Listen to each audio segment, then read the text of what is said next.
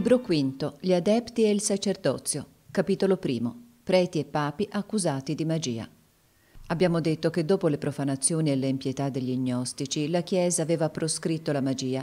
Il processo dei Templari compì la rottura e da quel momento in poi, ridotta a nascondersi nell'ombra per meditare la sua vendetta, la magia proscrisse a sua volta la Chiesa più prudenti degli eresiarchi che si levavano pubblicamente contro l'altare e si votavano così alla proscrizione e al patibolo, gli adepti dissimularono i loro risentimenti e le loro dottrine, si legarono fra loro con giuramenti terribili e, sapendo quanto sia importante vincere il processo al tribunale dell'opinione, rivolsero contro i loro accusatori e i loro giudici le voci sinistre che li perseguitavano e denunciarono al popolo il sacerdozio come una scuola di magia nera.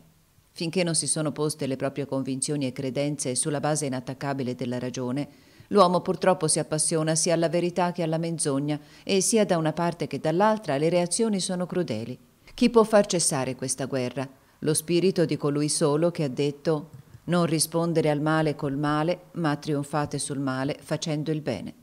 Il sacerdozio cattolico è stato accusato di essere persecutore e invece la sua missione è quella del buon samaritano ed è per questa che è succeduto ai leviti impietosi che continuavano il loro cammino senza aver compassione del povero ferito di Gerico.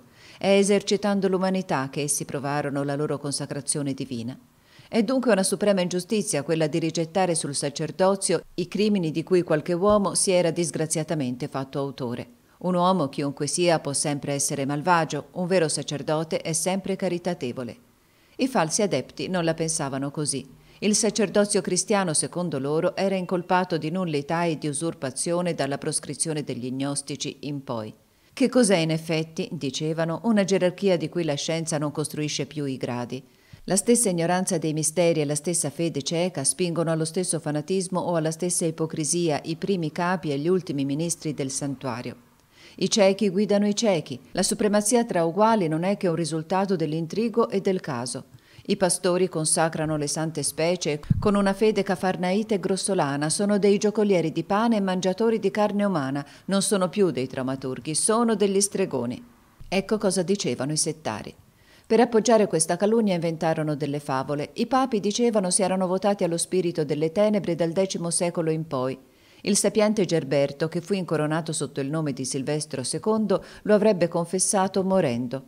Onorio III, colui che confermò l'ordine di San Domenico e che predicò le crociate, era lui stesso un abominevole negromante, autore di un manuale di magia che porta ancora il suo nome e che è esclusivamente riservato ai preti si mostrava e commentava questo libro, si tentava così di rivolgere contro la Santa Sede il più terribile di tutti i pregiudizi popolari dell'epoca, l'odio mortale di tutti quelli che a torto o a ragione passavano pubblicamente per stregoni. Si trovarono degli storici in malafede o creduloni per accreditare queste menzogne.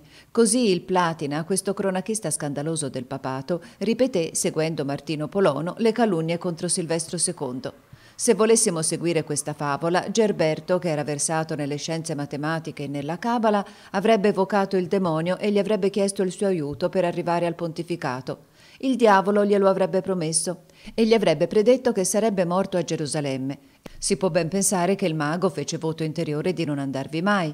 Divenne dunque papa, ma un giorno in cui diceva la messa in una chiesa di Roma si sentì molto malato e si ricordò allora che la cappella in cui officiava si chiamava la Santa Croce di Gerusalemme. Comprese dunque, si fece porre un letto in questa cappella e, chiamando attorno a sé i suoi cardinali, confessò di aver commerciato coi demoni, poi ordinò che dopo la sua morte lo mettessero su un carro di legno nuovo a cui avrebbero attaccato due cavalli vergini, uno nero e l'altro bianco, che avrebbero lanciato questi cavalli senza condurli e che il suo corpo sarebbe stato interrato dove i cavalli si fossero fermati. Il carro corse così attraverso Roma e si fermò davanti alla chiesa del Laterano. Si intesero allora delle grandi grida e gemiti, poi tutto ridivenne silenzioso e si poté procedere all'inumazione. Così finisce questa leggenda degna della Biblioteca Blu. Tutto questo Martino Polono, accettando la cui parola Platina ripeté delle fantasie simili, lo aveva raccolto lui stesso da un certo Galfrido e da un cronachista chiamato Gervasio che Nodé definisce il più grande costruttore di favole e il più grande mentitore che abbia mai messo mano alla penna. È seguendo queste storie così serie che i protestanti hanno pubblicato la leggenda scandalosa e probabilmente apocrifa di una pretesa papessa Giovanna, che era anche strega, come tutti sanno, e a cui attribuiscono anche dei libri di magia nera. Noi abbiamo sfogliato una storia della papessa scritta da un autore protestante e vi abbiamo notato due incisioni molto curiose. Sono degli antichi ritratti dell'eroina, a quello che dice lo storico, ma in realtà sono antichi tarocchi rappresentanti Iside incoronata da una tiara. Si sa che la figura geroglifica del numero 2 nei tarotti si chiama ancora la papessa. È una donna che porta una tiara su cui sono segnate le punte del quarto di luna o dei corni di Iside. Quella del libro protestante è ancora più notevole. Ha i capelli lunghi e sparsi, una croce solare sul petto, sta seduta tra le due colonne d'Ercole e dietro di lei si stende l'oceano con dei fiori di loto che si posano sulla superficie dell'acqua. Il secondo ritratto rappresenta la stessa dea con gli attributi del sacerdozio sovrano e suo figlio Horus fra le braccia. Queste due immagini sono dunque preziosissime come documenti cabalistici, ma ciò non piace agli amatori della papessa Giovanna. Quanto a Gerberto, per far cadere l'accusa di stregoneria, se la si vuol prendere sul serio, basterà dire che era l'uomo più sapiente del suo secolo e che era stato il precettore di due sovrani. Dovette la sua elezione alla riconoscenza di uno dei suoi augusti allievi. Padroneggiava profondamente le matematiche e sapeva forse di fisica più dei suoi contemporanei. Era un uomo di una erudizione universale e di una grande abilità, come si può vedere leggendo le lettere che ha lasciato. Non era un frodatore di re come il terribile Ildebrando. Preferiva istruire i principi che scomunicarli e, possedendo il favore di due re di Francia e di tre imperatori, non aveva bisogno, come afferma senatamente Nodé, di vendersi al diavolo per giungere successivamente agli arcivescovati di Reims e di Ravenna e infine al papato. È vero che vi giunse in qualche modo malgrado i suoi meriti, in un secolo in cui si prendevano i grandi politici per posseduti e i sapienti per incantatori. Gerberto era non solo un grande matematico e un ottimo astronomo, ma eccelleva anche nella meccanica e costruì nella città di Reims, secondo Guillaume Malmesbury, delle macchine idrauliche così meravigliose che l'acqua in esse suonava delle sinfonie e delle arie piacevolissime.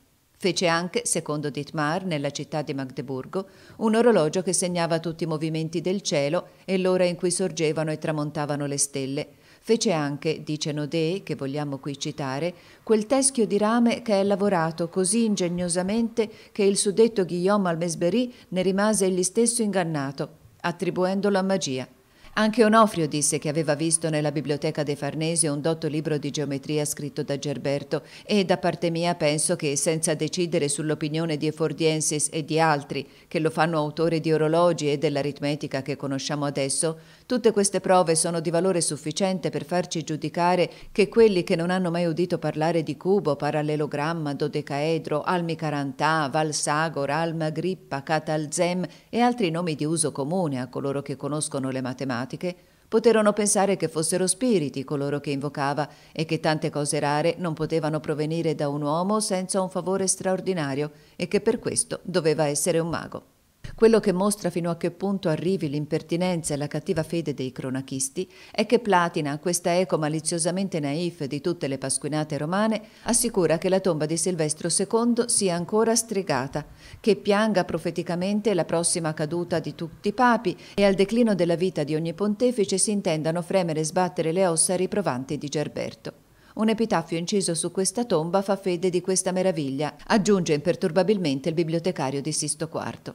Ecco delle prove che paiono sufficienti agli storici per constatare l'esistenza di un curioso documento storico.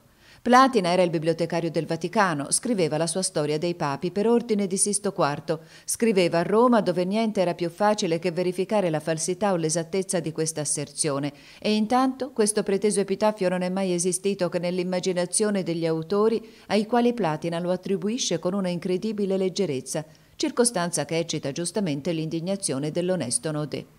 Ecco quello che dice nella sua apologia per i grandi uomini accusati di magia. È una pura impostura e falsità manifesta sia per l'esperienza dei pretesi prodigi della tomba di Silvestro II, che non sono stati fino ad oggi osservati da nessuno, quanto per l'iscrizione di questo sepolcro, che fu composto da Sergio IV e che non fa alcuna menzione di tutte queste fole, e mentre al contrario è una delle più eccellenti testimonianze che possiamo avere della buona vita e integrità delle azioni di Silvestro. È veramente una cosa vergognosa che molti cattolici siano fautori di questa maldicenza, della quale Mariano Scoto, Glaber, Dittmer, Elgandos, Lambert e Hermann Contrat, che sono stati suoi contemporanei, non fanno alcuna menzione, eccetera. Veniamo al libro di magia attribuito ad Onorio. È a Onorio III, vale a dire uno dei più zelanti pontefici del XIII secolo, che si attribuisce questo libro empio. Onorio III in effetti doveva essere odiato dai settari e dai negromanti che volevano disonorarlo prendendolo per complice. Censius Savelli, incoronato papa nel 1216, confermò l'ordine di San Domenico, così formidabile per gli albigesi e i valdesi, questi figli dei manichei e degli stregoni. Stabilì anche i francescani e i carmelitani, predicò una crociata, governò saggiamente la Chiesa e emise molti decretali. Accusare di magia nera questo Papa così eminentemente cattolico è far cadere lo stesso sospetto sui grandi ordini religiosi istituiti da lui e il diavolo non poteva che guadagnarci. Qualche esemplare antico del libro magico di Onorio porta il nome di Onorio II invece di Onorio III, ma è impossibile fare uno stregone di questo saggio e elegante cardinale Lambert che, dopo la sua promozione a pontefice sovrano, si attorniò di poeti ai quali dava vescovati come gratifiche, come fece con il Deberto, vescovo di Mans, e con sapienti teologi come Hugues de Saint-Victor. Pertanto questo nome di Onorio II è per noi un indizio che ci porta alla scoperta del vero autore di questo spaventoso libro magico di Onorio. Nel 1061, quando l'impero cominciava ad adombrarsi del papato e cercava di usurpare l'influenza sacerdotale, fomentando turbamenti e divisioni nel Sacro Collegio, i vescovi di Lombardia, eccitati da Gilberto di Parma, protestarono contro l'elezione di Anselmo, vescovo di Lucca, che giunse al pontificato sovrano sotto il nome di Alessandro II. L'imperatore Enrico IV prese le parti dei dissidenti e li autorizzò a darsi un altro papa, promettendo loro di appoggiarli. Scelsero un intrigante chiamato Cadalus o Cadalo, vescovo di Parma, uomo capace di tutti i crimini e pubblicamente scandaloso come simoniaco e concubinario. Questo Cadalo prese il nome di Onorio II e marciò contro Roma alla testa di un'armata. Fu battuto e condannato da tutti i vescovi di Germania e Italia. Ritornò alla carica, si impadronì di una parte della città santa, entrò nella chiesa di San Pietro, da dove fu cacciato, si rifugiò nel Castel Sant'Angelo, da dove ottenne di potersi ritirare pagando un forte scotto. Fu allora che Ottone, arcivescovo di Colonia inviato dall'imperatore, osò accusare pubblicamente Alessandro II di aver usurpato la Santa Sede ma un monaco chiamato il Debrando prese la parola per il Papa legittimo e lo fece con una tale potenza che l'inviato dell'imperatore se ne ritornò confuso e l'imperatore stesso chiese perdono del suo tentativo. Questo il Debrando, nelle vie della provvidenza, divenne il formidabile Gregorio VII e cominciava l'opera della sua vita. L'antipapa fu deposto al concilio di Mantova e Enrico IV ottenne il suo perdono. Cadalo rientrò dunque nell'oscurità ed è probabile che volle essere allora il grande prete degli stregoni e degli apostati. Può dunque aver redatto, col nome di Onorio II, il libro di magia che porta quel nome. Quello che si sa del carattere di questo antipapa giustifica fin troppo un'accusa del genere. Egli era audace di fronte ai deboli e vigliacco davanti ai forti, intrigante e debosciato, senza fede come senza morale. Non vedeva nella religione che uno strumento di impunità e di rapina. Le virtù cristiane erano degli ostacoli e la fede del clero una difficoltà da superare. Avrebbe dunque voluto fare dei preti a sua immagine e comporre un clero di uomini capaci di tutti gli attentati come di tutti i sacrilegi. Tale pareva essere in effetti lo scopo propostosi dall'autore del libro di magia di Onorio. Questo libro non è senza importanza per i curiosi della scienza. Sulle prime non sembra essere che una serie di rivoltanti assurdità, ma per gli iniziati ai segni e ai segreti della Cabala diviene un vero monumento della perversione umana. Il diavolo vi viene mostrato come uno strumento di potere.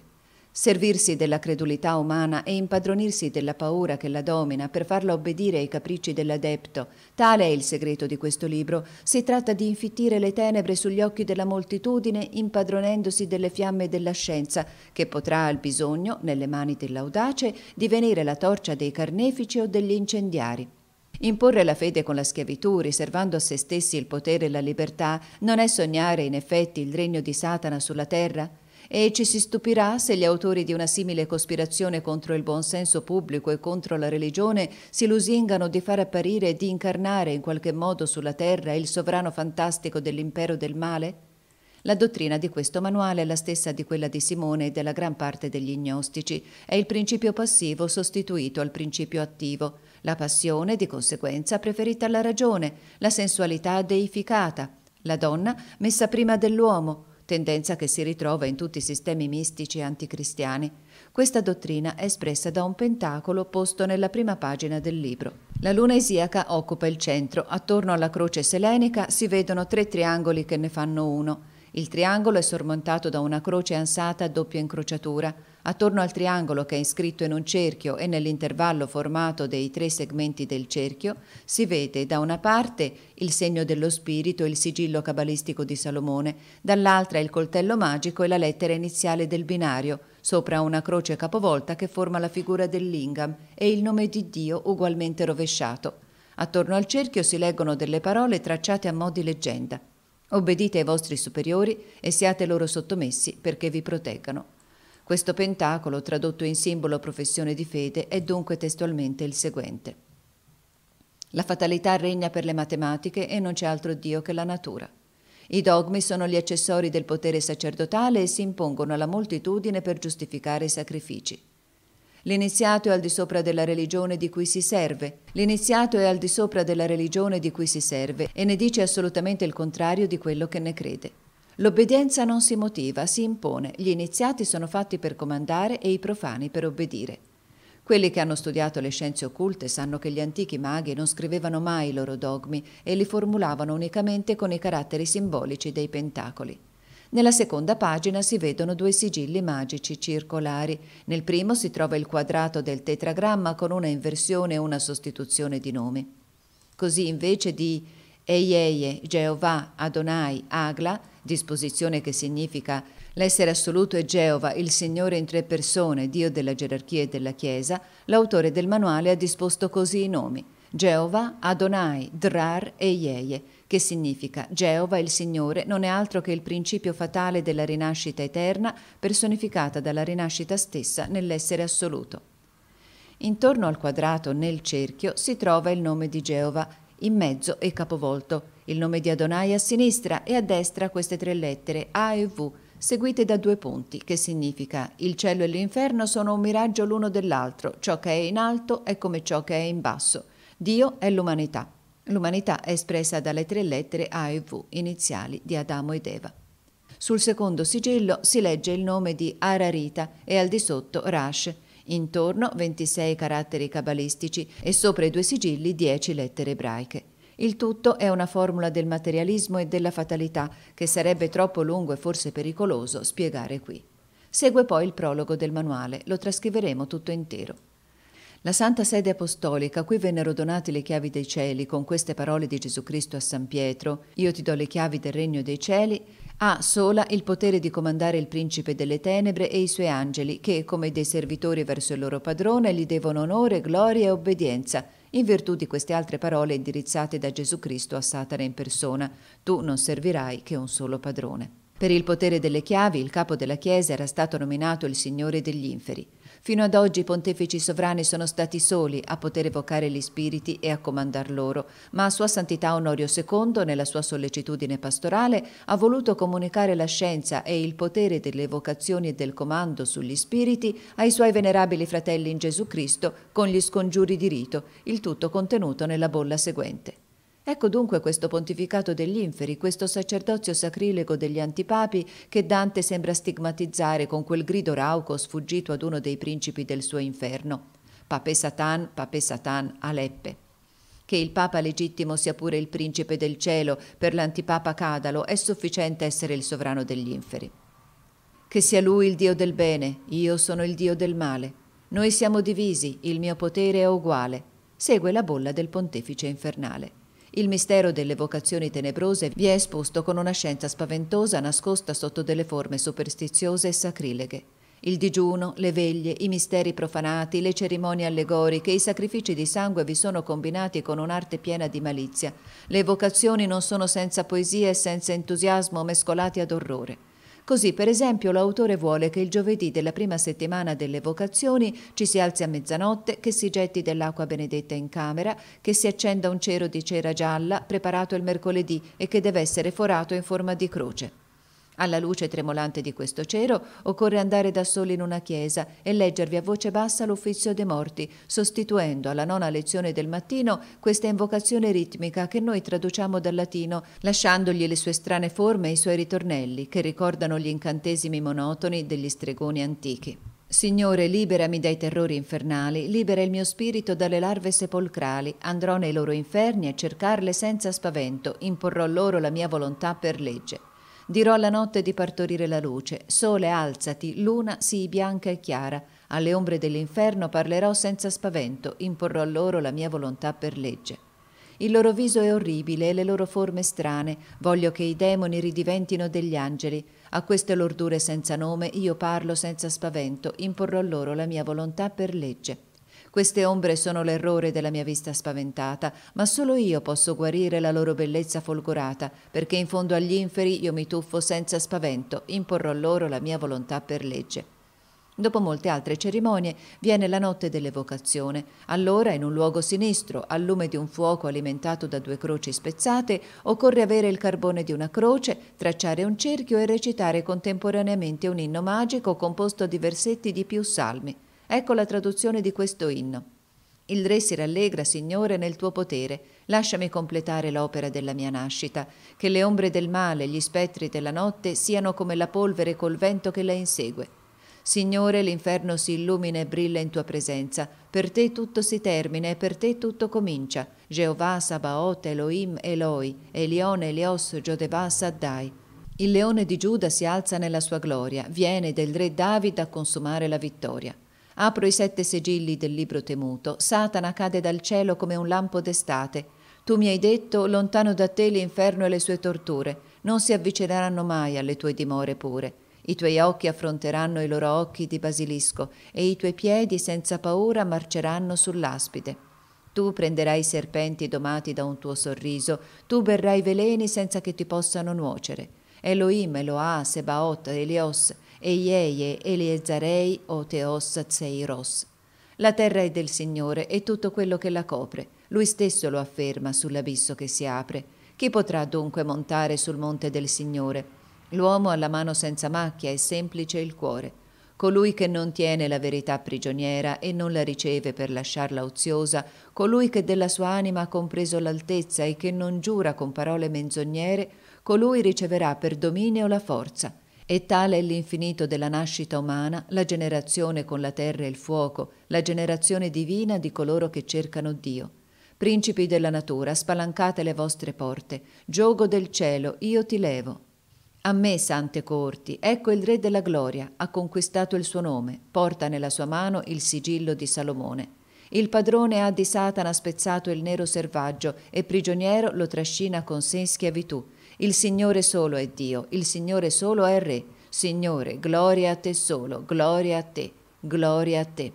Non si crederebbe di sentire i cupi puritani di Walter Scott o di Victor Hugo accompagnare con la loro salmodia fanatica l'opera senza nome delle streghe di Fausto di Macbeth. In uno scongiuro indirizzato all'ombra del gigante Nemrod, questo cacciatore selvaggio che fece iniziare la torre di Babele, l'adepto di Onorio minaccia questo antico riprovato di costringerlo di nuovo in catene e tormentarlo sempre più ogni giorno se non obbedisce immediatamente alla sua volontà. Non è forse il culmine dell'orgoglio in delirio? E questo antipapa che non concepiva un grande sacerdote se non come un sovrano degli inferi, non sembra aspirare, come a una vendetta del disprezzo e della riprovazione dei vivi, al diritto usurpato e funesto di tormentare eternamente i morti?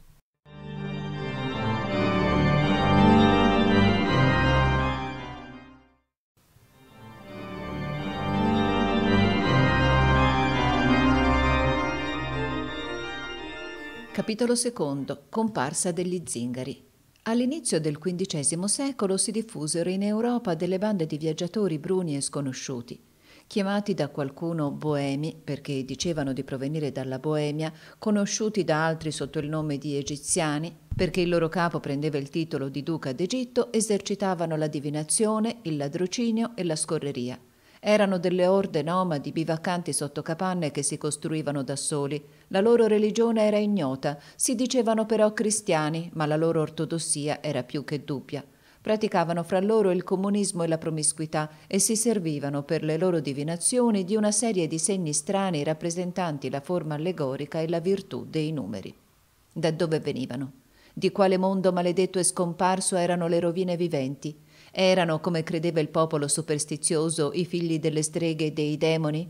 Quale Salvatore morente e tradito li aveva condannati a muoversi sempre? Era questa la famiglia dell'ebreo errante? Non era forse il resto delle dieci tribù di Israele perdute in prigionia e incatenate da tempo da Gog e Magog in paesi sconosciuti?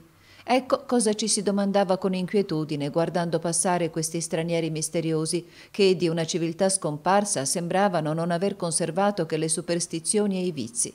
Nemici del lavoro non rispettavano né la proprietà né la famiglia si trascinavano appresso famiglie e figli e turbavano volentieri, con la loro pretesa divinazione, la pace dei menage onesti. Ascoltiamo parlare il cronachista che racconta il loro primo accampamento nelle vicinanze di Parigi. L'anno successivo, 1427, la domenica dopo la metà di agosto, che fu il 17 del mese, arrivarono nei dintorni di Parigi dodici sedicenti penitenzieri, cioè un duca, un conte e dieci uomini, tutti a cavallo, che si dicevano ottimi cristiani e originari del Basso Egitto affermavano di essere stati cristiani da molto tempo, che altri cristiani li avevano soggiogati e riportati al cristianesimo, che quelli che si erano rifiutati erano stati messi a morte e quelli che al contrario si erano fatti battezzare erano rimasti signori del paese come prima, previa parola di essere buoni e leali e di conservare la fede in Gesù Cristo fino alla morte. Aggiunsero che avevano un re e una regina nel loro paese, che dimoravano nella loro signoria dopo essersi fatti cristiani e anche, dicevano, qualche tempo dopo che eravamo diventati cristiani, i saracini vennero ad assalirci. Un gran numero, poco fermi nella nostra fede, senza andare in guerra, senza difendere il loro paese come dovevano fare, si sottomise, si fecero saracini e abiurarono nostro Signore e anche, dicevano, l'imperatore di Germania, il re di Polonia e altri signori, avendo saputo che avevano rinunciato così facilmente alla fede e si erano fatti saracini e idolatri, li assalirono, li vinsero facilmente, come se avessero a cuore di lasciarli nel loro paese per riportarli al cristianesimo. Ma l'imperatore e gli altri signori, per deliberazione del Consiglio, decisero che non avrebbero mai avuto terra nel loro paese senza il consenso del Papa che per questo erano andati a Roma, tutti, grandi e piccoli, e con gran fastidio per i piccoli, che avevano confessato il loro peccato, che il Papa, avendoli uditi, aveva dato loro per penitenza, per deliberazione del Consiglio, di andare sette anni per il mondo senza dormire mai nei letti, che aveva ordinato che ogni vescovo e abate che portava il pastorale desse loro, una volta per tutte, dieci libre tornesi come sovvenzione alle loro spese, che aveva consegnato loro delle lettere dove tutto questo era scritto, aveva dato loro la benedizione e che da cinque anni giravano il mondo. Qualche giorno dopo, il giorno di San Giovanni decollato, cioè il 29 agosto, arrivò il grosso del gruppo che non fu fatto entrare a Parigi, ma per giustizia fu alloggiato nella cappella di San Dionigi. Il loro numero arrivava a circa 120 persone, sia uomini che donne e bambini. Dicevano che nel lasciare il loro paese erano 1200, che gli altri erano stati uccisi dal re e dalla regina, che quelli che erano sopravvissuti speravano di possedere ancora dei beni a questo mondo perché il Santo Padre aveva loro promesso una terra buona e fertile quando avessero terminato la loro penitenza. Nel periodo in cui si trovavano alla cappella non si era mai vista tanta gente accorrere alla benedizione, sia da Saint-Denis sia da Parigi, tanta era la folla che veniva a vederli. I loro figli, ragazzi e ragazze, erano non si sa come abilissimi nei giochi. Avevano quasi tutti le orecchie bucate e ad ogni orecchio uno o due anelli d'argento e dicevano che questo nel loro paese era segno di nobiltà. Erano nerissimi, con i capelli crespi. Le donne erano le più brutte e nere che si siano mai viste. Tutti avevano il viso coperto di piaghe, i capelli neri come quelli di un cavallo, per vestito una vecchia schiavina legata sulle spalle da una corda o da un pezzo di stoffa e sotto un misero rocchetto o una camicia come unico vestito. In breve erano le più povere creature che a memoria si fossero mai viste in Francia e nonostante la loro povertà avevano fra di essi degli stregoni che leggevano la mano della gente e dicevano ad ognuno quello che gli era accaduto e quello che gli doveva accadere. E gettavano il disordine nelle famiglie perché dicevano al marito tua moglie, tua moglie, tua moglie ti ha messo le corna. E alla moglie tuo marito ti ha fatto cornuta E ciò che è peggio, nel parlare alla gente con arti magiche e con l'aiuto dell'inferno operabilità, vuotavano loro la borsa e riempivano le loro. Il cronista di Parigi che racconta questi fatti aggiunge E veramente sono stato tre o quattro volte per parlare a loro, ma ogni volta ci ho perso del denaro. Alla fine la notizia giunse al vescovo di Parigi, il quale andò da essi portando con sé un frate minore di nome Piccolo Giacobino, il quale, comandato dal vescovo, fece una bella predica, scomunicando tutti gli uomini e le donne che avevano loro creduto e si erano fatti leggere la mano. E ordinò che se ne andassero e questi partirono il giorno di Notre Dame, l'8 settembre, andando verso Pontoise. Si ignora se continuarono il loro viaggio dirigendosi a nord della capitale, ma è certo che il loro sovrano rimase in uno degli angoli del Dipartimento del Nord. Esiste in effetti in un bosco vicino al villaggio di Amel e a 500 passi da un monumento di sei pietre druidiche una fontana chiamata Cucina degli Stregoni e, dice la tradizione, è là che si riposavano e dissetavano i Karamaras, che sono certamente i Karasmar, vale a dire i boemi, stregoni e indovini ambulanti ai quali le antiche carte del paese di Fiandra accordavano il diritto di essere nutriti dagli abitanti. Hanno lasciato Parigi, ma al loro posto ne sono venuti degli altri e la Francia non è da loro meno frequentata che non altri paesi. Non si vedono sbarcare né in Inghilterra né in Scozia e nonostante questo sono in quest'ultimo regno più di centomila. Li si chiama Ceard e Caird, o come si potrebbe dire artigiani, manovratori, perché questa parola scozzese deriva da Ker, sanscrito da dove viene il verbo fare. Ker haben dei boemi e il latino cerdo, ciabattino, cosa che non sono affatto. Se in quest'epoca non li si vede più nel nord della Spagna, dove i cristiani si rifugiano per scappare al dominio musulmano, è invece indubbio che stiano meglio a sud con gli arabi, ma sotto Giovanni II li si distingue bene da questi ultimi, senza sapere però da dove vengano. Chiunque siano, a partire da quest'epoca, sono generalmente conosciuti su tutto il continente europeo. Una delle bande del re Sindel si è presentata a Ratisbona nel 1433 e Sindel in persona si accampò in Baviera con la sua riserva nel 1439. Sembrava allora venire dalla Boemia perché i bavaresi, dimentichi di quelli del 1433 che si erano spacciati per egiziani, li chiamavano Boemi. È sotto questo nome che riapparvero in Francia e vi sono ormai conosciuti così. Bene o male li si sopporta. Gli uni percorrono le montagne e cercano l'oro nei fiumi, gli altri forgiano dei ferri di cavallo e delle catene per cani. Questi, più predatori che pellegrini, si infilano dappertutto e dappertutto rubano. Decisero di stabilirsi qui e stanchi di levare e piantare continuamente le tende, si scavarono delle capanne quadrate dai quattro ai sei piedi, sottoterra, e ricoperte da un tetto di rami d'albero la cui cresta, a cavallo su due pali a Y, non si alza che a più di due piedi dal suolo. È in queste tane di cui in Francia è rimasto solo il ricordo del nome che si pigiava a casaccio tutta una famiglia. È in questa buca, che non aveva altre aperture che la porta e un buco per far uscire il fumo, che il padre forgia, che i bambini, raggruppati attorno al fuoco, fanno andare il mantice e che la madre fa andare la pentola, in cui non butta altro che frutti di ruberie. È in questo riparo dove sono appesi a delle lunghe travi dei vecchi stracci, in cui tutti i mobili consistono in incudine e martello, è là, dicevo, che si incontrano la credulità e l'amore, la madamigella e il cavaliere, la castellana e il paggio. È là che vengono ad aprire le bianche mani, nude allo sguardo penetrante della Sibilla. È là che l'amore si compra, che si vende la felicità, che si paga la menzogna.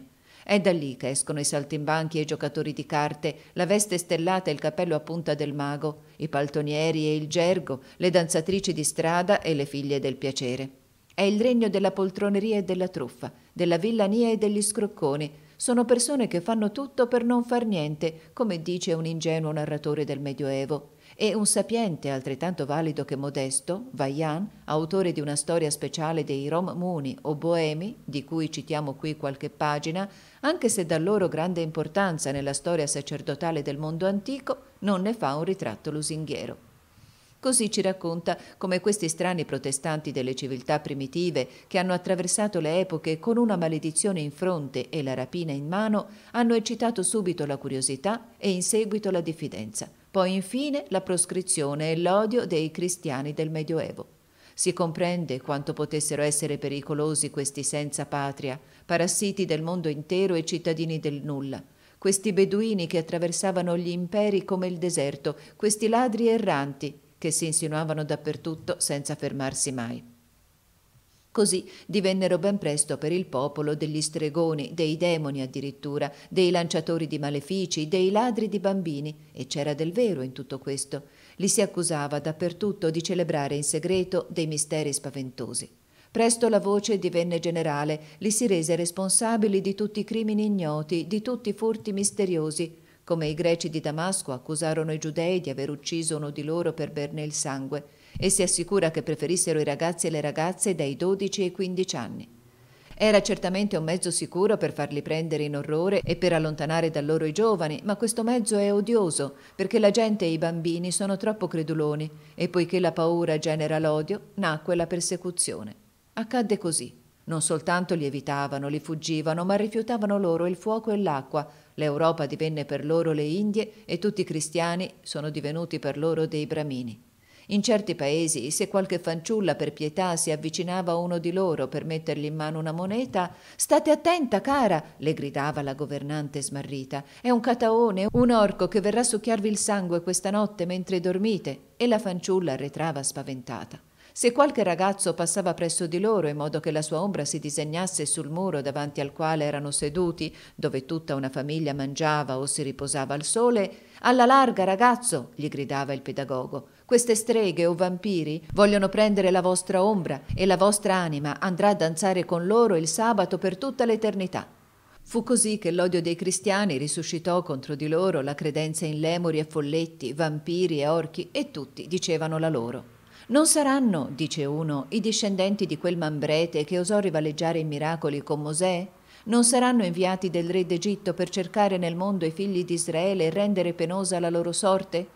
Io crederei, dice un altro, che siano i carnefici di cui si servì Erode per sterminare i neonati di Betlemme. Vi sbagliate, dice un terzo. Questi pagani non capiscono una parola di egiziano, la loro lingua è piena al contrario di molto ebraico. Non sono dunque che gli impuri reietti di questa razza abietta che dormiva in Giudea nei sepolcri dopo aver divorato i cadaveri che vi erano contenuti. Errore, errore, gridava un quarto. Sono certamente dei miscredenti giudei che sono stati torturati, cacciati e bruciati nel 1348 per aver avvelenato i nostri pozzi e le nostre cisterne e che ritornano per ricominciare. E che importa, aggiunge l'ultimo, egiziani o giudei, esseni o cusiani, faraoniani o captoriani, balistari da Siria o filistini di Canaan, sono dei rinnegati. L'hanno detto in Sassonia, in Francia, dappertutto. Bisogna impiccarli e bruciarli. Presto fu compreso nella loro proscrizione quel libro strano che serviva loro per consultare la sorte e per fare degli oracoli quei cartoni con raffigurate figure incomprensibili e che sono il riassunto, non se ne dubita, monumentale di tutte le rivelazioni del mondo antico, la chiave dei geroglifici egiziani, le clavicole di Salomone, le scritture primitive di Enoch e di Ermete. Qui l'autore che citeremo fa prova di una sagacia singolare, parla di tarocchi pur senza comprenderli ancora perfettamente, ma avendoli profondamente studiati. Vediamo dunque cosa dice. La forma, la disposizione, la sistemazione di queste tavolette e le figure che rappresentano, variamente modificate dai tempi, sono così manifestamente allegoriche e le allegorie si sono così conformate alla dottrina civile, filosofica e religiosa dell'antichità che non si può fare a meno di riconoscerle per la sintesi di tutto quello che era la fede degli antichi popoli. Per tutto quello che precede abbiamo sufficientemente spiegato che è una deduzione del libro siderale di Enoch, che è Enochia, che è modellato sulla ruota astrale di Hathor, che è Astaroth, che, somigliante all'Ot Tara indiano, orsa polare o Arctura del settentrione, è la forza maggiore sulla quale si posano la solidità del mondo e il firmamento siderale della Terra. Conseguentemente, come l'orsa polare di cui si è fatto il carro e il sole, il carro di Davide e Arturo, è la fortuna greca, il destino cinese, il caso egiziano, la sorte dei Romi, Girando incessantemente attorno all'orsa del polo, gli astri svolgono alla terra il fasto e il nefasto, la luce e l'ombra, il caldo e il freddo, da cui derivano il bene e il male, l'amore e l'odio che fanno la felicità o la disgrazia degli uomini. Se l'origine di questo libro si perde nella notte dei tempi, al punto che non si sa né quando né come fu inventato, tutto porta a credere che sia di origine indo-tartara e che, diversamente modificato dagli antichi, secondo le sfumature delle loro dottrine e il carattere dei loro saggi, sia uno dei libri delle loro scienze occulte e forse uno dei loro libri sibillini. noi abbiamo sufficientemente fatto intravedere la strada che ha potuto percorrere per arrivare fino a noi. Abbiamo visto che doveva essere stato conosciuto dai Romani e che doveva essere stato portato loro non solamente ai primi giorni dell'impero, ma anche ai primi giorni della Repubblica, perché numerosi stranieri che venuti dall'Oriente e iniziati ai misteri di Bacco e di Iside portarono la loro scienza agli eredi di Numa. Vaillant non dice che i quattro segni geroglifici dei tarocchi, i bastoni, le coppe, le spade e i denari o cerchi d'oro, si trovano in Omero, scolpiti sullo scudo di Achille, ma secondo lui le coppe sono come archi o archi del tempo, vasi o vascelli del cielo. I denari eguagliano gli astri, le stelle, le spade il fuoco, le fiamme, i raggi. I bastoni eguagliano le ombre, le pietre, gli alberi, le piante. L'asso di coppe è il vaso dell'universo, arco della verità del cielo, principe della terra. L'asso di denari è il sole, occhio unico del mondo, alimento ed elemento della vita. L'asso di spada è la lancia di Marte, fonte di guerre, di infelicità, di vittorie. L'asso di bastoni è l'occhio del serpente, la verga del pastore, il pungiglione del bifolco, la clava di Ercole, il simbolo dell'agricoltura. Il due di coppe è la vacca, Io o Iside, e il bue apis omnevis.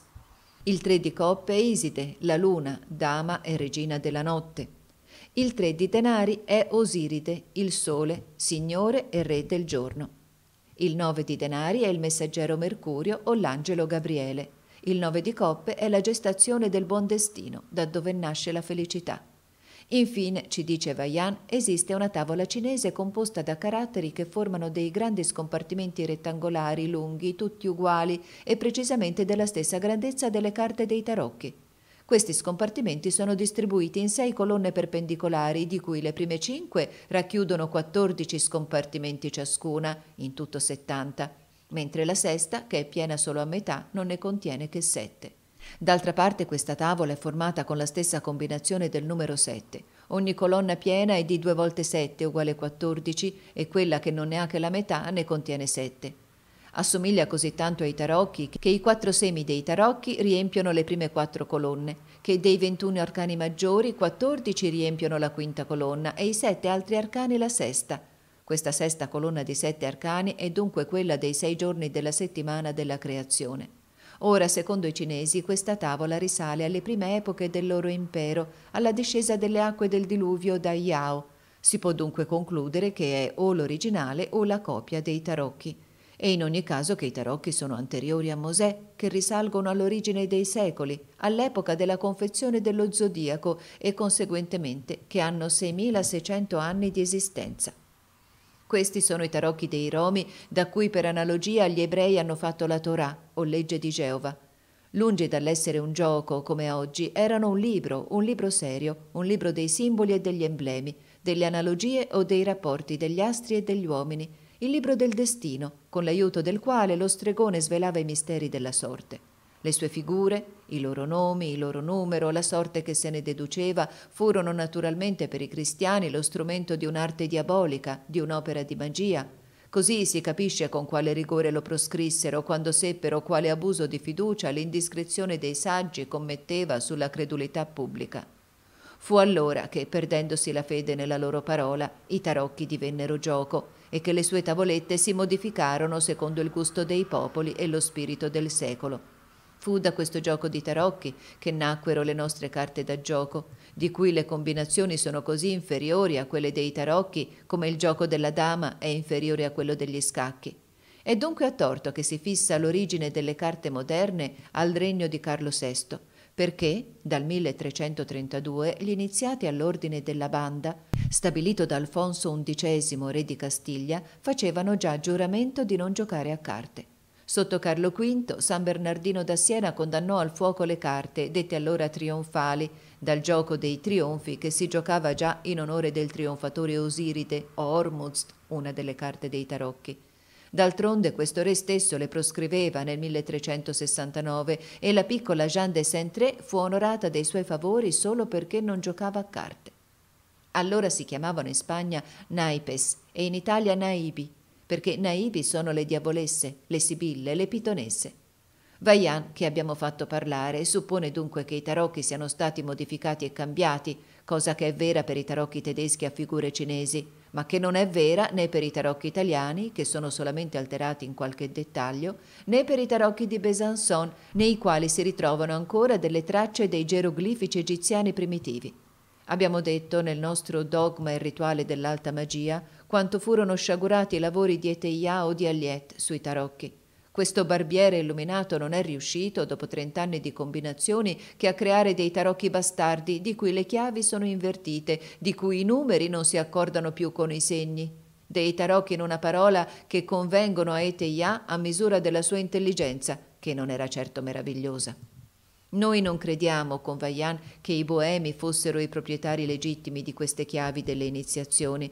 Le dovevano senza dubbio all'infedeltà o all'imprudenza di qualche cabalista giudeo. I boemi sono originari dell'India. Il loro storico lo ha provato con sufficiente verosimiglianza. Ora i tarocchi che noi abbiamo ancora, e sono quelli dei boemi, sono venuti dall'Egitto passando per la Giudea.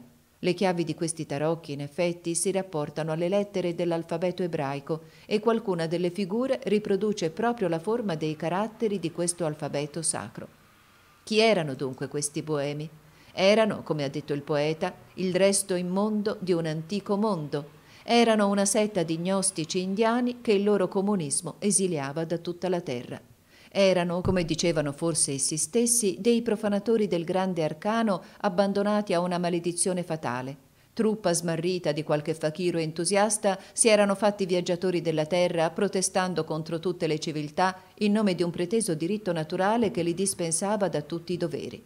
Ora il diritto che vuole imporsi, liberandosi da ogni dovere, è aggressione, è saccheggio, è rapina, è il braccio di Caino alzato contro suo fratello e la società che si difende vendica la morte di Abele.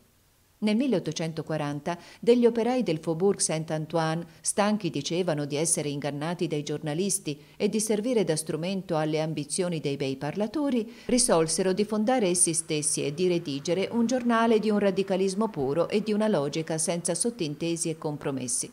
Si riunirono e tennero consiglio per stabilire con precisione le loro dottrine, Presero per base la dottrina repubblicana, libertà, uguaglianza e il resto. La libertà sembrava loro impossibile finché esisteva il dovere di lavorare, l'uguaglianza finché era possibile comprare, e conclusero così a favore del comunismo.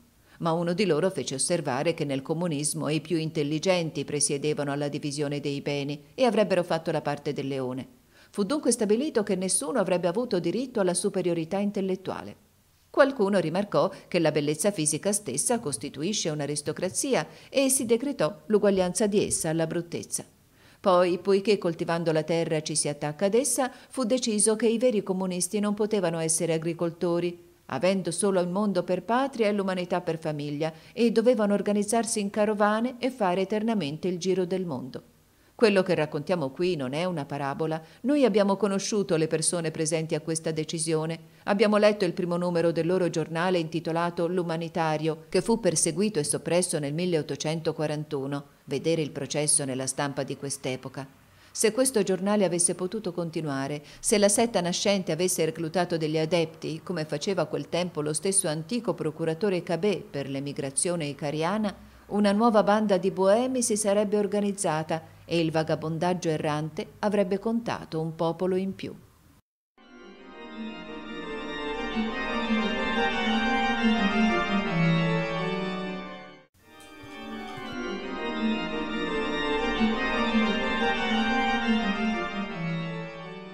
Capitolo terzo. Leggenda e storia di Raimondo Lullo.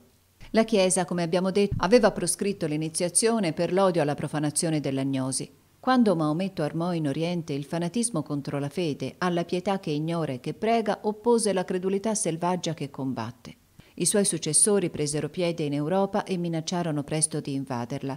La provvidenza ci castiga, dicevano i cristiani, e i musulmani rispondevano, il destino è dalla nostra parte. Gli ebrei cabalistici, che temevano di venire bruciati come stregoni nei paesi cattolici, si rifugiarono dagli arabi, che erano ai loro occhi degli eretici, ma non degli idolatri ammisero qualcuno di loro alla conoscenza dei misteri e l'islamismo, già trionfante per mezzo della forza, poté presto aspirare a trionfare anche per la scienza di questi che l'Arabia letterata chiamava con sdegno i barbari dell'Occidente. Il genio della Francia aveva opposto all'invasione della forza i colpi del suo martello terribile. Un dito guantato di ferro aveva tracciato una linea davanti alla marea montante delle armate maomettane e la grande voce della vittoria aveva gridato al flutto Tu non andrai più lontano.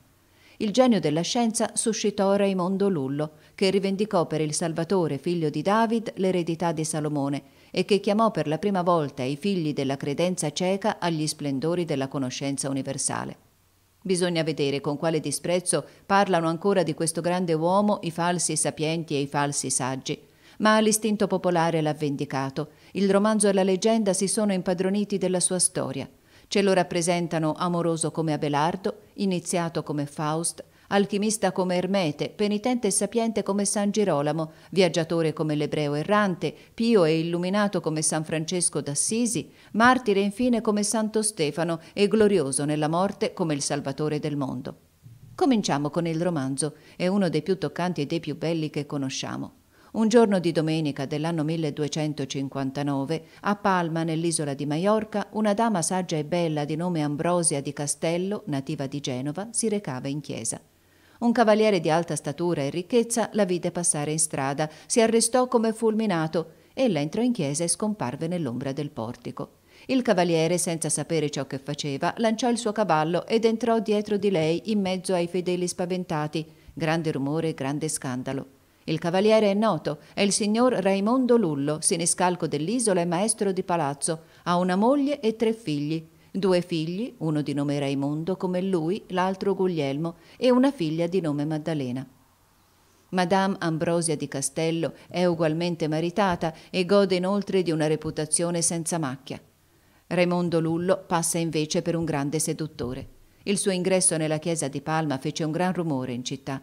Ambrosia, tutta confusa, consultò suo marito, che era senza dubbio un uomo saggio e che non trovò che sua moglie fosse offesa perché la sua bellezza aveva fatto girare la testa di un giovane e brillante signore.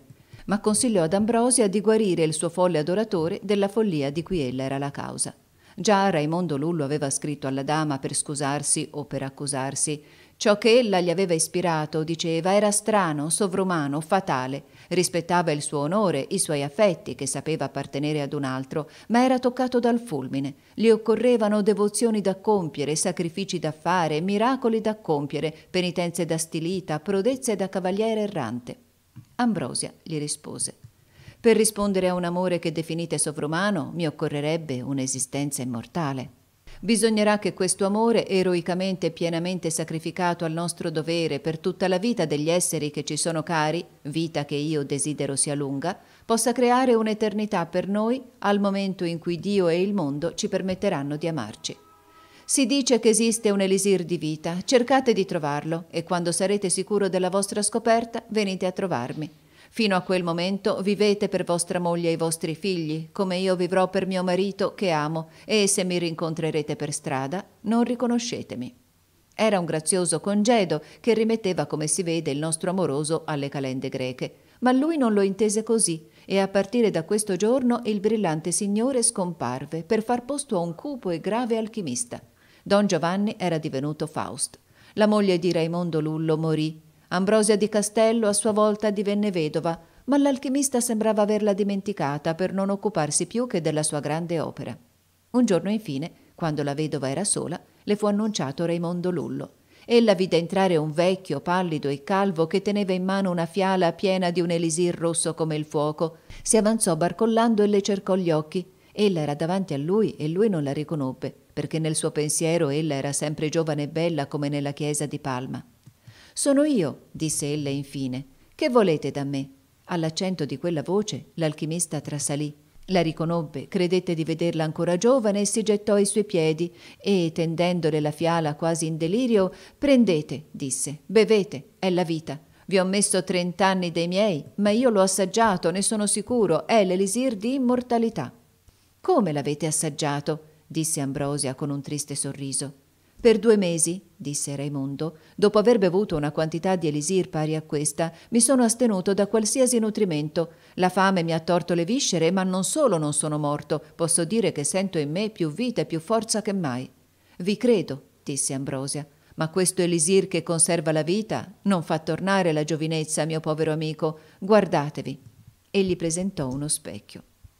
Raimondo Lullo si ritrasse Mai da trent'anni aveva pensato a guardarsi. Ora, Raimondo, guardatemi, disse Ambrosia scoprendosi i capelli bianchi. Poi, staccando il fermaglio del vestito, gli mostrò il suo seno che era quasi tutto eroso da un cancro. È questo, aggiunse ella, che volete rendere immortale? Poi, vedendo l'alchimista costernato, ascoltatemi, disse ella. Da trent'anni vi amo e non voglio condannarvi alla prigione perpetua nel corpo di un vecchio. Non condannate anche me. Fatemi la grazia di questa morte che si chiama vita. Lasciatemi trasformare per rivivere. Ritempriamoci nella giovinezza eterna. Non voglio del vostro elisir che prolunga la notte della tomba. Io aspiro all'immortalità. Raimondo Lullo gettò allora a terra la fiala che si ruppe. Io vi libero, disse lui, e resto in prigione per voi. Vivete nell'immortalità del cielo, io sono condannato per sempre alla morte vivente della terra. Poi, nascondendosi il viso nelle mani, fuggì in lacrime. Qualche mese dopo, un monaco dell'ordine di San Francesco assistette Ambrosia di Castello nei suoi ultimi momenti. Questo monaco era Raimondo Lullo. Qui il romanzo termina e la leggenda comincia. Questa leggenda non fa che un solo uomo di tre o quattro Raimondo Lullo che sono esistiti in epoche diverse, dà all'alchimista pentito diversi secoli di esistenza e di espiazione. Il giorno in cui, naturalmente, il povero adepto dovette morire, questi risentì tutte le angosce dell'agonia, poi, in una crisi suprema, sentì la vita che ricominciava, come l'avvoltoio di Prometeo riprendeva il suo festino rinnovantesi. Il Salvatore del mondo, che già gli tendeva la mano, rientrò tristemente nel cielo che si chiudeva e Raimondo Lullo si ritrovò sulla terra senza speranza di morire mai. Si mise a pregare e dedicò tutta la sua esistenza alle opere buone. Dio gli accordò tutte le grazie ad eccezione della morte, e che farne delle altre senza quella che doveva completarle e coronarle tutte. Un giorno l'albero della scienza gli apparve carico dei suoi frutti luminosi. Egli comprese l'essere e le sue armonie, indovinò la cabala, gettò le basi e tracciò il piano di una scienza universale e da allora non fu chiamato altrimenti che il dottore illuminato. Aveva trovato la gloria, questa fatale ricompensa del lavoro che Dio nella sua misericordia non elargisce ai grandi uomini che dopo la loro morte, perché ubriaca e avvelena i vivi. Ma Raimondo Lullo, che non aveva potuto morire per farle posto, doveva temere ancora di vederla morire prima di lui, e questa gloria non gli sembrava essere che una derisione della sua immortale fortuna. Sapeva fare dell'oro e poteva comprare il mondo e tutti i suoi monumenti senza potersi assicurare il godimento di una sola tomba. Era il povero dell'immortalità. Andava dappertutto mendicando la morte e nessuno gliela poteva donare. Aveva preso corpo a corpo la filosofia degli arabi, lottò vittoriosamente contro l'islamismo e aveva tutto da temere dal fanatismo dei settari, tutto da temere, vale a dire forse qualcosa da sperare, e quello che sperava era la morte. Prese come domestico un giovane arabo dei più fanatici e si prefisse di essere per lui il flagello della dottrina di Maometto. L'arabo assassinò il suo padrone. Era quello che Raimondo Lullo attendeva, ma non morì come aveva sperato, non poté ottenere la grazia del suo assassino ed ebbe un nuovo rimorso di coscienza al posto della liberazione e la pace. Appena guarito dalle sue ferite, si imbarcò e partì per Tunisi. Predicò pubblicamente il cristianesimo, ma il Bey, ammirando la sua scienza e il suo coraggio, lo difese dal furore del popolo e lo fece imbarcare con tutti i suoi libri. Raimondo Lullo tornò Predicò a Bona, a Bugì e in altre città dell'Africa. I musulmani stupefatti non osavano mettergli le mani addosso. Ritornò infine a Tunisi e, ammassando folle per le strade, gridò di essere stato già cacciato dal paese, ma che ritornava al fine di confutare i dogmi empi di Maometto e di morire per Gesù Cristo.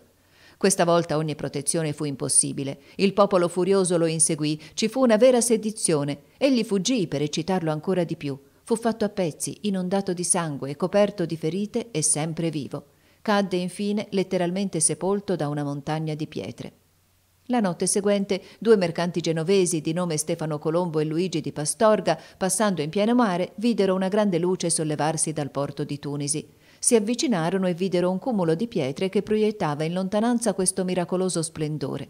Cercarono sotto le pietre e vi trovarono Raimondo Lullo ferito e vivo, lo imbarcarono sul loro vascello e lo riportarono a Maiorca, sua patria. Ma in vista di quest'isola il martire infine spirò. Dio l'aveva liberato con un miracolo e la sua penitenza era compiuta. Tale è l'Odissea del Raimondo Lullo leggendario, Veniamo ora alla realtà storica. Raimondo Lullo, il filosofo e l'adepto, colui che meritò il soprannome di dottore illuminato, era il figlio di quel siniscalco di Maiorca, celebre per la sua passione infelice per Ambrosia di Castello. Non compose l'elisir di immortalità, ma fece dell'oro in Inghilterra per il re Edoardo III. Quest'oro fu chiamato l'oro di Raimondo e ne esistono ancora dei pezzi molto rari che i curiosi chiamano raimondini. Louis Figuier suppone che questi ramondini siano i nobili della rosa, colpiti sotto il regno di Edoardo III, e disse con una certa leggerezza che forse l'alchimia di Raimondo Lullo non era che una sofisticazione di oro, difficile da riconoscere in un tempo in cui i procedimenti chimici erano molto meno perfezionati che ai giorni nostri. Questo dotto non diminuisce comunque il valore scientifico di Raimondo Lullo ed ecco come lo giudica. Da Dottrina e lavoro degli alchimisti, pagina 82. Raimondo Lullo, di cui il genio si esercitò in tutte le branche della conoscenza umana e che espose nel suo libro Ars Magna tutto un vasto sistema di filosofia che riassumeva i principi enciclopedici della scienza dei suoi tempi, non poteva non lasciare ai chimici un'utile eredità. Perfezionò e descrisse con cura diversi composti che sono molto in uso in chimica. È a lui che dobbiamo la preparazione del carbonato di potassio per mezzo del tartrato e per mezzo delle ceneri di legno, la rettificazione dell'alcol di vino, la preparazione degli oli essenziali, la copellazione dell'argento e la preparazione del mercurio dolce. Altri sapienti, convinti della purezza dell'oro dei nobili della rosa, pensavano che la chimica pratica del Medioevo avesse dei procedimenti molto imperfetti, per cui le trasmutazioni di Raimondo Lullo e di altri adepti non fossero altro che la separazione dell'oro nelle miniere d'argento, purificato per mezzo dell'antimonio, che è indicato in effetti da un gran numero di simboli ermetici come l'elemento efficiente e principale della polvere di proiezione. Conveniamo con loro che la chimica non esisteva nel Medioevo e aggiungiamo che fu creata dagli adepti, o piuttosto che gli adepti, tenendo per sé i segreti della sintesi, questo tesoro dei santuari magici, insegnarono ai loro contemporanei qualcuno dei procedimenti dell'analisi, procedimenti che in seguito sono stati perfezionati, ma che non hanno ancora portato i nostri saggi a ritrovare quell'antica sintesi che è, per parlare propriamente, la filosofia ermetica. Raimondo Lullo ha confermato nel suo testamento filosofico tutti i principi di questa scienza, ma in modo velato, come era l'uso e il dovere di tutti gli adepti. Compose così una chiave di questo testamento, poi una chiave della chiave, vale a dire un codicillo, che è secondo noi il più importante dei suoi scritti sull'alchimia. I principi che vi si trovano e i procedimenti che vi sono esposti non hanno niente in comune con la sofisticazione dei metalli puri né con la separazione delle leghe. È una teoria conforme ai principi di Geber e di Arnauld de Villeneuve per la pratica e alle più alte concezioni della Cabala per la dottrina. Gli spiriti seri che non si lasciano scoraggiare dal discredito in cui l'ignoranza fa a volte cadere le grandi cose, devono, per continuare dopo i più grandi geni dell'antichità alla ricerca dell'assoluto, studiare subito e meditare cabalisticamente il codicillo di Raimondo Lullo. Tutta la vita di questo meraviglioso adepto, il primo iniziato dopo San Giovanni che si era votato all'apostolato gerarchico della Santa Ortodossia, tutta la sua vita, diciamo, passò in fondazioni pie, in prediche, in lavori scientifici immensi. Così, nell'anno 1276, fondò a Palma un collegio di francescani votati allo studio delle lingue orientali e soprattutto della lingua araba, con la missione speciale di rifiutare i libri dei dottori maomettani e di predicare ai Mori la fede cristiana. Giovanni XXI confermò questa istituzione con un breve datato da Viterbo il 16 dicembre, il primo anno del suo pontificato. Dall'anno 1293 fino al 1311 sollecita e ottiene dal Papa Nicola V e dal Re di Francia, di Sicilia, di Cipro, di Maiorca la creazione di molti collegi per lo studio delle lingue. Ovunque insegna la sua grande arte, che è una sintesi universale delle conoscenze umane e ha per scopo di portare gli uomini a non avere che una sola lingua, come un solo pensiero. Viene a Parigi e vi meraviglia i dottori più sapienti. Poi va in Spagna, si ferma a Compiuta e vi fonda un'accademia centrale per lo studio delle lingue e delle scienze. Riforma vari conventi, viaggia in Italia e recluta dei soldati per un nuovo ordine militare di cui sollecita l'istituzione a questo stesso concilio di Vienna che condanna i Templari. È la scienza cattolica, è la vera iniziazione di San Giovanni che vuole riprendere dalle mani degli infedeli il gladio difensore del Tempio. I grandi della terra si beffano del povero Raimondo Lullo, ma fanno loro malgrado tutto quello che lui desidera. Questo illuminato che deridendo chiamano Raimondo il Fantastico e fa l'elemosina ai sovrani, viene detto folle e confonde i saggi. Il più grande politico dei tempi, il cardinale Ximenes, spirito vasto e serio, non parla di lui che chiamandolo il divino Raimondo Lullo e il dottore molto illuminato. Morì, secondo Genebrard, nel 1314 o nel 1315, secondo l'autore della prefazione delle meditazioni dell'eremita Blachern. Aveva 80 anni e la fine della sua laboriosa e santa esperienza arrivò nel giorno della festa e del martirio degli apostoli Pietro e Paolo. Discepolo dei grandi cabalisti, Raimondo Lullo voleva stabilire una filosofia universale e assoluta, sostituendo alle astrazioni convenzionali dei sistemi la nozione fissa delle realtà della natura e ai termini ambigui della scolastica un verbo semplice e naturale. Rimproverava alle definizioni dei sapienti dei suoi tempi di perpetuare le dispute con le loro inesattezze e le loro anfibologie. L'uomo è un animale ragionevole, dice Aristotele, L'uomo non è un animale, si può rispondere, ed è raramente ragionevole. Inoltre, animale e ragionevole sono due termini che non sapremmo accordare. Un folle, secondo voi, non sarebbe un uomo? eccetera. Raimondo Lullo definisce le cose con il loro stesso nome e non con dei sinonimi o dei pressappochismi. Poi spiega i nomi con l'etimologia. Quindi a questa domanda che cos'è l'uomo, questa parola, presa in un'accezione generale, significa la condizione umana, presa in un'accezione particolare, designa la persona umana. Ma che cos'è la persona umana? Originariamente è la persona che Dio ha fatto donando un soffio di vita a un corpo estratto dalla terra, humus. Attualmente siete voi, sono io, è Pietro, è Paolo, eccetera. Le persone abituate al gergo scientifico si lamenteranno a questo punto e diranno al dottore illuminato che tutti potrebbero dire le stesse cose. Con questo metodo tutti sarebbero dei saggi e il buonsenso del popolo verrebbe preferito alla dottrina accademica. Ed è proprio quello che voglio, risponderebbe semplicemente Raimondo Lullo. Da qui il rimprovero di puerilità rivolto a tutta la teoria di Raimondo Lullo, ed era puerile in effetti, puerile come la morale di colui che ha detto se non diverrete simili a dei bambini non entrerete mai nel regno dei cieli.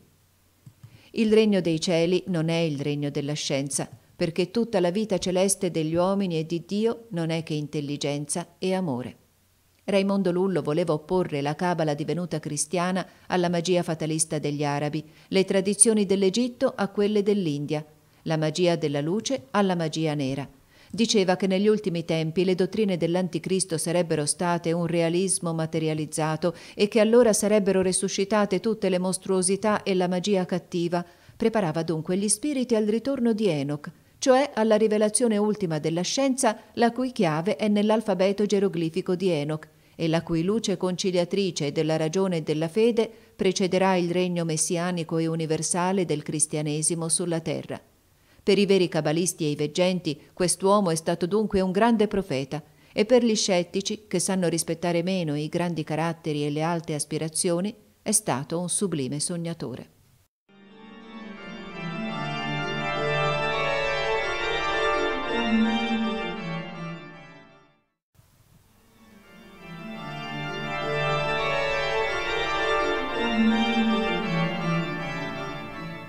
Capitolo IV. Alchimisti.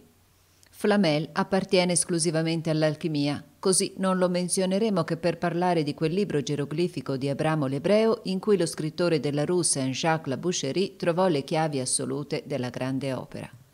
Questo libro era basato sulle chiavi dei tarocchi e non era che un commentario geroglifico ermetico del Sefer Jezirah, Vediamo in effetti nella descrizione che ne fa Flamel che i foglietti erano 21, 22 col titolo, e si dividevano in tre settenari con un foglio senza scrittura ad ogni settima pagina.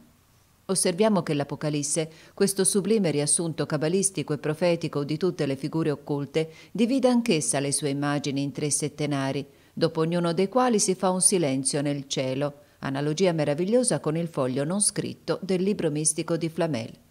I settenari dell'Apocalisse sono dapprima sette sigilli da aprire, cioè sette misteri da conoscere e sette difficoltà da vincere, sette trombe da suonare, cioè sette parole da comprendere e sette coppe da versare, cioè sette sostanze da volatilizzare e fissare. Nel libro di Flamel i primi sette fogli portano per geroglifico la verga di Mosè trionfante sui serpenti lanciati dagli incantatori del faraone e che si divorano tra loro, figura analoga al trionfatore dei tarocchi, che attacca al suo carro cubico la sfinge bianca e nera della magia egiziana. Questa figura corrisponde al settimo dogma del simbolo di Maimonide. Non abbiamo che un profeta, ed è Mosè. Rappresenta l'unità della scienza e dell'opera, rappresenta anche il mercurio dei saggi che si forma dalla soluzione dei misti e con l'azione reciproca dello zolfo e del sale dei metalli. La figura del secondo settenario era la rappresentazione del serpente di rame fissato su una croce. La croce rappresenta il matrimonio dello zolfo e del sale purificato e la condensazione della luce astrale.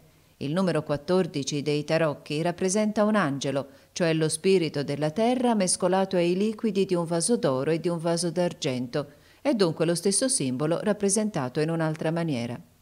Nell'ultimo settenario del libro di Flamel si vede il deserto, delle fontane e dei serpenti che corrono da tutte le parti, immagine dello spazio e della vita universale.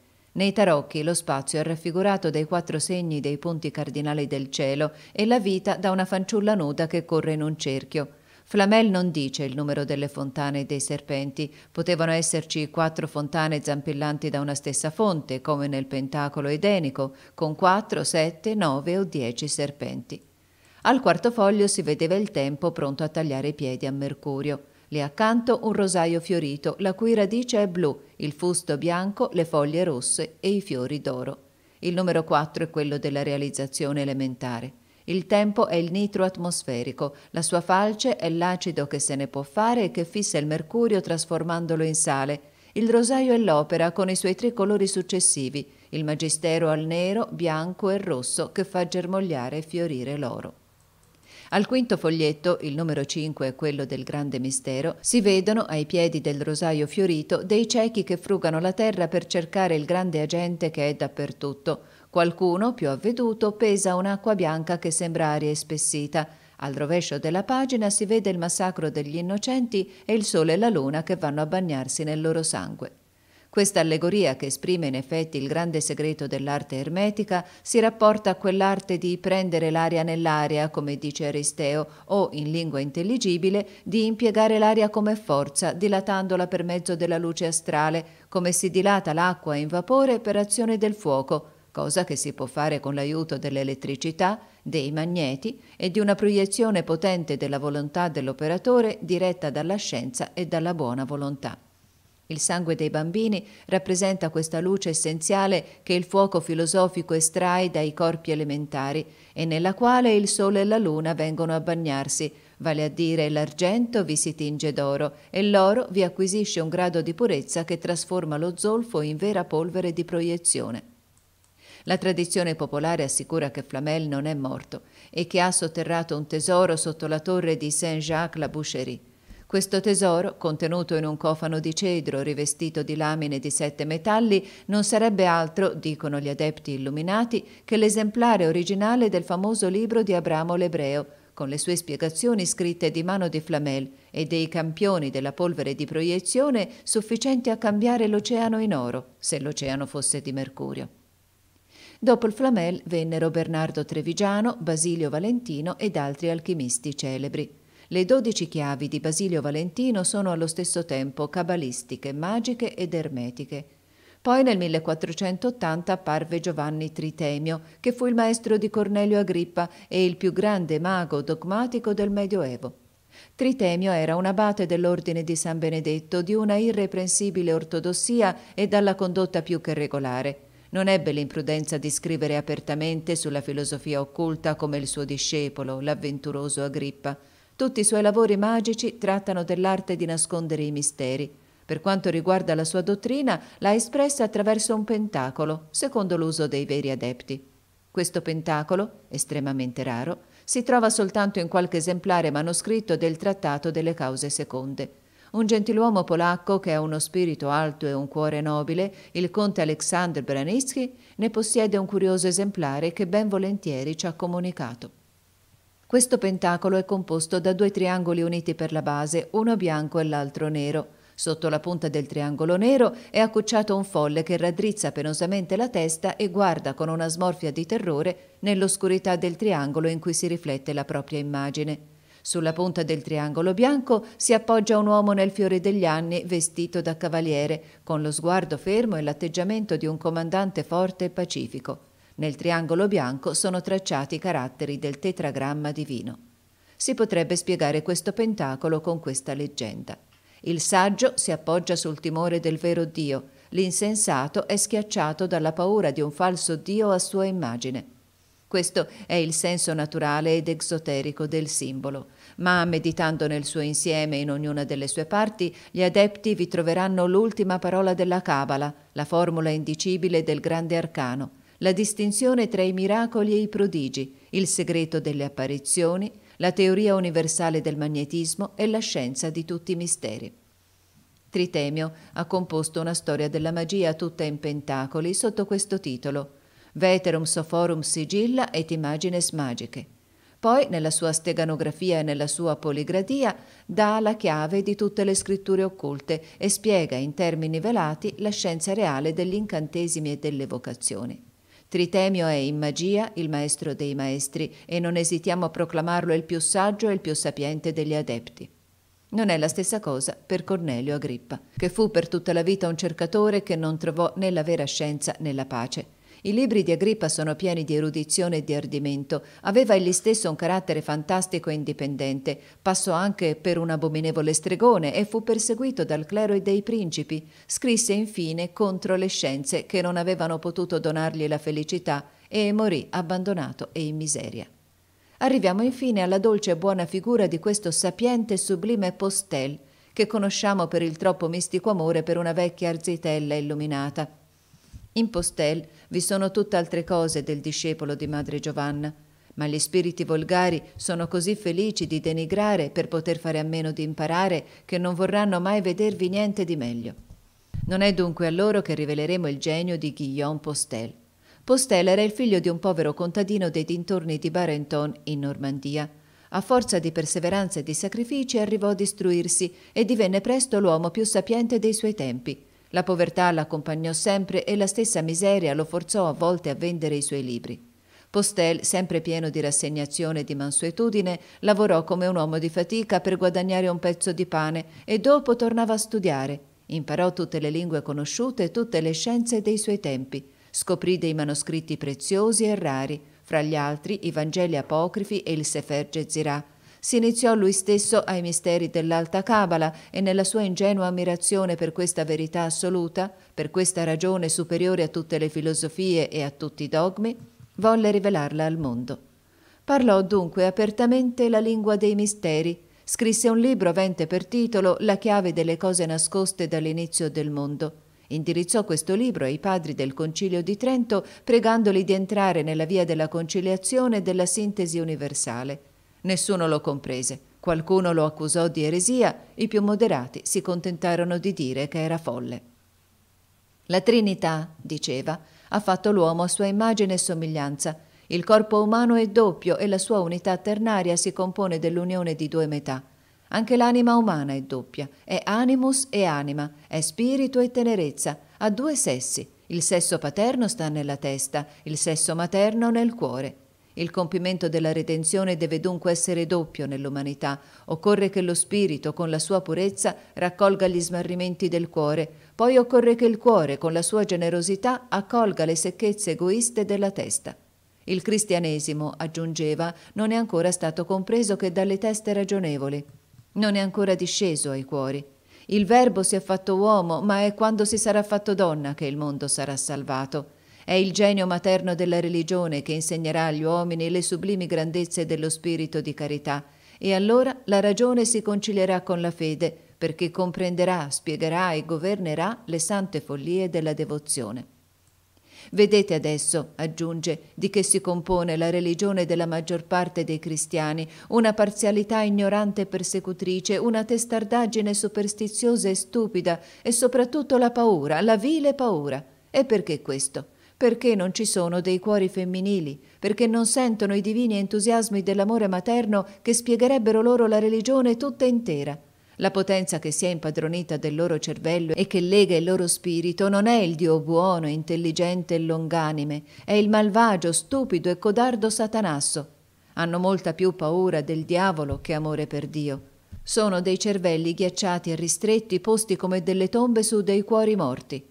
Oh, quando la grazia risusciterà i cuori, che risveglio per le intelligenze, che rinascita per la ragione, che trionfo per la verità.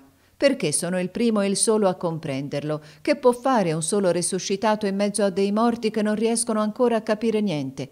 Vieni dunque, vieni, spirito materno, che mi è apparso a Venezia nell'anima di una vergine ispirata da Dio e che insegna alle donne del nuovo mondo la loro missione redentrice e il loro apostolato di amore santo e spirituale.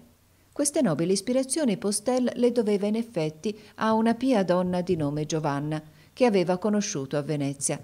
Fu il confidente spirituale di quest'anima scelta e fu trascinato nella corrente di poesia mistica che vorticava attorno ad essa quando le dava la comunione la vedeva raggiante e trasfigurata. Ella aveva allora più di cinquant'anni e il povero padre confessò ingenuamente che non gliene avrebbe dati quindici, tanto la simpatia dei loro cuori la trasfigurava ai suoi occhi. Strani smarrimenti di due anime pure, matrimonio mistico di due verginità, puerilità liriche, celesti allucinazioni. Per comprendere tutto questo occorre aver vissuto una vita ascetica. Era lei, diceva l'entusiasta, era lo spirito di Gesù Cristo vivente in lei che doveva rigenerare il mondo. Questa luce del cuore che deve cacciare da tutti gli spiriti lo spettro odioso di Satana non è una chimera dei miei sogni. Io l'ho vista, ella è apparsa nel mondo, si è incarnata in una vergine e io ho salutato in lei la madre del mondo a venire.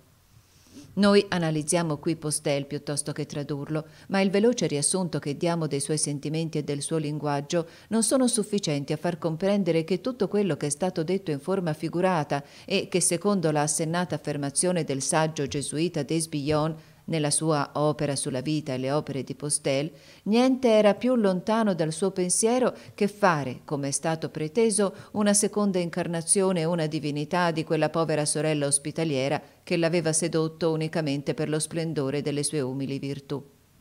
Crediamo davvero sinceramente che i calunniatori e gli sbeffeggiatori del buon Postel non valessero la madre Giovanna.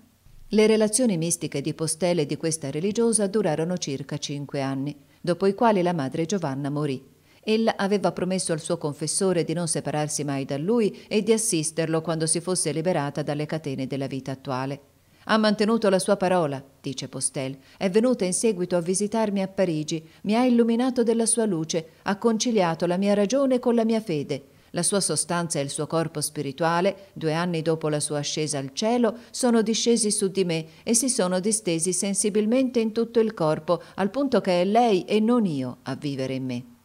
Dopo quest'epoca Postel non si chiamò mai in altro modo che il resuscitato, firmava Postellus Restitutus, e di fatto un singolare fenomeno si era compiuto in lui. I suoi capelli da bianchi erano ridiventati neri, le sue rughe si cancellarono e il colore rosso della giovinezza si effuse di nuovo sul suo viso, pallido ed estenuato dalle austerità e dalle veglie.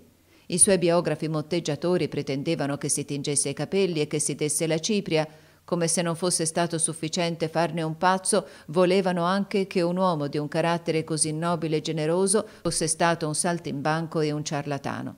C'è qualcosa di più prodigioso dell'eloquente irragionevolezza dei cuori entusiasti, è la stupidità o la malafede degli spiriti scettici e freddi che li giudicano. Ci si è immaginato, scrive il padre Desbillon, e vedo che ci si crede ancora oggi, che la rigenerazione che si suppone essere stata fatta da Madre Giovanna sia il fondamento del suo sistema, il sistema da cui non si è mai allontanato se non forse qualche anno prima della sua morte, sussisteva già nella sua interezza prima che avesse inteso parlare di questa Madre Giovanna. Si era messo in testa che il regno evangelico di Gesù Cristo, costruito dagli Apostoli, non potesse più sostenersi tra i cristiani né propagarsi fra gli infedeli se non si fosse appoggiato ai lumi della ragione. A questo principio, che lo riguardava personalmente, egli ne aggiunse un altro che consisteva nella predestinazione di un re di Francia alla monarchia universale. Occorreva preparargli la via con la conquista dei cuori e la convinzione degli spiriti, affinché nel mondo non restasse che una sola credenza e che Gesù Cristo regnasse attraverso un solo re, una sola legge e una sola fede. Ecco quello che prova, secondo padre Desbillon, che Postel fosse pazzo. Pazzo per aver pensato che la religione dovesse regnare sugli spiriti attraverso la ragione suprema del suo dogma e che la monarchia, per essere forte e durevole, dovesse incatenare i cuori con le conquiste della prosperità pubblica e della pace. Pazzo per aver creduto all'avvento del regno di colui a cui chiediamo tutti i giorni di giungere col suo regno. Pazzo perché credeva alla ragione e alla giustizia sulla terra. Bene, dicevano il vero, il povero Postel era pazzo. La prova della sua follia è che scriveva, come abbiamo detto, ai padri del concilio di Trento per supplicarli di benedire tutto il mondo e di non lanciare anatemi contro nessuno. Altra follia. Cercava di convertire i gesuiti alle sue idee e di far loro predicare la concordia universale tra gli uomini, la pace tra i sovrani, la ragione ai preti e la bontà ai principi del mondo. Infine, ultima e suprema follia, non si curava dei beni terreni e del favore dei grandi. Visse sempre umilmente e poveramente, non possedette mai altro che i suoi libri e non aspirò mai ad altre cose se non alla verità e alla giustizia. Dio dia la pace all'anima del povero Guillaume Postel. Era così dolce e buono che i suoi superiori ecclesiastici ebbero pietà di lui e, pensando probabilmente, come ha detto in seguito della Fontaine, che fosse più stupido che cattivo, si accontentarono di chiuderlo in un convento per il resto dei suoi giorni. Postel li ringraziò della calma che gli procurarono fino alla fine della sua vita e morì in pace e ritrattando tutto quello che vollero i suoi superiori. L'uomo della concordia universale non poteva essere un anarchico e prima di tutto era il più sincero dei cattolici e il più umile dei cristiani. Un giorno si ritroveranno le opere di Postel e si leggeranno con stupore. Passiamo a un altro folle, colui che si chiama Teofrasto Aureolo Bombasto e che si conosce nel mondo sotto il celebre nome di Paracelso. Non ripeteremo quello che abbiamo detto di questo maestro nel nostro dogma e rituale dell'alta magia, aggiungeremo soltanto qualche cosa sulla medicina occulta di cui Paracelso fu il rinnovatore. Questa medicina veramente universale riposa su una vasta teoria della luce che gli adepti chiamano l'oro fluido o potabile. La luce, questo agente creatore, le cui vibrazioni danno a tutte le cose il movimento e la vita. La luce latente nell'etere universale, raggiante attorno a dei centri assorbenti che, saturati della luce, proiettano a loro volta il movimento alla vita e formano così delle correnti creatrici. La luce è astralizzata negli astri, animalizzata negli animali, umanizzata negli uomini, la luce che vegeta nelle piante, che brilla nei metalli, che produce tutte le forme della natura e le equilibra tutte per la legge della simpatia universale, è questa luce che produce i fenomeni del magnetismo indovinati da Paracelso, è essa che colora il sangue e permea l'aria, aspirata e rinviata col respiro ermetico dei polmoni. Il sangue allora diviene un vero elisir di vita in cui globuli vermigli e magnetizzati dalla luce vivente nuotano in un fluido leggermente dorato. Questi globuli sono dei veri semi pronti a prendere tutte le forme del mondo di cui il corpo umano è il riassunto.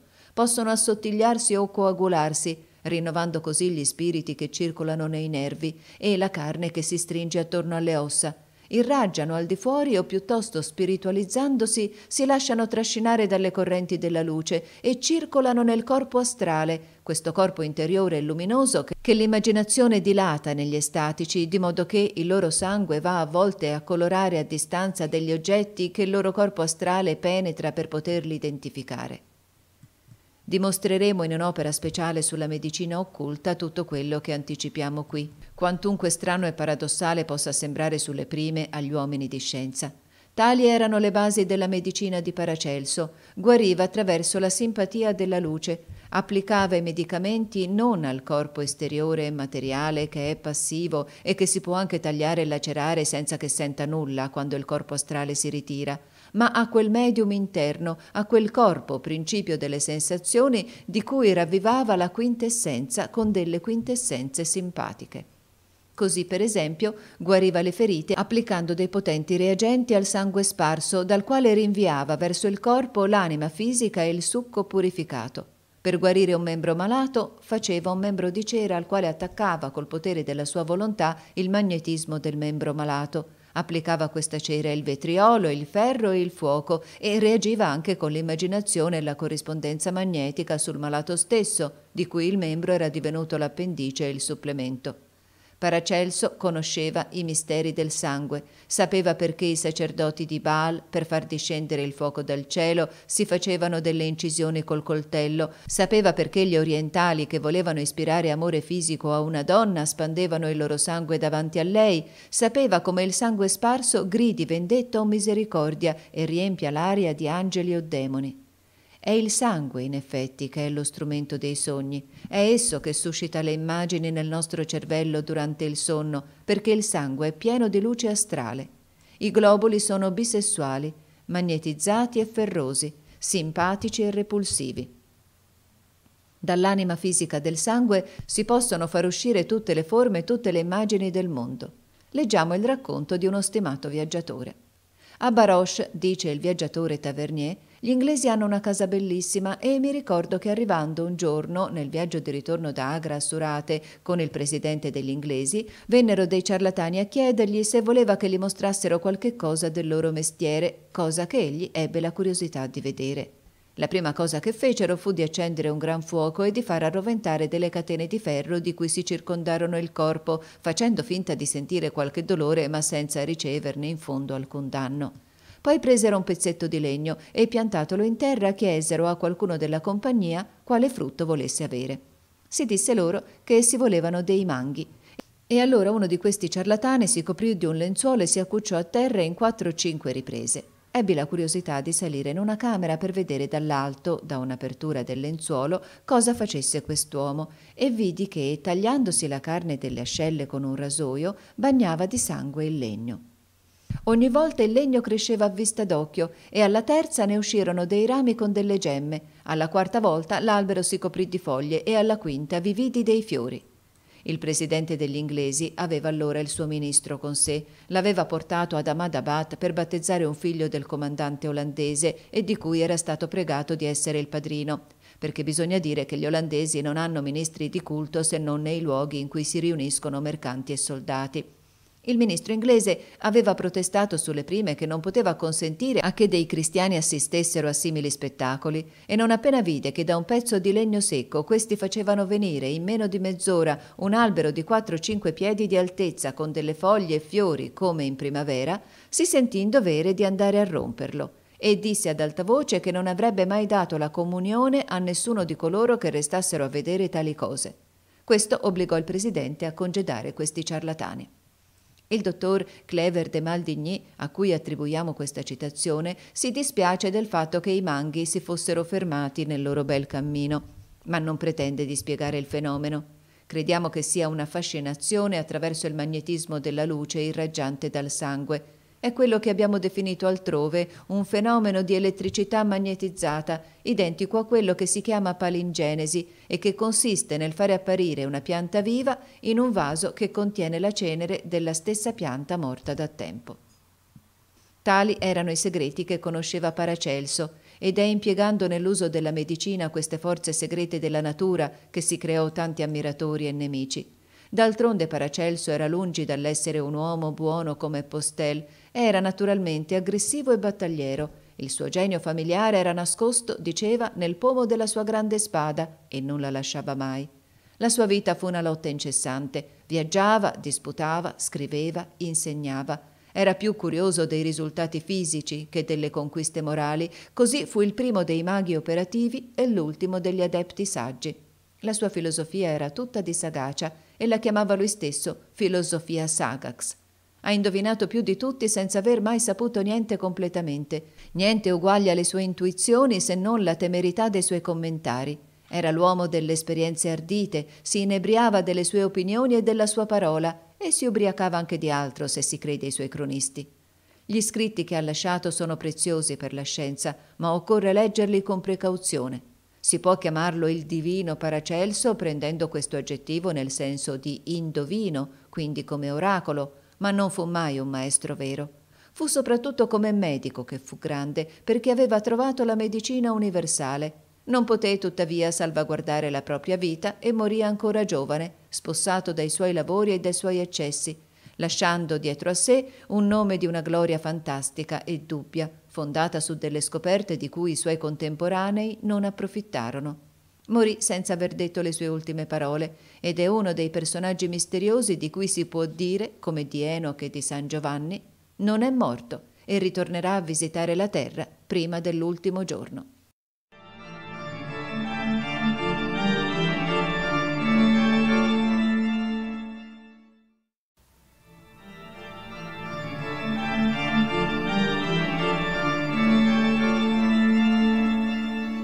Capitolo V.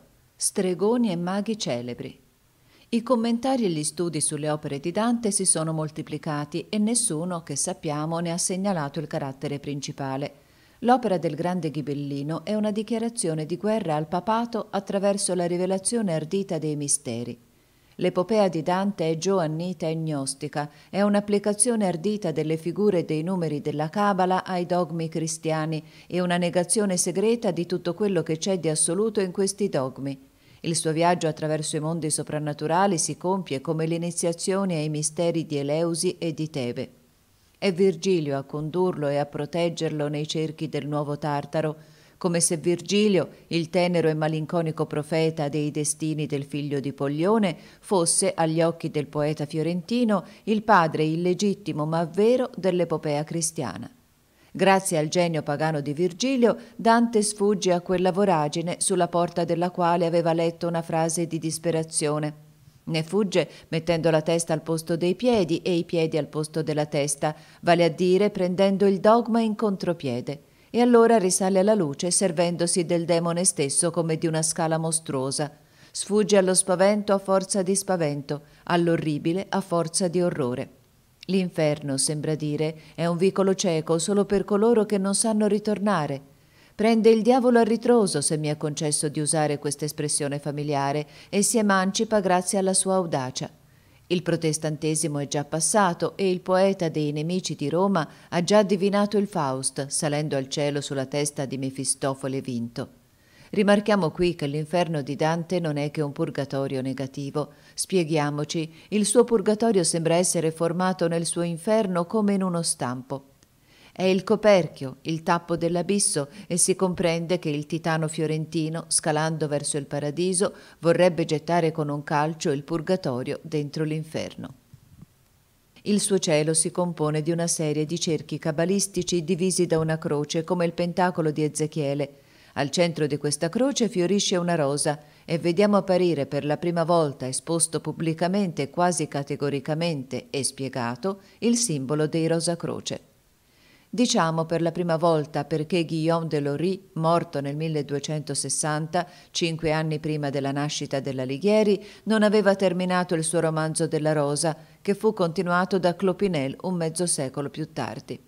Si scoprirà non senza stupore che il romanzo della Rosa e la Divina Commedia sono le due forme opposte di una stessa opera, l'iniziazione all'indipendenza dello spirito la satira di tutte le istituzioni contemporanee e la formula allegorica dei grandi segreti della società dei Rosacroce. Queste importanti manifestazioni dell'occultismo coincidevano con l'epoca della caduta dei Templari perché Jean de Meung o Clopinel, contemporaneo alla vecchiaia di Dante, fioriva nei suoi più begli anni alla corte di Filippo il Bello. Il romanzo della Rosa è l'epopea della vecchia Francia, è un libro profondo sotto una forma leggera, è una rivelazione sapiente come quella di Apuleio dei misteri dell'occultismo. La rosa di Flamel, quella di Jean de Maine e quella di Dante sono nate nello stesso rosaio. Dante aveva troppo genio per essere un eresiarca. I grandi uomini imprimono all'intelligenza un movimento che si prova più tardi con delle azioni la cui iniziativa appartiene alle mediocrità turbolente. Dante non ha mai potuto essere letto e non è mai stato certamente compreso da Lutero. Intanto l'opera dei Ghibellini, fecondata dal potente pensiero del poeta, sollevò lentamente l'impero contro il papato, perpetuandosi sotto diversi nomi, di secolo in secolo, e infine rese protestante la Germania. Non è certo Lutero che ha fatto la riforma, ma la riforma si è impadronita di Lutero e l'ha spinto in avanti. Questo monaco dalle spalle quadrate era ricco solo di testardaggine e audacia, ma fu lo strumento che occorreva alle idee rivoluzionarie. Lutero era il Danton della teologia anarchica. Superstizioso e temerario, si credeva ossessionato dal diavolo. Il diavolo gli dettava argomenti contro la Chiesa, il diavolo lo faceva ragionare, sragionare e soprattutto scrivere. Questo genio ispiratore di tutti Caino non chiedeva allora che dell'inchiostro, sicuro che questo inchiostro distillato dalla piuma di Lutero si sarebbe trasformato in fiotti di sangue. Lutero lo sentiva e odiava il diavolo perché era ancora un maestro. Un giorno gli lanciò il calamaio sulla testa come se volesse abbeverarlo con questa violenta libagione. Lutero, che getta il suo calamaio sulla testa del diavolo, ricorda quel faceto regicida che, firmando la morte di Carlo I, imbrattò di inchiostro i suoi complici. Piuttosto turco che papista era il motto di Lutero e in effetti il protestantesimo è in fondo, come l'islamismo, deismo puro organizzato in culto convenzionale e non ne differisce che per dei resti di cattolicesimo mal cancellati. I protestanti sono, dal punto di vista della negazione del dogma cattolico, dei musulmani con qualche superstizione in più e un profeta in meno. Gli uomini rinunciano più volentieri a Dio che al diavolo. Gli apostati di tutti i tempi l'hanno dimostrato. I discepoli di Lutero, divisi presto dall'anarchia, non avevano più tra loro che un legame di credenza comune. Credevano tutti a Satana e questo spettro si ingrandiva via via che il loro spirito di rivolta li allontanava da Dio, arrivando a proporzioni terribili. Carlostad, arcidiacono di Württemberg, era un giorno sul pulpito e vide entrare nel tempio un uomo nero che si sedette davanti a lui e lo guardò per tutto il tempo del sermone con una terribile fissità. Si turbò, discese dal pulpito, interrogò i suoi assistenti. Nessuno aveva visto quel fantasma. Karlstadt tornò a casa sua tutto spaventato. Il più giovane dei suoi figli gli andò incontro e gli raccontò che uno sconosciuto vestito di nero era venuto a cercare di lui e aveva promesso di ritornare entro tre giorni. Per l'allucinato non ci furono dubbi. Il visitatore non era altri che lo spettro della visione. Il terrore gli dette la febbre, si mise a letto e morì prima del terzo giorno. Questi infelici settari avevano paura della loro ombra. La loro coscienza era rimasta cattolica e li condannava impietosamente. Lutero una sera passeggiava con la moglie Catherine de Bora, guardò il cielo pieno di stelle e disse a mezza voce con un profondo sospiro: Bel cielo che non vedrò mai. E che? disse la moglie. Pensate dunque di essere riprovato? Chissà, disse Lutero, se Dio non ci punirà per essere stati infedeli ai nostri voti.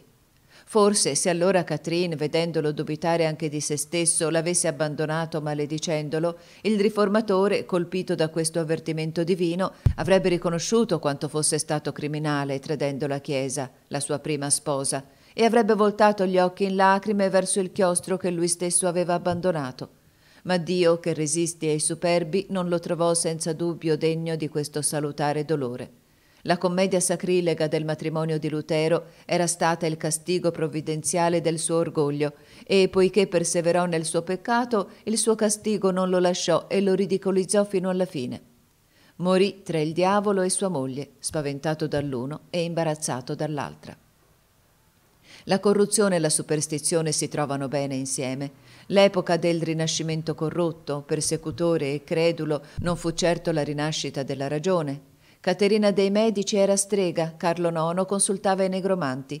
Enrico III si divideva fra devozione e dissolutezza.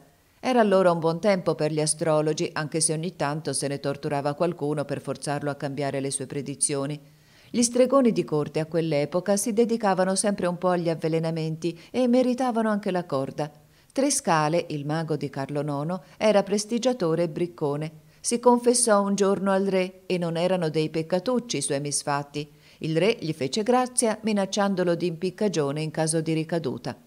Trescale ricadde e fu impiccato. Quando la Lega ebbe giurato la morte del debole e miserabile Enrico III, ricorse alle fatture della magia nera.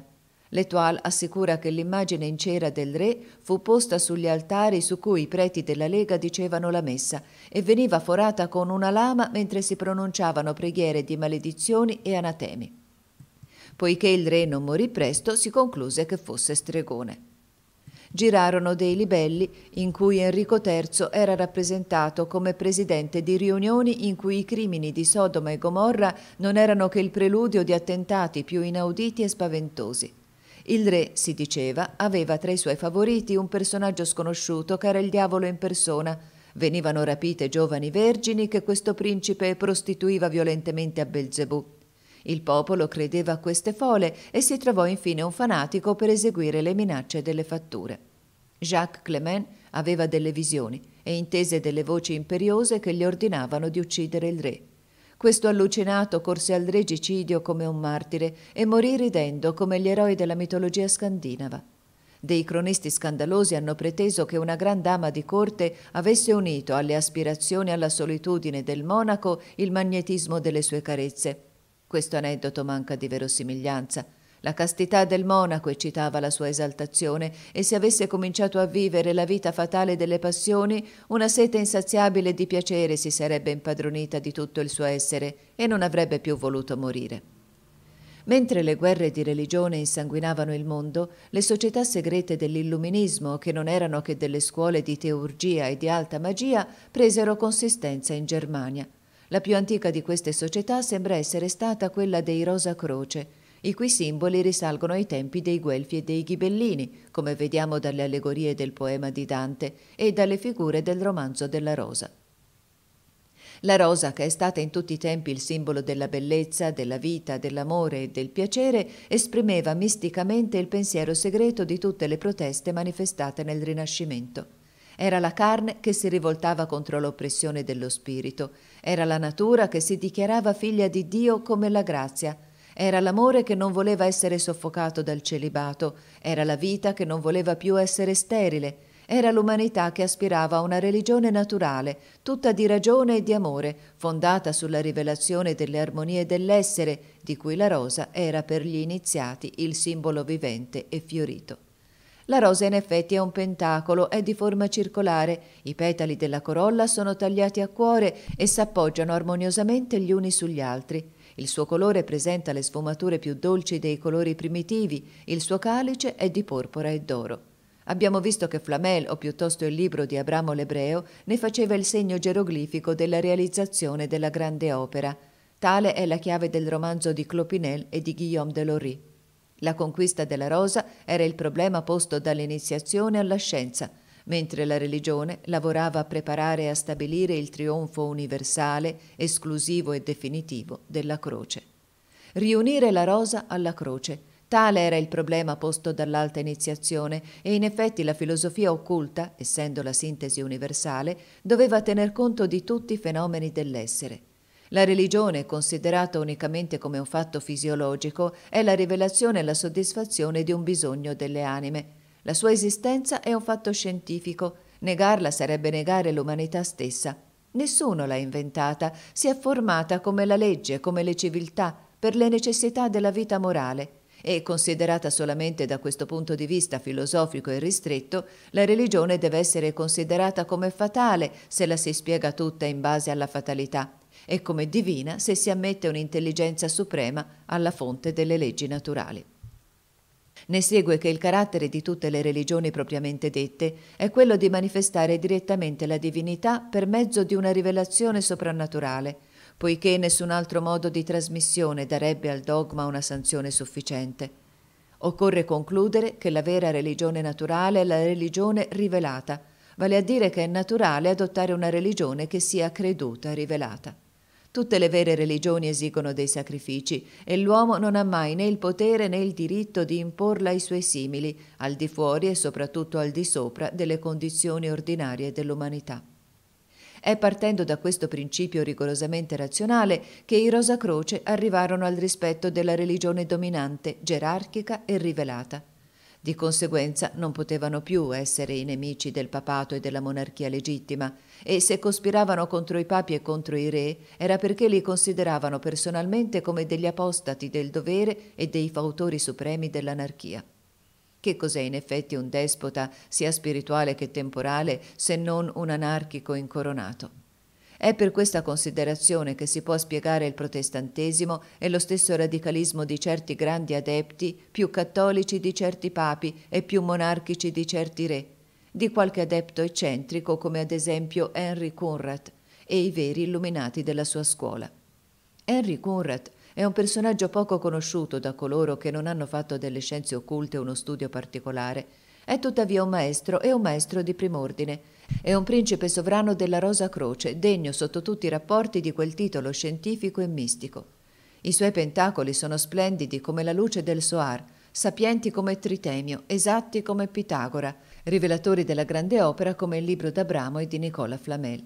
Henry Currat era chimico e medico, era nato nel 1502 e aveva 42 anni quando giunse all'alta iniziazione teosofica. La più notevole delle sue opere, il suo Anfiteatro della saggezza eterna, fu pubblicata nel 1598 perché l'approvazione dell'imperatore Rodolfo che vi si trova annessa è datata 1 giugno dello stesso anno. L'autore, pur facendo professione di un protestantesimo radicale, vi rivendica altamente il nome di cattolico ed ortodosso, dichiara di avere in suo possesso, ma custodita segretamente come occorre, una chiave dell'Apocalisse, chiave tripla e unica come la scienza universale. La divisione del libro è settenaria e vi si divide in sette gradi l'iniziazione all'alta filosofia. Il testo è un commentario mistico degli oracoli di Salomone. L'opera termina con delle tavole sinottiche che sono la sintesi dell'alta magia e della cabala occulta, in tutto quello che può essere scritto e reso pubblico verbalmente. Il resto, cioè la parte esoterica e non dicibile della scienza, è espresso con dei magnifici pentacoli disegnati e incisi con cura. Questi pentacoli sono nove. Il primo contiene il dogma di Ermete, il secondo la realizzazione magica, il terzo rappresenta il cammino della saggezza e il lavoro preparatorio dell'opera, il quarto rappresenta la porta del santuario illuminato da sette raggi mistici. Il quinto è una rosa di luce, al centro della quale una forma umana stende le braccia in forma di croce. Il sesto rappresenta il laboratorio magico di Kunrat, con il suo oratorio cabalistico per dimostrare la necessità di unire la preghiera al lavoro. Il settimo è la sintesi assoluta della scienza. L'ottavo esprime l'equilibrio universale. Il nono riassume la dottrina particolare di Conrad con un'energica protesta contro tutti i suoi detrattori. È un pentacolo ermetico inquadrato in una caricatura tedesca piena di verve e di collera ingenua. I nemici del filosofo sono travestiti da insetti, da papere imbrigliate, da buoi e asini, il tutto ornato da leggende latine e da grossi epigrammi in tedesco. Conrad vi è rappresentato a destra e a sinistra, in abito civile e in costume da laboratorio, che fronteggia i suoi avversari, sia all'interno che all'esterno. In abito civile è armato di una spada e cammina sulla coda di uno scorpione. In costume da laboratorio è munito di pinzette e cammina sulla testa di un serpente.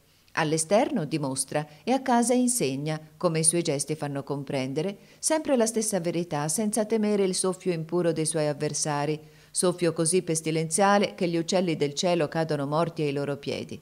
Questa tavola curiosissima manca in un gran numero di esemplari dell'anfiteatro di Conrad.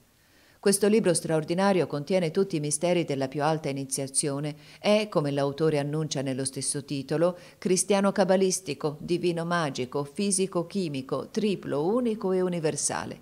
È un vero manuale di alta magia e di filosofia ermetica e non si saprebbe trovare altrove, se non nel Sefer Gesirah e nel Soar, una iniziazione più completa e più perfetta. Nei quattro importanti corollari che seguono la spiegazione della terza figura, Conrad stabilisce 1. Che la spesa necessaria per la grande opera, a parte il mantenimento e le spese personali dell'operatore, non deve eccedere la somma di 30 talleri, ne parlo scientemente, aggiunge l'autore, avendolo appreso da qualcuno che lo sapeva. Quelli che spendono di più si sbagliano e buttano via i loro soldi. Le parole avendolo appreso da qualcuno che lo sapeva provano che Conrad non ha fatto lui stesso la pietra filosofale, o non vuol dire di averla fatta, e questo per timore di persecuzioni. 2. Conrad stabilisce poi l'obbligo per l'adepto di non consacrare a usi personali che la decima parte della sua ricchezza e consacrare tutto il resto alla gloria di Dio e alle opere di carità. 3. In terzo luogo afferma che i misteri del cristianesimo e quelli della natura si spiegano e si illustrano reciprocamente. Il regno del futuro Messia, il messianismo, si stabilisce sulla doppia base della scienza e della fede, di modo che il libro della natura conferma gli oracoli del Vangelo e potrà convincere con la scienza e la ragione della verità del cristianesimo gli ebrei e i maomettani, così bene che col concorso della grazia divina saranno infallibilmente convertiti alla religione dell'unità. 4. termina infine con questa frase: Sigillum nature et artis simplicitas. Il sigillo della natura e dell'arte è la semplicità. Al tempo di Conrad viveva un altro medico iniziato, filosofo ermetico e continuatore della medicina di Paracelso. Era Oswald Crollius Osvaldo Crollio, autore del libro delle segnature o della vera e vivente anatomia del grande e del piccolo mondo. In quest'opera, la cui prefazione è un riassunto molto ben fatto della filosofia ermetica, Crollius cerca di stabilire che Dio e la natura hanno in qualche modo segnato tutte le loro opere e che tutti i prodotti di una qualsiasi forza della natura portano per così dire lo stampo di questa forza impresso in caratteri indelebili, di modo che l'iniziato alle scritture occulte può leggere al libro aperto le simpatie e le antipatie delle cose, le proprietà delle sostanze e tutti gli altri segreti della creazione. I caratteri delle differenti scritture saranno primitivamente improntati a quelle segnature naturali che esistono nelle stelle e nei fiori, sulle montagne e sul più umile sassolino. Le figure dei cristalli, le fratture dei minerali sarebbero delle impronte del pensiero che il creatore aveva formandoli. Questa idea è piena di poesia e di grandezza, ma manca una grammatica a questa lingua misteriosa dei mondi, manca un vocabolario ragionato a questo verbo primitivo e assoluto. Il re Salomone solo sembra aver realizzato questo doppio lavoro. Ora i libri occulti di Salomone sono perduti. Crollio non si riproponeva di ricostruirli, ma di ritrovare i principi fondamentali di questa lingua universale del verbo creatore. Da questi principi si deduce che i geroglifici primitivi, formati dagli stessi elementi della geometria, corrisponderebbero alle leggi costitutive e essenziali delle forme determinate dai movimenti alternati o combinati che decidono le attrazioni equilibranti. Si riconosceranno dunque dalla loro sola figura esteriore i semplici e i composti e per analogia delle figure con i numeri si potrà fare una classificazione matematica di tutte le sostanze rivelate dalle linee delle loro superfici. C'è in fondo a queste aspirazioni, che sono delle reminiscenze della scienza edenica, tutto un mondo di scoperte future per le scienze. Paracelso le aveva presentite, Croglio le indica, un altro verrà per realizzarle e dimostrarle. La follia di ieri sarà il genio del domani e il progresso saluterà questi sublimi ricercatori che avranno indovinato questo mondo perduto e ritrovato questa Atlantide del sapere umano. L'inizio del XVII secolo fu la grande epoca dell'alchimia. Allora apparvero Philipp Müller, Jean Torneburg, Michel Mayer, Ortelius, Poterius, Samuel Norton, il barone di Beausoleil, David Planescampe, Jean Duchesne, Robert Flood, Benjamin Mustafa, il presidente d'Espagné, il cosmopolita che si doveva nominare per primo. Nuisemen, che ha tradotto e pubblicato i notevoli scritti del Cosmopolita, Jean-Baptiste Van Helmont, Irénée Philalet, Rodolphe Glaubert, il sublime calzolaio Giacomo Bohem. I principali di questi iniziati si dedicavano alle ricerche dell'alta magia e ne nascondevano con cura il nome vietato sotto le apparenze delle ricerche ermetiche. Il mercurio dei saggi che volevano trovare e donare ai loro discepoli era la sintesi scientifica e religiosa, era la pace che risiede nella sovrana unità. I mistici non erano allora che i credenti ciechi dei veri illuminati e l'illuminismo propriamente detto non era che la scienza universale della luce. Nel 1623, in primavera, si trovò affisso nelle strade di Parigi questo strano proclama. Noi, deputati dei fratelli Rosacroce, facciamo soggiorno visibile e invisibile in questa città per la grazia dell'Altissimo, verso cui si volgono i cuori dei saggi. Noi insegniamo senza alcun tipo di mezzo esteriore a parlare la lingua dei paesi che abitiamo e togliamo gli uomini simili a noi al terrore e alla morte. Se a qualcuno prendesse la voglia di vederci per sola curiosità, non comunichi mai con noi ma se la sua volontà lo portasse realmente e di fatto a iscriversi sul registro della nostra confraternita, noi, che giudichiamo dai pensieri, gli faremo vedere la verità delle nostre promesse, al punto che non indichiamo il luogo della nostra dimora, poiché il pensiero, unito alla volontà reale del lettore, sarà capace di far conoscere noi a lui e lui a noi. L'opinione pubblica si preoccupò allora di questa manifestazione misteriosa e se qualcuno allora chiedeva ad alta voce chi fossero questi fratelli Rosacroce, spesso un personaggio sconosciuto prendeva da parte il richiedente e gli diceva gravemente Predestinati alla riforma che deve compiersi presto in tutto l'universo, I Rosacroce sono i depositari della suprema saggezza e i pacifici possessori di tutti i doni della natura che possono dispensare al loro piacimento. In qualsiasi luogo siano, conoscono meglio di tutti le cose che avvengono nel resto del mondo, come se fossero presenti. Non sono soggetti né alla fame né alla sete e non temono né la vecchiaia né le malattie. Possono comandare agli spiriti e ai geni più potenti. Dio li ha coperti di una nube per difenderli dai loro nemici e non si può vederli che quando vogliono, anche per occhi più penetranti di quelli dell'aquila. Tengono le loro assemblee generali nelle piramidi di Egitto, ma queste piramidi sono per loro come la roccia da cui zampilla la fonte di Mosè. Marciano con loro nel deserto e li seguiranno fino al loro ingresso nella terra promessa.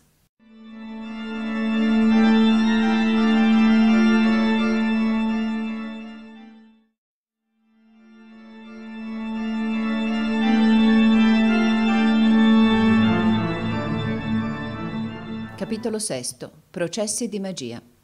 L'autore che ha scritto la descrizione della tavola allegorica di Cebete finisce la sua opera con questa ammirevole conclusione.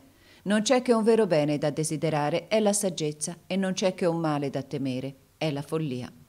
Il male morale, in effetti, la malvagità, il crimine, non è altro che una vera follia, e il padre Ilarion Tissot ha tutte le simpatie del nostro cuore, quando ripete senza posa nei suoi opuscoli follemente coraggiosi che invece che punire i criminali occorrerebbe curarli e guarirli.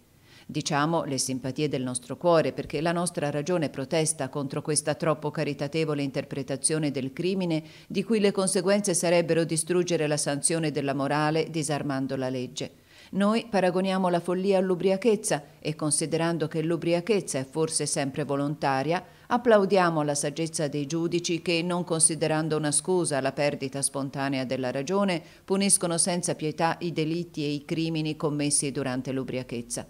Un giorno verrà forse in cui l'ubriachezza sarà contata fra le circostanze aggravanti e in cui ogni essere intelligente che si metterà volontariamente fuori della ragione si troverà fuori della legge.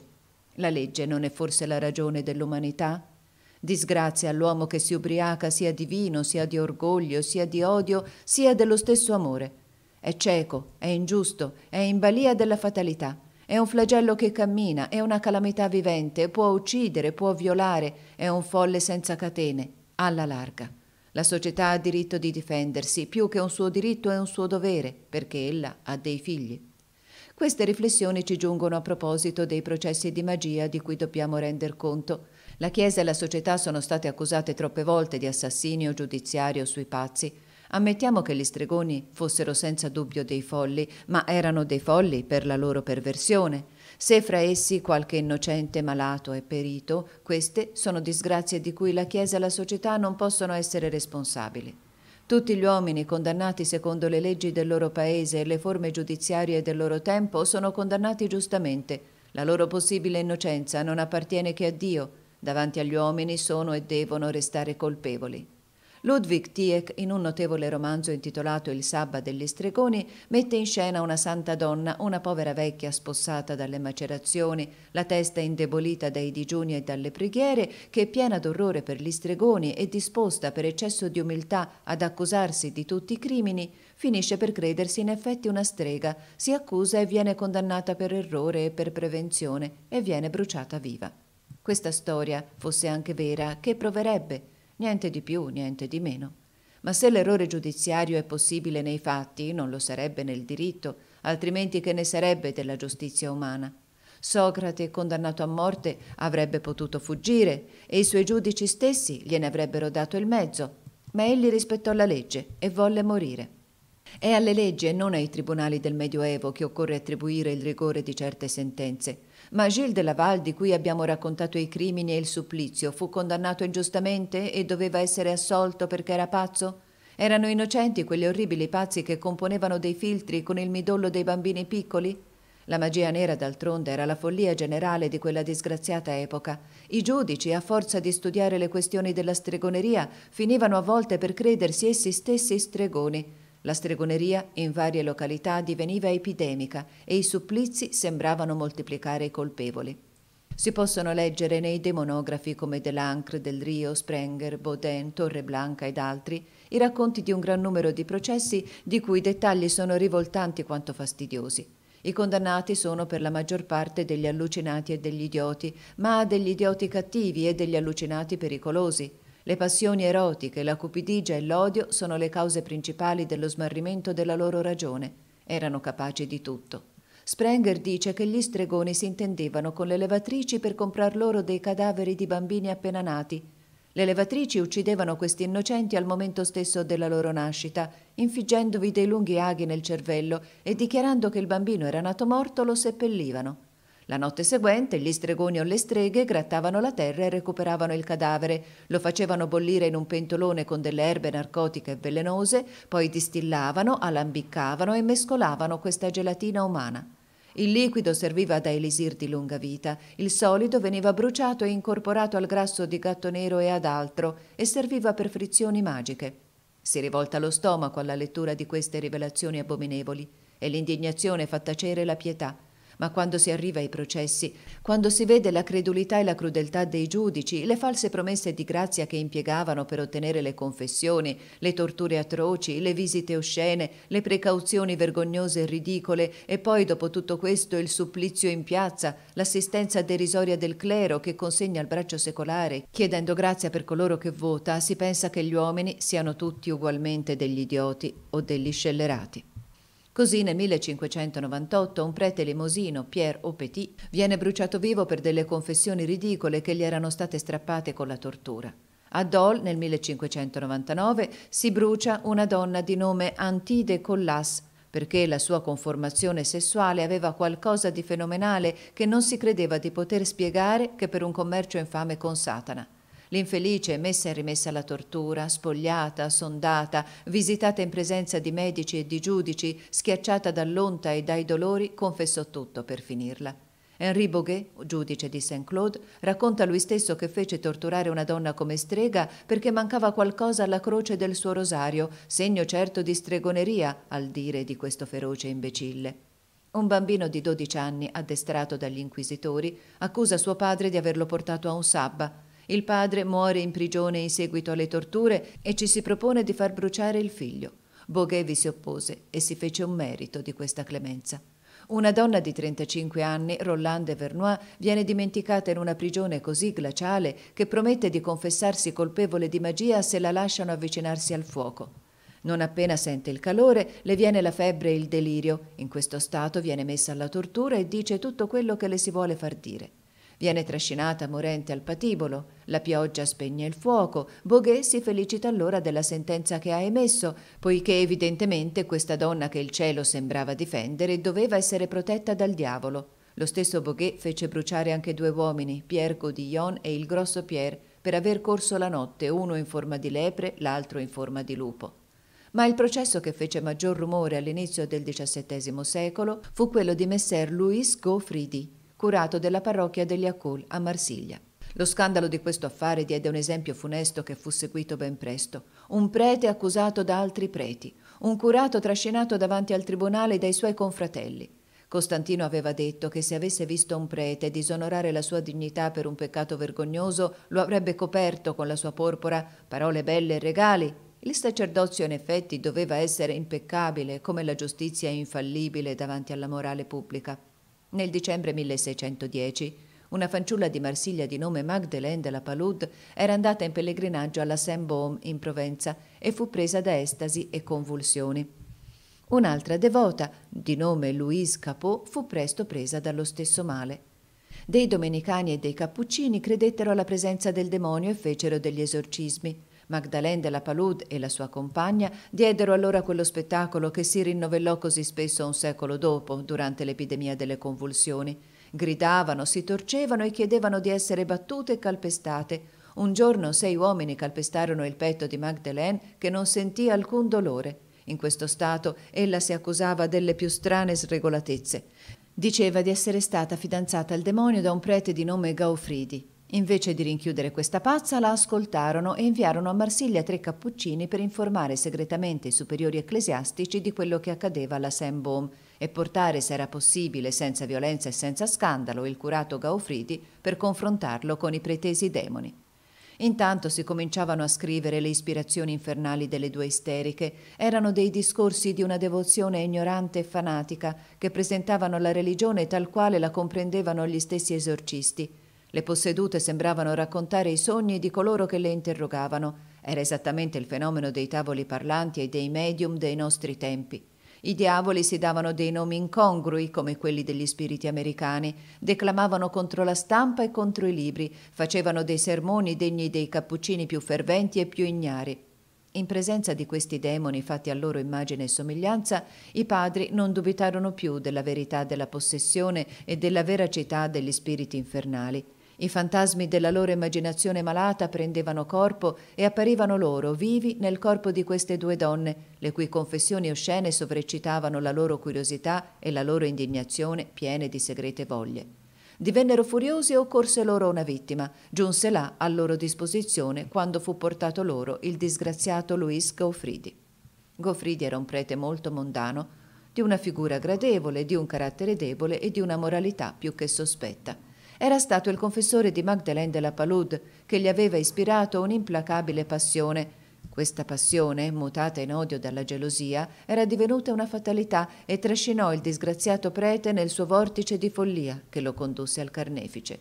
Tutto quello che poteva dire l'accusato per difendersi gli fu ritorto contro attestava Dio e Gesù Cristo e la sua Santa Madre e il suo precursore Giovanni Battista, egli si rispondeva, recitate a meraviglia le litanie del Sabba, con Dio voi intendete Lucifero, con Gesù Cristo Belzebù, con la Santa Vergine la madre apostata dell'Anticristo, con San Giovanni Battista il falso profeta precursore di Gog e Magog. Poi fu messo alla tortura e gli si promise la grazia se avesse voluto firmare le dichiarazioni di Magdalene della Palud. Il povero prete, sperduto, circuito, battuto, firmò tutto quello che vollero, abbastanza per poter essere bruciato, ed era quello che si chiedeva. I cappuccini di Provenza diedero infine al popolo questo spettacolo spaventoso. Gli insegnarono così come si violano i privilegi del santuario, gli mostrarono come si uccidono i preti, e il popolo se ne ricordò in seguito. O santo Tempio, diceva un rabbino testimone dei prodigi che precedettero la distruzione di Gerusalemme, o santo Tempio, che hai tu dunque, e perché fai paura a te stesso? Né la Santa Sede né i vescovi protestarono contro l'assassinio di Gaufridi, ma il XVIII secolo stava per arrivare, trascinando con sé la rivoluzione. Una delle possedute che aveva ucciso il curato di Akul dichiarò un giorno che il demone l'aveva lasciata per andare a preparare la perdita di un altro prete, di cui disse il nome profeticamente senza conoscerlo, fece il nome di Urbain Grandier. Allora regnava il terribile cardinale di Richelieu, che considerava l'autorità assoluta come la salvezza degli stati. Disgraziatamente le tendenze del cardinale erano più politiche e abili che veracemente cristiane. Questo grande spirito aveva per limite una certa ristrettezza di cuore che lo rendeva sensibile all'offesa personale e implacabile nelle sue vendette. Quello che perdonava meno al talento era l'indipendenza, Voleva avere per aiutanti gente di spirito piuttosto che adulatori e provava un certo piacere nel distruggere tutto quello che voleva brillare senza di lui. La sua testa aspirava a dominare tutto. Padre Giuseppe era il suo braccio destro e Lobardemont il sinistro. C'era allora in provincia, a Loudun, un ecclesiastico di un genio notevole e di un grande carattere. Aveva scienza e talento, ma poca cautela fatto per piacere alle folle e per attirare le simpatie dei grandi, poteva all'occasione divenire un pericoloso settario. Il protestantesimo allora si muoveva in Francia e il curato di Saint-Pierre de Loudun, troppo propenso alle nuove idee per la sua poca attrazione al celibato ecclesiastico, poteva divenire, alla testa di quel partito, un predicatore più brillante di Calvino e altrettanto audace di Lutero. Si chiamava Urbain Grandier.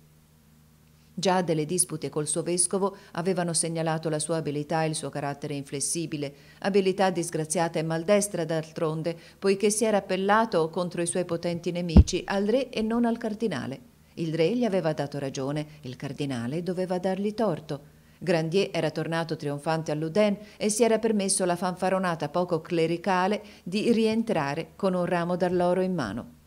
A partire da quel giorno fu perduto. Le religiose orsoline di Loudun avevano allora per superiora, sotto il nome di Madre Giovanna degli Angeli, una certa Jeanne de Belfiel, figlia minore del barone di Cos. Questa religiosa non era molto fervida e il suo convento non passava per uno dei più regolari del paese, vi accadevano scene notturne che venivano attribuite a degli spiriti. Le famiglie ritirarono le pensionanti e la casa fu presto senza risorse.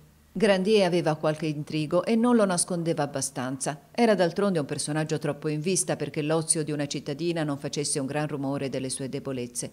Le pensionanti delle Orsoline ne intendevano parlare con mistero dei loro parenti, le religiose ne parlavano fra loro per deplorare lo scandalo e restavano preoccupate dal personaggio scandaloso, che però sognavano. Lo vedevano di notte apparire nei loro dormitori con degli atteggiamenti ben conformi a quello che si diceva dei suoi costumi Gridavano, si credevano ossesse ed ecco il diavolo nella casa.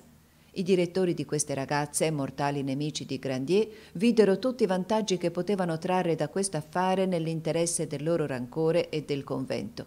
Si fecero in segreto degli esorcismi, poi li si fecero in pubblico. Gli amici di Grandier sentivano che si tramava qualcosa e spinsero il curato di Saint-Pierre a permutare i suoi benefici e a lasciare Loudun. Tutto si sarebbe calmato quando si fosse visto partire, ma Grandier era un uomo coraggioso e non voleva cedere alla calunnia. Restò e fu arrestato un mattino quando entrava nella sua chiesa, vestito dei suoi abiti sacerdotali. Appena arrestato, Grandier fu trattato da criminale di Stato, le sue carte furono sequestrate, i sigilli apposti ai suoi mobili e lui stesso fu condotto ben scortato alla fortezza di Angers. Nel frattempo gli si preparava a Loudun una prigione che sembrava fatta più per una bestia feroce che per un uomo. Richelieu, istruito di tutto, aveva inviato Lobardemont per farla finita con Grandier e aveva fatto proibire al Parlamento di occuparsi della cosa. Se la condotta del curato di Saint-Pierre era stata quella di un mondano, la condotta di Grandier, prigioniero e accusato di magia, fu quella di un eroe e di un martire. L'avversità rivela così le grandi anime ed è molto più facile sopportare la sofferenza che la prosperità. Scriveva a sua madre. Sopporto la mia afflizione con pazienza e piango più la vostra che la mia. Io sono molto scomodo, non avendo neanche un letto. Cercate di farmi portare il mio, perché se il corpo non riposa, lo spirito soccombe. Infine inviatemi un breviario, una Bibbia e un San Tommaso per la mia consolazione. Per il resto non vi affliggete, io spero che Dio metterà in mostra la mia innocenza. Dio in effetti prende prima o poi le parti dell'innocenza oppressa, ma non la libera mai dai suoi nemici sulla terra o non la libera che con la morte. Grandier lo doveva provare presto.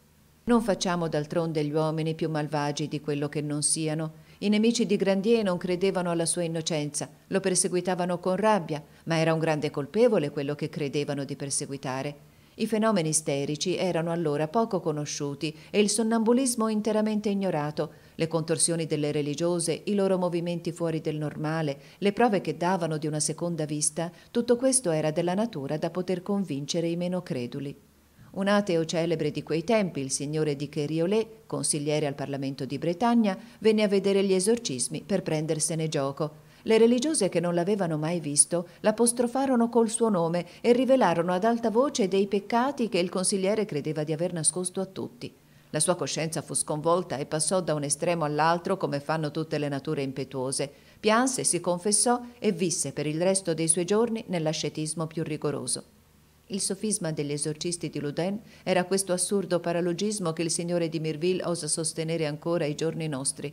Il diavolo è l'autore di tutti i fenomeni che non si spiegano con le leggi note della natura. A questo sofisma antilogico ne aggiungevano un altro di cui facevano in qualche modo un articolo di fede. Il diavolo debitamente esorcizzato è costretto a dire la verità e può essere ammesso a testimoniare in tribunale. Il disgraziato Grandier non era dunque abbandonato a degli scellerati, era con dei pazzi furiosi che aveva a che fare. Questi, forti della loro coscienza, diedero a questo incredibile processo la più grande pubblicità. Mai uno scandalo simile aveva afflitto la Chiesa. Religiose urlanti si torcevano, si abbandonavano ai gesti più osceni, bestemmiavano, cercavano di gettarsi su Grandier come le baccanti su Orfeo.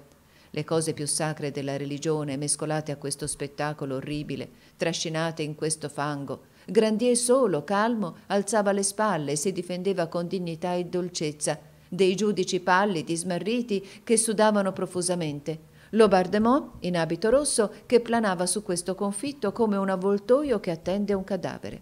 Tale fu il processo di Urbain Grandier.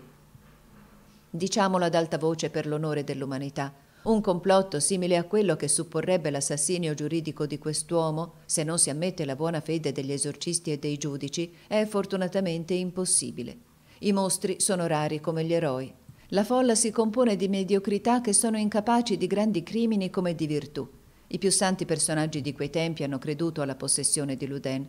San Vincenzo dei Paoli non fu estraneo a questa storia e fu chiamato per dare il suo parere. Richelieu in persona, che avrebbe trovato comunque il modo di sbarazzarsi di Grandier, finì col crederlo colpevole. La sua morte fu il crimine dell'ignoranza e dei pregiudizi dei suoi tempi, e questa fu una catastrofe, molto più che un assassinio. Noi non affliggeremo i nostri lettori con il dettaglio delle sue torture. Rimase fermo, rassegnato, senza collera e non confessò niente. Non affettò neanche di disprezzare i giudici. Pregò con dolcezza gli esorcisti di risparmiarlo. E voi, miei padri, disse loro, moderate il rigore dei miei tormenti e non riducete la mia anima alla disperazione. Si sente, attraverso questo singhiozzo della natura che si lamenta, tutta la mansuetudine del cristiano che perdona. Gli esorcisti, per nascondere il loro intenerimento, gli rispondevano con delle invettive e gli esecutori piangevano. Tre delle religiose, in uno dei loro momenti lucidi, vennero a prosternarsi davanti al tribunale, gridando che Grandier era innocente. Si credette che fosse il diavolo a parlare per la loro bocca e questa confessione non fece che affrettare il supplizio. Urbain Grandier fu bruciato vivo il 18 agosto 1634. Fu paziente e rassegnato fino alla fine, quando discese dalla carretta, poiché aveva le gambe ferite, cadde rudemente col viso a terra senza emettere un solo grido o un solo gemito. Un francescano di nome padre Grillot fendette allora la folla e volle sollevare quel poveretto, che lo abbracciò piangendo. Io vi porto, disse, la benedizione di vostra madre. Lei ed io preghiamo Dio per voi. Grazie, padre, rispose Grandier. Voi solo qui avete pietà di me. Consolate la mia povera madre e fatele da figlio. L'aiutante del prevosto, tutto commosso, gli disse allora Signore, perdonatemi perché sono costretto a prender parte al vostro supplizio. Voi non mi avete offeso, rispose Grandier, voi siete obbligato ad assolvere i doveri della vostra carica. Gli avevano promesso di strangolarlo prima di bruciarlo, ma quando il boia volle tirare la corda, la trovò annodata e l'infelice curato di Saint-Pierre cadde tutto vivo nel fuoco. I principali esorcisti, il padre Tranquillo e il padre Lattanzio, morirono subito dopo, durante il trasporto di un attacco di pazzia furiosa. Il padre che li rimpiazzò divenne folle. Manoury, il chirurgo che aveva aiutato a torturare Grandier, morì perseguitato dal fantasma della vittima. Lobardemont perse suo figlio in un modo tragico e cadde lui stesso nella disgrazia del suo maestro. Le religiose restarono idiote, in realtà erano colpite da una malattia terribile e contagiosa, la malattia mentale del falso zelo e della falsa devozione. La provvidenza punisce gli uomini per le loro colpe e li istruisce per le tristi conseguenze dei loro errori. Dieci anni appena dopo la morte di Grandier, gli scandali di Loudun si rinnovarono in Normandia. Delle religiose di Louviers accusarono due preti di averle stregate. Uno di questi preti era morto. Si violò la tomba per strapparne il cadavere. I fenomeni della possessione furono gli stessi che a Loudun e alla Saint-Baume. Queste donne isteriche traducevano in linguaggio volgare gli incubi dei loro direttori. I due preti, uno morto e l'altro vivo, furono condannati al drogo. Cosa orribile si attaccò allo stesso palo un uomo e un cadavere. Il supplizio di Mezzenzio, finzione di un poeta pagano, trovò dei cristiani per essere realizzato. Un popolo cristiano assistette freddamente a questa esecuzione sacrilega e i pastori non compresero che nel profanare così il sacerdozio e la morte davano all'empietà uno spaventoso segnale. Si chiudeva così il XVII secolo che venne a spegnere i roghi col sangue dei preti e, come accade quasi sempre, furono i buoni che pagarono per i cattivi.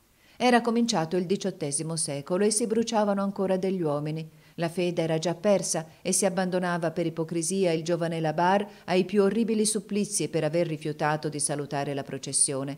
Voltaire era allora al mondo e si sentiva crescere nel cuore una vocazione simile a quella di Attila.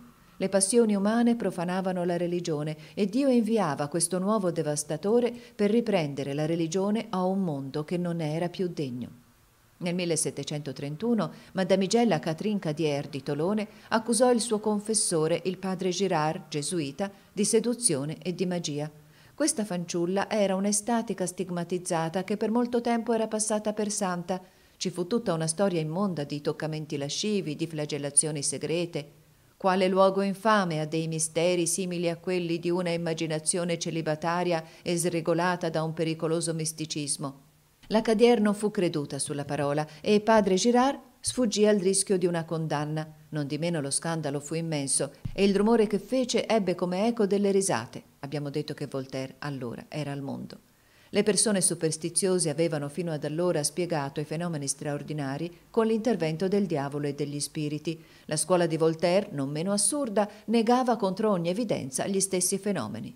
Quello che non riusciamo a spiegare viene dal diavolo, dicevano gli uni. Quello che non riusciamo a spiegare non esiste, rispondevano gli altri. La natura, riproducendo sempre in circostanze analoghe le stesse serie di fatti eccentrici e meravigliosi, protestava contro l'ignoranza presuntuosa degli uni e la scienza limitata degli altri. In tutti i tempi delle perturbazioni fisiche hanno accompagnato certe malattie nervose i folli, gli epilettici, i catalettici, gli isterici hanno delle facoltà eccezionali, sono soggetti a delle allucinazioni contagiose e producono a volte, sia nell'atmosfera sia negli oggetti che li attorniano, dei movimenti e delle sregolatezze. L'allucinato proietta i suoi sogni attorno a sé ed è tormentato dalla sua ombra. Il corpo si circonda di riflessi difformi per le sofferenze del cervello ci si vede allora in qualche modo nella luce astrale di cui le correnti eccessive, agendo come un magnete, spostano e fanno girare i mobili, si odono allora dei rumori e delle voci come nei sogni. Questi fenomeni, ripetuti tante volte ai nostri giorni, al punto che sono divenuti comuni, venivano attribuiti dai nostri padri ai fantasmi e ai demoni. La filosofia di Voltaire trovò più comodo negarli, trattando da imbecilli i testimoni oculari dei fatti più incontestabili. Cosa c'è di più verificato, per esempio, delle meraviglie delle convulsioni alla tomba del diacono Paride e nelle riunioni degli estatici di Saint Médard? Come spiegare quegli strani soccorsi che chiedono i convulsionari? Migliaia di colpi sulla testa, delle pressioni da schiacciare un ippopotamo, delle torsioni di mammelle con delle pinze di ferro, la stessa crocifissione con dei chiodi ficcati nei piedi e nelle mani. Poi delle contorsioni sovrumane, dei sollevamenti in aria, i volteriani non hanno voluto vedere in questo che smorfie e sgambetti. I giansenisti gridavano al miracolo e i cattolici gemevano. Ma la scienza, che sola doveva intervenire per spiegare questa fantastica malattia, la scienza si teneva da parte. Era a essa sola, peraltro, che appartenevano ora le orsoline di Loudun, le religiose di Louvier, i convulsionari e i medium americani. I fenomeni di magnetismo non si mettono sulla via delle nuove scoperte? La sintesi chimica che si prepara non porterà d'altra parte noi fisici alla conoscenza della luce astrale? E una volta conosciuta questa forza universale, chi impedirà di determinare la forza, il numero e la direzione dei suoi magneti? Sarà tutta una rivoluzione nella scienza, si sarà tornati all'alta magia dei Caldei. Si è parlato molto del presbiterio di Sidville. I signori di Mirville, Gougenot, Desmousseau e altri credenti hanno visto spassionatamente nelle cose strane che avvenivano una rivelazione contemporanea del diavolo, ma le stesse cose arrivarono a Saint-Maur nel 1706 e tutta Parigi vi corse. Si udivano battere grandi colpi contro i muri, i letti rotolavano senza che qualcuno li toccasse, i mobili si spostavano. Tutto questo finiva con una crisi violenta accompagnata da un profondo svenimento, durante il quale il padrone di casa, un giovane di 24-25 anni, di una costituzione fragile e nervosa, credeva di udire degli spiriti che gli parlavano lungamente, senza poter mai ripetere dopo neanche una parola di quello che gli avevano detto. Ecco la storia di un'apparizione all'inizio del XVIII secolo. L'ingenuità del racconto ne prova l'autenticità, ci sono certi caratteri di verità che non possono essere imitati. Un buon prete della città di Valogne, di nome Besuel, fu invitato a cena il 7 gennaio 1708 da una signora parente dell'abate di Saint-Pierre, con questo abate. Raccontò loro, secondo il loro desiderio, l'apparizione di uno dei suoi camerati avvenuta in pieno giorno circa dodici anni prima. Nel 1695, disse loro Besuel, quando ero un giovane scolaro di circa 15 anni, feci conoscenza con i due figli di Abachen, procuratore e scolari come me. Uno aveva la mia età, il cadetto aveva 18 mesi di meno, si chiamava Desfontaine. Facevamo delle passeggiate e tutti insieme ci divertivamo, e sia che Desfontaine mi fosse più amico, sia che fosse più allegro, più compiacente, più spirituale di suo fratello, io l'amavo di più. Nel 1696 passeggiavamo tutti e due nel chiostro dei Cappuccini e mi raccontò che aveva letto da poco una storia di due amici che si erano promessi che colui che fosse morto per primo sarebbe andato a dare nuove del suo stato al vivo, che il morto ritornò e gli disse delle cose sorprendenti. A questo Desfontaine mi disse che aveva un favore da domandarmi, che mi chiese all'istante. Era di fargli una promessa simile e che da parte sua lui me la faceva. Io gli dissi che non volevo. Per vari mesi me ne parlò spesso e molto seriamente, io resistevo però sempre. Infine, verso il mese d'agosto 1696, poiché doveva partire per andare a studiare a Caen, mi pressò tanto con le lacrime agli occhi che io acconsentii.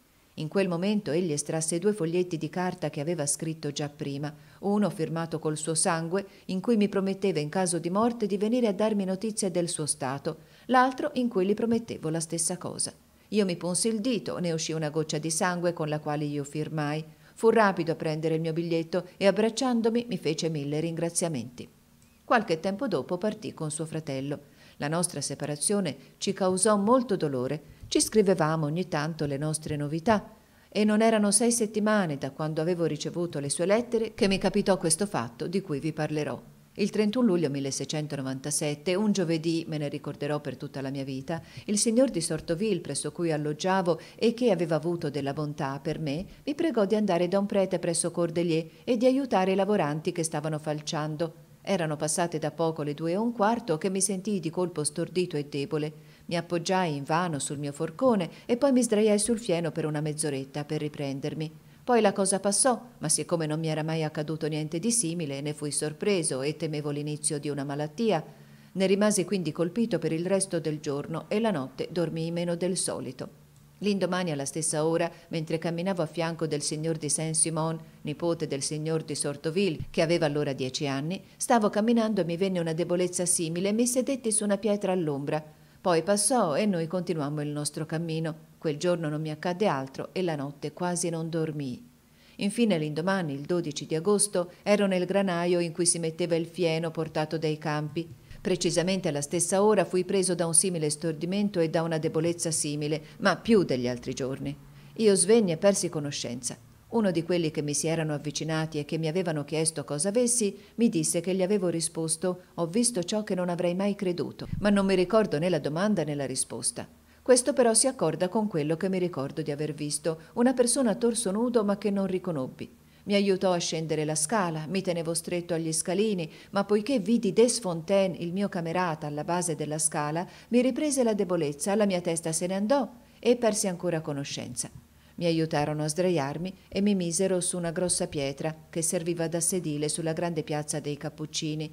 Non vedevo più allora né il signor di Sortoville né i suoi domestici anche se erano presenti, ma percependo Desfontaine verso la base della scala che mi faceva cenno di andare verso di lui, arretrai sul mio sedile come per fargli posto e quelli che mi vedevano e che io non vedevo, quantunque avessi gli occhi aperti, notarono questo movimento. Siccome lui non si avvicinava, mi alzai per andare da lui. Si avanzò verso di me, mi prese il braccio sinistro sotto il suo braccio destro e mi condusse a trenta passi da là in una strada appartata, tenendomi sempre così. I domestici credevano che il mio stordimento fosse passato e che andassi via per qualche necessità, per cui se ne andarono per i fatti loro, ad eccezione di un piccolo che andò a dire al signor di Sortoville che credeva fossi ubriaco. Si avvicinò e mi intese chiedere qualcosa e rispondere altro, che poi mi ha raccontato.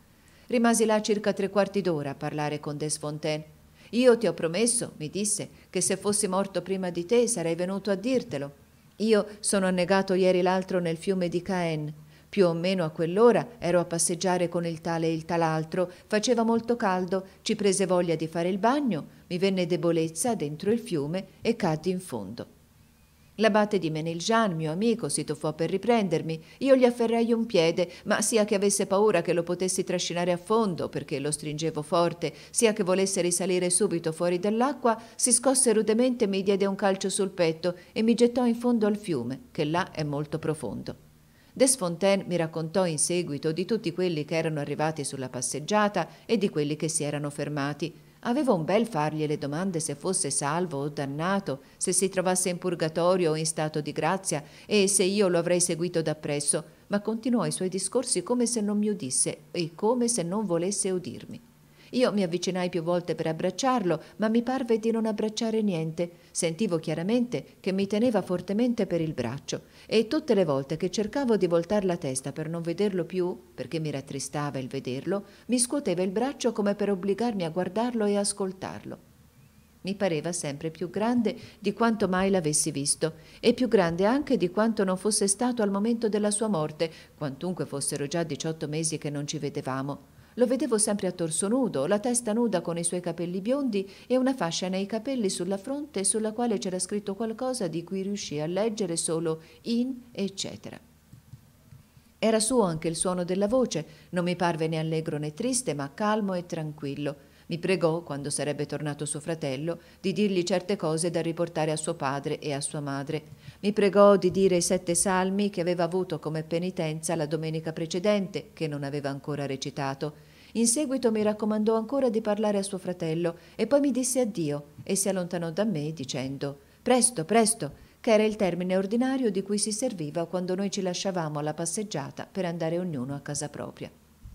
Mi disse che mentre annegava suo fratello che stava facendo una traduzione, si era pentito di averlo lasciato andare senza accompagnarlo, temendo qualche accidente. Mi descrisse così bene il luogo in cui era annegato e l'albero della strada di Louvigny, su cui aveva scritto qualche parola, che due anni dopo, trovandomi con il cavaliere di Goteau, uno dei due che erano stati con lui quando era annegato, gli indicai io stesso il punto e contando gli alberi di un certo lato che Desfontaine mi aveva specificato, andai dritto all'albero e vi trovai il suo scritto. Mi disse anche che la cosa dei sette salmi era vera, perché all'uscita dalla confessione si erano detti le loro penitenze. Suo fratello mi disse poi che era vero che a quell'ora lui scriveva la sua versione e che rimpiangeva di non aver accompagnato suo fratello. Poiché passò quasi un mese senza che io potessi fare quello che mi aveva detto Desfontaine a riguardo di suo fratello, egli mi apparve ancora due volte. La prima volta fu prima di cena, in una casa di campagna dove ero andato a cena a una lega da qui. Mi sentivo male, dissi che mi lasciassero stare, che non era niente, che mi sarei ripreso. Andai in un punto del giardino.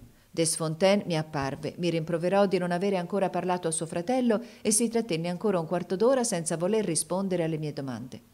Un'altra volta mi apparve ancora quando andavo il mattino a Notre Dame de la Victoire, ma per meno tempo, e mi pressò ancora a parlare a suo fratello e mi lasciò dicendomi sempre presto, presto, senza voler rispondere alle mie domande.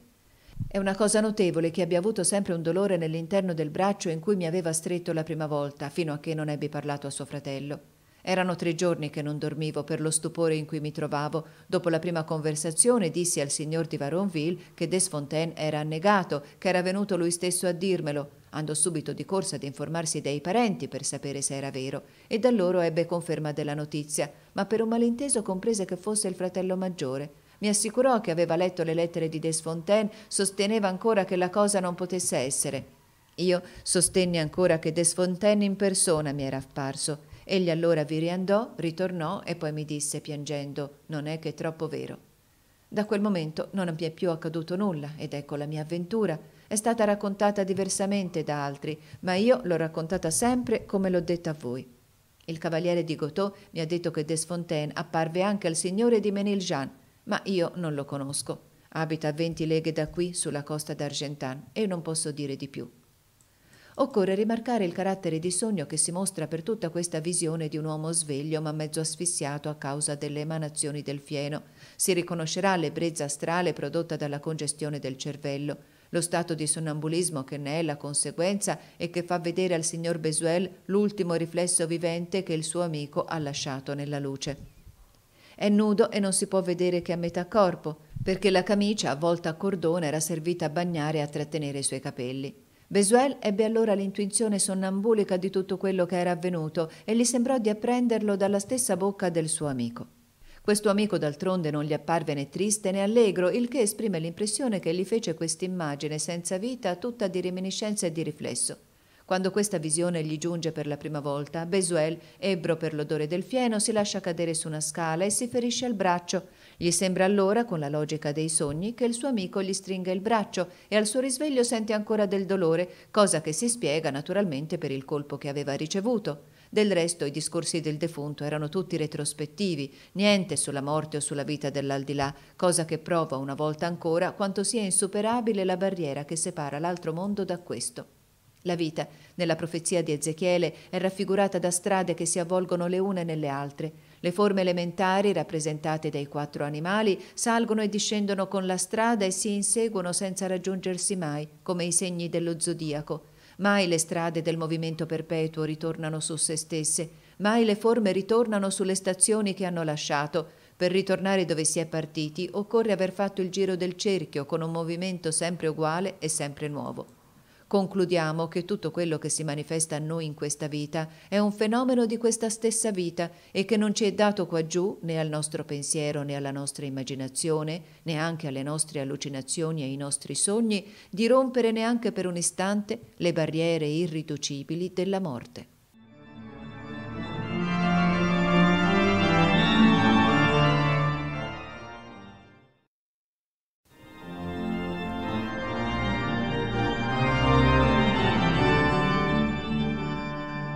Capitolo VII. Origini magiche della massoneria. La grande associazione cabalistica nota in Europa col nome di massoneria apparve all'improvviso nel mondo al momento in cui la protesta contro la Chiesa giunse a smembrare l'unità cristiana.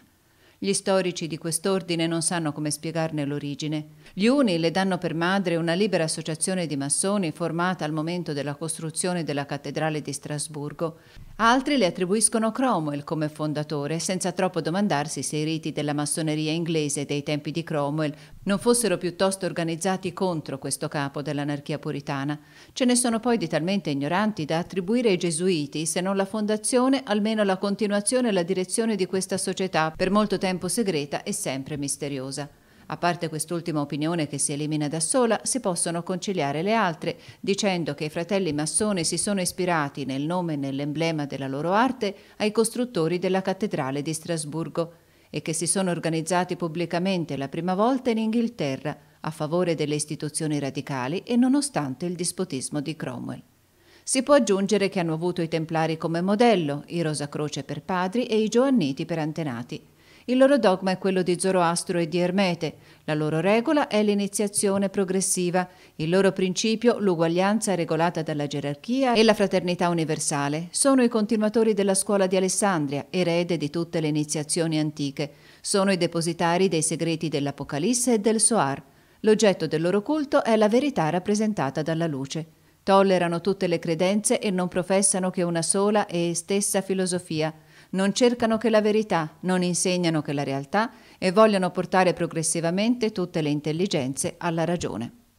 Il fine allegorico della massoneria è la ricostruzione del Tempio di Salomone. Il fine reale è la ricostruzione dell'unità sociale attraverso l'alleanza della ragione e della fede e il ristabilimento della gerarchia, con l'iniziazione e le prove per gradi. Niente è più bello, lo si vede, niente è più grande di queste idee e tendenze, Sfortunatamente le dottrine dell'unità e la sottomissione alla gerarchia non si conservarono nella massoneria universale. Ci fu presto una massoneria dissidente opposta alla massoneria ortodossa e le più grandi calamità della rivoluzione francese furono il risultato di questa scissione. I franchi massoni hanno la loro leggenda sacra, è quella di Hiram, completata da quella di Ciro e di Zorobabele. Ecco la leggenda di Hiram. Quando Salomone fece costruire il Tempio, confidò i suoi piani a un architetto di nome Hiram. Questo architetto, per mettere ordine nel lavoro, divise i lavoratori in gradi di abilità e poiché erano moltissimi per poterli riconoscere, sia per impiegarli secondo il loro merito, sia per remunerarli secondo il loro lavoro, diede a ogni categoria, agli apprendisti, ai compagni e ai maestri, delle parole d'ordine e segni particolari. Tre compagni vollero usurpare il rango di maestri senza averne il merito. Si imboscarono alle tre principali porte del tempio e quando Hiram si presentò per uscire, uno dei compagni gli domandò la parola d'ordine dei maestri, minacciandolo con la sua riga. Hiram gli rispose: Non è così che ho ricevuto la parola che mi chiedete. Il compagno, furioso, colpì Hiram con la sua riga di ferro e gli fece una prima ferita. Iram corse a un'altra porta e vi trovò il secondo compagno. Stessa domanda, stessa risposta, e questa volta Iram fu colpito con una squadra, altri dicono con una leva. Alla terza porta c'era il terzo assassino che colpì il maestro con un colpo di mazzuolo. Questi tre compagni nascosero poi il cadavere sotto un mucchio di macerie e piantarono su questa tomba improvvisata un ramo d'acacia. Poi fuggirono come Caino dopo l'omicidio di Abele. Nel frattempo Salomone, non vedendo tornare il suo architetto, inviò nove maestri a cercarlo. Il ramo d'acacia rivelò loro il cadavere, lo estrassero da sotto e poiché era rimasto sepolto a lungo, gridarono mentre lo sollevavano Machbenak, che significa la carne si stacca dalle ossa. Si resero a Iram gli onori funebri, poi 27 maestri furono inviati da Salomone a cercare gli assassini. Il primo fu sorpreso in una caverna, una lampada bruciava accanto a lui e un ruscello scorreva sotto i suoi piedi. Accanto a sé aveva un pugnale per difesa. Il maestro che penetrò nella caverna riconobbe l'assassino, afferrò il pugnale e lo colpì gridando Necum, parola che vuol dire vendetta. La sua testa fu portata a Salomone, che fremette vedendola, e disse a colui che aveva ucciso l'assassino Disgraziato, non sapevi che mi ero riservato io il diritto di punirlo? Allora tutti i maestri si prosternarono e domandarono grazia per colui che era stato trascinato troppo dal suo zelo. Il secondo assassino fu tradito da un uomo che gli aveva dato asilo. Era nascosto dietro una rupe presso un cespuglio ardente sul quale brillava un arcobaleno. Un cane era accucciato vicino a lui. I maestri ingannarono la vigilanza del cane, afferrarono il colpevole, lo legarono e lo portarono a Gerusalemme, dove morì dell'ultimo supplizio. Il terzo assassino fu ucciso da un leone che bisognò sconfiggere per impadronirsi del cadavere. In altre versioni, invece, l'assassino si difese a colpi d'ascia contro i maestri che arrivarono infine a disarmarlo e lo condussero da Salomone, che gli fece spiare il suo crimine. Questa è la prima leggenda ed eccone la spiegazione. Salomone è la personificazione della scienza e della saggezza supreme. Il Tempio è la realizzazione e la figura del regno gerarchico della verità e della ragione sulla terra. Iram è l'uomo giunto al comando attraverso la scienza e la saggezza, governa con la giustizia e con l'ordine e dà ad ognuno secondo le sue opere. Ogni grado dell'ordine possiede una parola che ne esprime l'intelligenza. Non c'è che una parola per Iram, ma questa parola si pronuncia in tre modi differenti. In un modo per gli apprendisti e pronunciata da loro significa natura e si realizza per mezzo del lavoro, in un altro modo per i compagni e da loro significa pensiero e si realizza con lo studio. In un altro modo per i maestri e nella loro bocca significa verità, parola che si realizza con la saggezza. Questa parola è quella di cui ci si serve per designare Dio, di cui il vero nome è indicibile e incomunicabile. Dunque ci sono tre gradi nella gerarchia come ci sono tre porte nel Tempio, ci sono tre raggi nella luce, ci sono tre forze nella natura. Queste forze sono raffigurate dalla riga che unisce, dalla leva che solleva e dal mazzuolo che conferma. La ribellione degli istinti brutali contro l'aristocrazia gerarchica della saggezza si arma successivamente di queste tre forze che distoglie dall'armonia. Ci sono tre ribelli tipici, il ribelle alla natura, il ribelle alla scienza, il ribelle alla verità. Erano raffigurati nell'inferno degli antichi dalle tre teste di Cerbero. Sono raffigurati nella Bibbia da Corè, Datan e Abiron. Nella leggenda massonica sono designati da nomi che variano secondo i riti.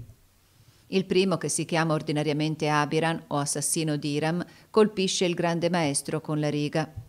È la storia del giusto messo a morte in nome della legge a causa delle passioni umane. Il secondo, chiamato Mifiboset dal nome di un pretendente ridicolo e malato alla regalità di David, colpisce Iram con la leva o la squadra. È così che la leva popolare o la squadra di una folle uguaglianza divengono lo strumento della tirannia nelle mani della moltitudine e attentano, più disgraziatamente ancora della riga, alla regalità della saggezza e della virtù. Il terzo infine colpisce Iram col mazzuolo, come fanno gli istinti brutali quando si vuol fare ordine in nome della violenza e della paura, schiacciando l'intelligenza. Il ramo di acacia sulla tomba di Iram è come la croce sugli altari, è il segno della scienza che sopravvive alla scienza, è il ramo verde che annuncia un'altra primavera.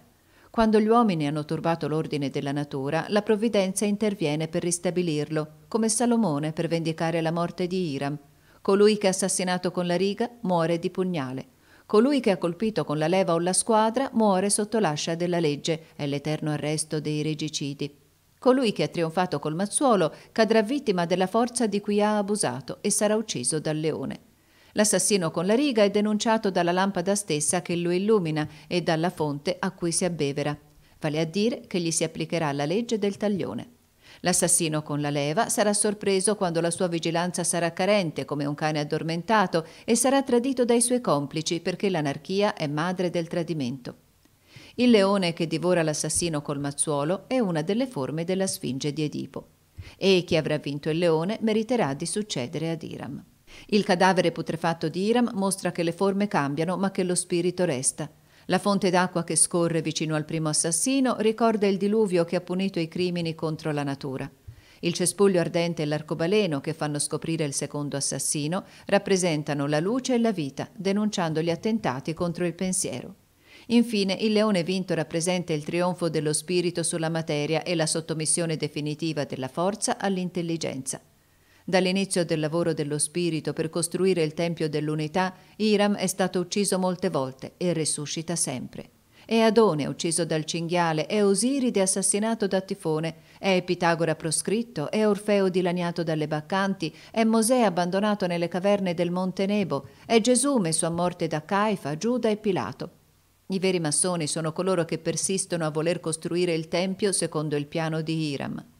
Tale è la grande e principale leggenda della massoneria. Le altre non sono meno belle e profonde, ma non crediamo di dover divulgare i misteri.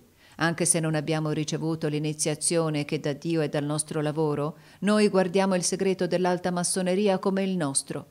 Giunti con i nostri sforzi a un grado scientifico che ci impone il silenzio, noi ci crediamo più impegnati dalle nostre convinzioni che da un giuramento.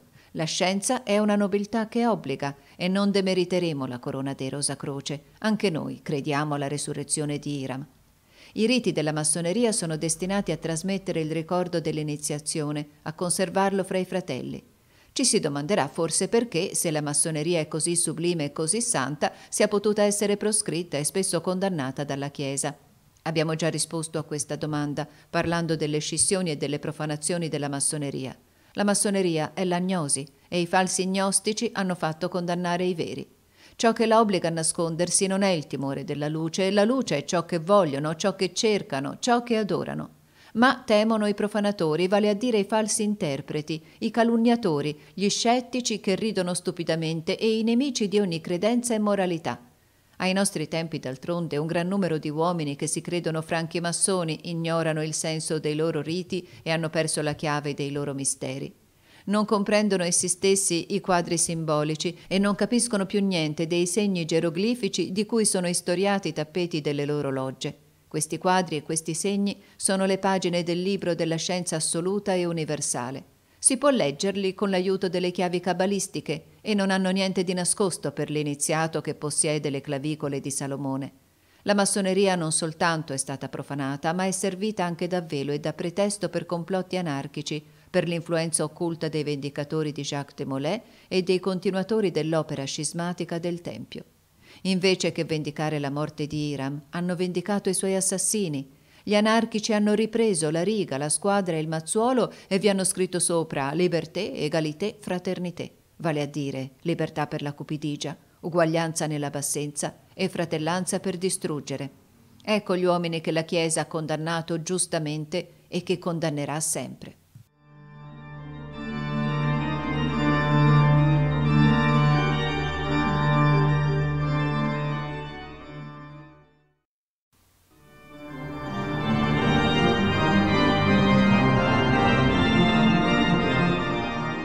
Libro VI. La magia e la rivoluzione. Capitolo I. Autori notevoli del XVIII secolo. Fino alla fine del XVII secolo la Cina era stata più o meno sconosciuta al resto del mondo. È solo in quest'epoca che questo vasto impero, esplorato dai nostri missionari, ci si rivelò attraverso di essi e ci apparve come una necropoli di tutte le scienze del passato. I cinesi sembrano essere un popolo di mummie. Niente progredisce da loro e vivono nell'immobilità delle loro tradizioni, il cui spirito e la vita si sono ritirati da molto tempo. Non sanno più niente, ma si ricordano vagamente di tutto.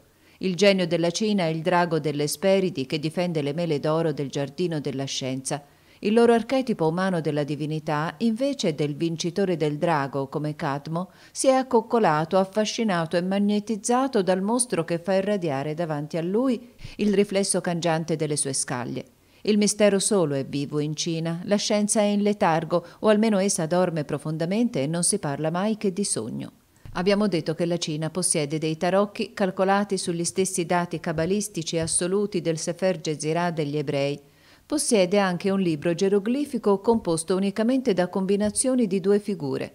Questo libro è Li King, attribuito all'imperatore Fo Hi, e De Maison, nelle sue lettere sulla Cina, lo dichiara assolutamente indecifrabile.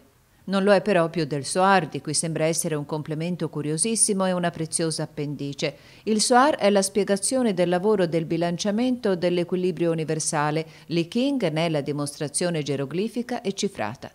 La chiave di questo libro è un pentacolo noto sotto il nome dei trigrammi di Fohi. Secondo la leggenda raccontata nel Wai Qi, raccolta di grandi autorità in Cina e che fu composta da Leon Taoyuan, sotto la dinastia dei Soms 7 o 800 anni fa, l'imperatore Fohi, meditando un giorno in riva al fiume sui grandi segreti della natura, vide uscire dall'acqua una sfinge, vale a dire un animale allegorico che aveva la forma mista di un cavallo e di un drago. La testa era allungata come quella di un cavallo, aveva quattro piedi e finiva con una coda di serpente. Il dorso era coperto di scaglie e su ognuna di esse brillava la figura dei misteriosi trigrammi, più piccoli verso le estremità, più grandi sul petto e sul dorso, ma in perfetta armonia gli uni con gli altri. Questo dragone si guardava nell'acqua e il suo riflesso aveva le stesse forme e le sue stesse immagini, ma in senso inverso rispetto alle immagini e alle forme reali. Questo cavallo serpente, ispiratore o piuttosto portatore di ispirazione come il Pegaso della mitologia greca, simbolo della vita universale, come il serpente di Cronos, iniziò Fohi alla scienza universale. I trigrammi gli servirono da introduzione, contò le scaglie del cavallo serpente e combinò i trigrammi in tanti modi che concepì una sintesi delle scienze comparate e unite tra loro delle armonie preesistenti e necessarie della natura, la redazione delle tavole dell'I King fu il risultato di questa meravigliosa combinazione. I numeri di Fohi sono gli stessi di quelli dell'Alta Cabala. Il suo pentacolo è analogo a quello di Salomone, come abbiamo spiegato nel nostro dogma rituale dell'alta magia. Le sue tavole corrispondono alle 32 vie e alle 50 porte della luce. E Li King non ha nulla di oscuro per i saggi cabalisti che hanno la chiave del Sefer Jezirah e del Soar. La scienza della filosofia assoluta è dunque esistita in Cina. I King non sono che i commentari di questo assoluto nascosto ai profani, come il Pentateuco di Mosè sta alle rivelazioni del Sifra Zeniuta, che è il libro dei misteri e la chiave del Soar per gli ebrei. Kuk Tse o Confucio non fu che il rivelatore di questa cabala, che avrebbe negato forse per distogliere le ricerche dei profani, come il sapiente talmudista Maimonide negò la realtà delle clavicole di Salomone. Poi venne il materialista Fo, che sostituì le tradizioni della stregoneria indiana ai ricordi dell'alta magia degli egiziani. Il culto di Fo paralizzò in Cina i progressi della scienza e la civiltà abortita di questo grande popolo cadde nella routine e nell'abbrutimento. Un filosofo di un'ammirevole sagacia e di una grande profondità, il saggio Leibniz, che sarebbe stato così degno da essere iniziato alle verità supreme della scienza assoluta, credette di vedere nei King la sua propria invenzione dell'aritmetica binaria e nella linea dritta e nella linea spezzata di Fohi ritrovò i caratteri 1 e 0 impiegati da lui stesso nei calcoli. Era molto vicino alla verità, ma non la intravedeva che in uno dei suoi dettagli, non riusciva ad abbracciarne l'insieme. Delle dispute teologiche sono state l'occasione di ricerche importantissime sulle antichità religiose della Cina. Si tratta di sapere se i gesuiti avessero ragione di tollerare fra i cinesi convertiti al cristianesimo il culto del cielo e degli antenati. In altri termini, se si deve credere che per il cielo la letteratura della Cina intendesse Dio o semplicemente lo spazio e la natura. Sarebbe stato del tutto naturale rapportarsi alla letteratura e al buon senso pubblico, ma questi non sono delle autorità teologiche, per cui si discusse molto, si scrisse molto, si intrigò ancor più e infine i gesuiti, che avevano ragione in fondo, furono convinti di aver torto per la forma e si crearono loro delle nuove difficoltà che non sono ancora state superate e che ai nostri giorni fanno versare in Cina il sangue dei nostri infaticabili martiri. Mentre si disputavano così alla religione le sue conquiste in Asia, un'immensa inquietudine agitava l'Europa. La fede cristiana sembrava pronta a spegnersi e da ogni parte si parlava di nuove rivelazioni e di miracoli. Un uomo versato seriamente nella scienza e nel mondo, Emanuel Swedenborg, meravigliava la Svezia con le sue visioni e la Germania era piena di nuovi illuminati. Il misticismo dissidente cospirava per rimpiazzare i misteri della religione gerarchica con i misteri dell'anarchia. Si preparava un'imminente catastrofe. Swedenborg, il più onesto e il più dolce dei profeti del falso illuminismo, non era per questo meno pericoloso degli altri. Pretendere in effetti che tutti gli uomini siano chiamati a comunicare direttamente col cielo è rimpiazzare l'insegnamento religioso regolare e l'iniziazione progressiva con tutte le divagazioni dell'entusiasmo e tutte le follie dell'immaginazione e dei sogni. Gli illuminati intelligenti sapevano bene che, essendo la religione un grande bisogno dell'umanità, non l'avrebbero mai distrutta, così vollero forgiarsi con la stessa religione o col fanatismo a cui porta per una conseguenza fatale dell'entusiasmo ispirato dall'ignoranza, delle armi per distruggere l'autorità gerarchica della Chiesa, contando di veder uscire dai conflitti del fanatismo una nuova gerarchia di cui speravano essere i fondatori e i capi. Sarete come degli dei, saprete tutto senza darvi la pena di imparare. Sarete come dei re che possiederanno tutto senza darsi la pena di acquisire niente. Tali sono in sintesi le promesse dello spirito rivoluzionario alle moltitudini invidiose. Lo spirito rivoluzionario è lo spirito della morte, è l'antico serpente della Genesi e nel frattempo è il padre del movimento e del progresso, poiché le generazioni non si rinnovano che attraverso la morte. È per questo che gli indiani adorano Shiva, lo spietato distruttore di cui la forma simbolica era quella dell'amore fisico e della generazione materiale. Il sistema di Swedenborg non è altro che la cabala meno i principi della gerarchia, è il tempio senza la chiave di volta e senza fondamenta, è un immenso edificio, fortunatamente tutto fantastico e aereo, perché se si fosse mai tentato di realizzarlo sulla terra sarebbe caduto sulla testa del primo bambino che vi fosse salito non diciamo di abbatterlo, ma di appoggiarsi a una delle sue colonne principali. Organizzare l'anarchia, tale è il problema che i rivoluzionari hanno e avranno eternamente da risolvere. È la roccia di Sisifo che ricadrà sempre su di essi. Per esistere un solo istante sono e saranno sempre fatalmente ridotti a improvvisare un despotismo senza altra ragione di essere che la necessità e che di conseguenza è violento e cieco come essa. Non si sfugge alla monarchia armoniosa della ragione che per cadere sotto la dittatura disordinata della follia. Il mezzo proposto indirettamente da Swedenborg per comunicare col mondo soprannaturale era uno stato intermedio che ha del sogno, dell'estasi e della catalessia. L'illuminato svedese afferma la possibilità di questo stato, ma non dà la teoria delle pratiche necessarie per arrivarci. Forse i suoi discepoli, per colmare questa lacuna, avrebbero finito per far ricorso al rituale magico dell'India, quando un uomo di genio venne a completare con una taumaturgia naturale le intuizioni profetiche e cabalistiche di Swedenborg. Quest'uomo era un medico tedesco di nome Mesmer. Mesmer ebbe la gloria di ritrovare, senza iniziatore e senza conoscenze occulte, l'agente universale della vita e dei suoi prodigi. I suoi aforismi, che i sapienti del suo tempo dovevano considerare come altrettanti paradossi, diverranno un giorno la base della sintesi fisica. Mesmer riconosceva nell'essere naturale due forme che sono la sostanza della vita, da cui risultano la fissità e il movimento, che costituiscono l'equilibrio delle cose riconosceva l'esistenza di una materia primaria fluida, universale, capace di fissità e di movimento, che fissandosi determina la costituzione delle sostanze e che muovendosi sempre modifica e rinnova le forme. Questa materia fluida è attiva e passiva, come passiva si attira da sé, come attiva si proietta.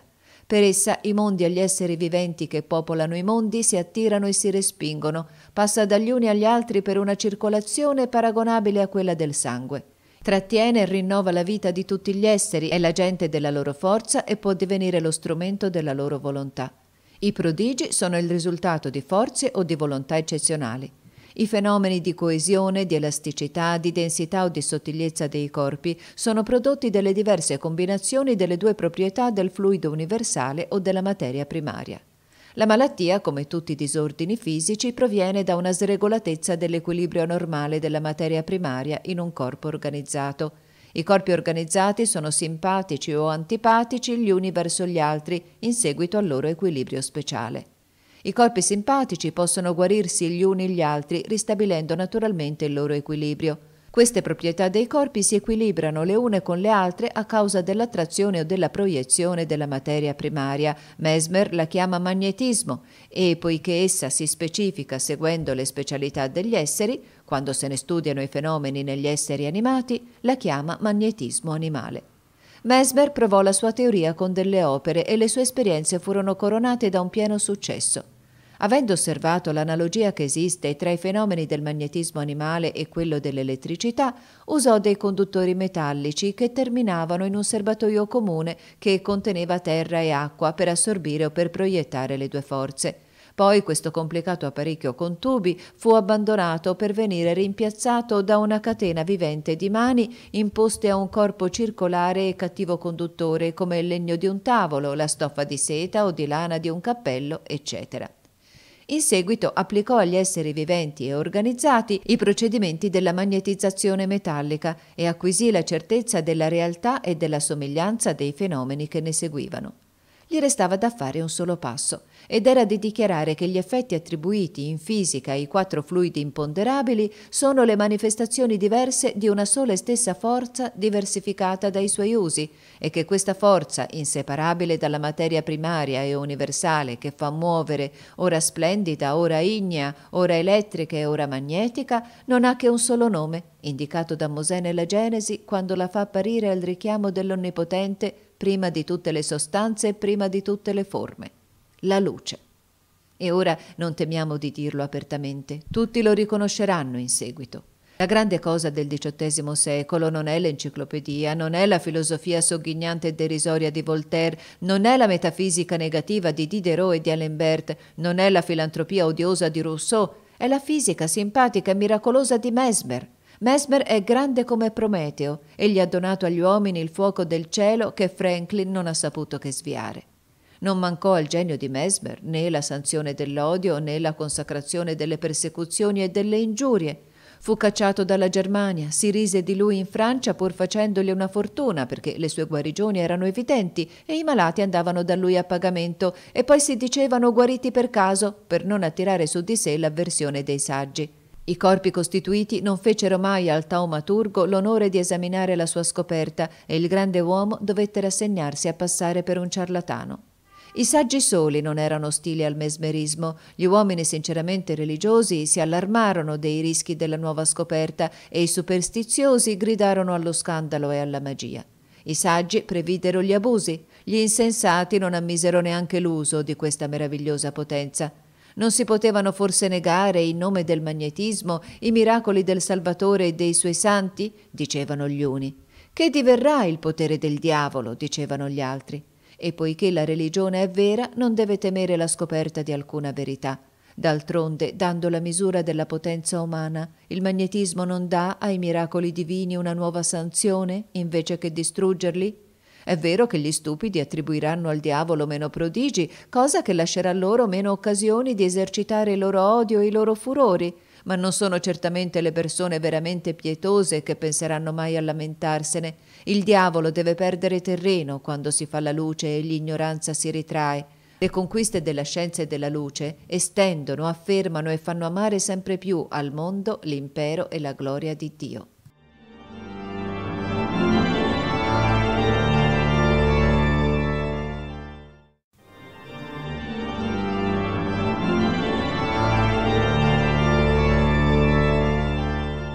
Capitolo secondo. Personaggi meravigliosi del XVIII secolo. Il XVIII secolo non ha avuto credulità per la magia perché le credenze vaghe sono la religione delle anime senza fede. Si negavano i miracoli di Gesù Cristo e si attribuivano resurrezioni al conte di Saint-Germain. Questo singolare personaggio era un teosofo misterioso di cui si diceva avesse i segreti della grande opera per fabbricare diamanti e pietre preziose era d'altronde un uomo di mondo con una conversazione gradevole e con modi molto distinti. Madame de Genlis lo vedeva quasi tutti i giorni. Assicura che sapeva dare alle gemme che dipingeva tutto il loro splendore naturale e un fuoco di cui nessun chimico né nessun pittore poté indovinare il segreto. Aveva trovato il modo di fissare la luce sulla tela o impiegava qualche preparazione di madreperla o qualche incrostazione metallica. Questo ci è impossibile saperlo perché non c'è rimasta nessuna di queste pitture meravigliose. Il conte di Saint-Germain faceva professione di religione cattolica e nell'osservare la pratica aveva una grande fedeltà. Si parlava però di evocazioni sospette e di apparizioni strane. Lui stesso si vantava di possedere il segreto dell'eterna giovinezza. Era misticismo? Era follia? Nessuno conosceva la sua famiglia e a sentirlo parlare di cose del tempo passato sembrava che avesse vissuto molti secoli. Parlava poco di tutto quello che si riferiva alle scienze occulte e quando gli si chiedeva sull'iniziazione pretendeva di non sapere niente. Sceglieva lui stesso i suoi discepoli e domandava loro subito un'obbedienza passiva. Poi parlava loro di una regalità alla quale erano chiamati, quella di Melchisedec e di Salomone, la regalità degli iniziati, che è anche un sacerdozio. Siate le fiaccole del mondo, diceva, se la vostra luce non è che quella di un pianeta non sarete niente davanti a Dio. Io vi riservo uno splendore di cui quello del sole non è che l'ombra. Allora dirigerete il cammino delle stelle e governerete coloro che regnano sugli imperi. Queste promesse, il cui significato ben compreso non ha niente che possa stupire i veri adepti, sono riportate, se non testualmente, almeno quanto al senso delle parole, dall'autore anonimo di una storia delle società segrete in Germania e sufficienti a far comprendere a quale iniziazione apparteneva il conte di Saint-Germain.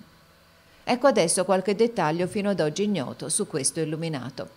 Era nato a Lendmeretz, in Boemia, alla fine del XVII secolo. Era figlio naturale o adottivo di un rosacroce che si faceva chiamare Comes Cabalicus, il compagno cabalista, e che fu messo in ridicolo col nome di Conte di Gabalis dall'infelice abate di Villars. Mai Saint-Germain parlava di suo padre. All'età di sette anni, diceva, ero proscritto e erravo con mia madre nelle foreste. Questa madre di cui voleva parlare era la scienza degli adepti. La sua età di sette anni è quella degli iniziati promossi al grado di maestro. Le foreste sono gli imperi mondani, spogli, secondo gli adepti, della vera civiltà e della vera luce. I principi di Saint-Germain erano quelli dei Rosacroce e aveva fondato in patria una società da cui si separò in seguito quando le dottrine anarchiche prevalsero nelle associazioni dei nuovi settari dell'agnosi. Così fu sconfessato dai suoi fratelli, accusato addirittura di tradimento e qualche autore di memorie sull'illuminismo sembra insinuare che fu precipitato nelle prigioni del castello di Ruel.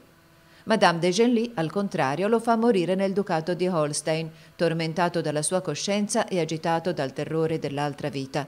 Ciò che è certo è che scomparve all'improvviso da Parigi senza che si potesse sapere con certezza dove si fosse ritirato e che gli illuminati lasciarono cadere, fin tanto che fu loro possibile, sulla sua memoria, il velo del silenzio e dell'oblio. La società che aveva fondato con il titolo di Saint Jachin, di cui si fece San Gioacchino, durò fino alla rivoluzione e scomparve allora o si trasformò come tante altre. Ecco sul tema di questa società un aneddoto che si trova nei libelli ostili all'illuminismo. È estratto da una corrispondenza da Vienna. Tutto questo, come si vede, non è certamente autentico né certo. Ecco comunque l'aneddoto. Sono stato ricevuto molto bene dietro vostra raccomandazione da MNZ. Sapeva già del mio arrivo. L'armonica ebbe tutta la sua approvazione. Mi parlò subito di certi temi particolari di cui non compresi assolutamente niente, capii solo quel poco che la mia intelligenza mi permetteva. Ieri verso sera mi condusse in campagna, in cui i giardini sono bellissimi, dei templi, delle grotte, delle cascate, dei labirinti, dei sotterranei procurano agli occhi una lunga serie di incantamenti, ma un muro altissimo che circonda queste bellezze mi dispiacque moltissimo, levando all'occhio un sito incantevole. Avevo portato l'armonica su invito di MNZ per suonarla solo per qualche minuto in un luogo designato e a un segno convenuto. Egli mi condusse, dopo la nostra visita nel giardino, in una sala sul davanti della casa e mi lasciò presto con qualche pretesto. Era molto tardi, non lo vedevo tornare. La noia e il sonno cominciavano a prendermi quando fu interrotto dall'arrivo di molte carrozze. Aprì la finestra. Era notte e non riuscivo a veder niente, compresi ancora meno il parlottare basso e misterioso di quelli che sembravano entrare nella casa. Presto il sonno si impadronì di me e, dopo aver dormito circa un'ora, fui risvegliato di soprassalto da un domestico inviato per guidarmi e per portare lo strumento. Camminava molto veloce e parecchio avanti a me.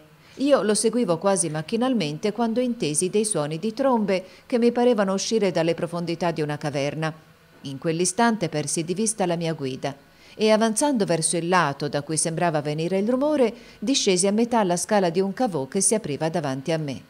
Pensate alla mia sorpresa, vi si salmodiava un canto funebre. Vidi distintamente un cadavere in una bara aperta. Accanto un uomo vestito di bianco pareva pieno di sangue. Mi parve che avesse aperta una vena al braccio destro. Ad eccezione di quelli che gli prestavano il loro ministero, gli altri erano avvolti nei lunghi mantelli neri con la spada nuda in mano.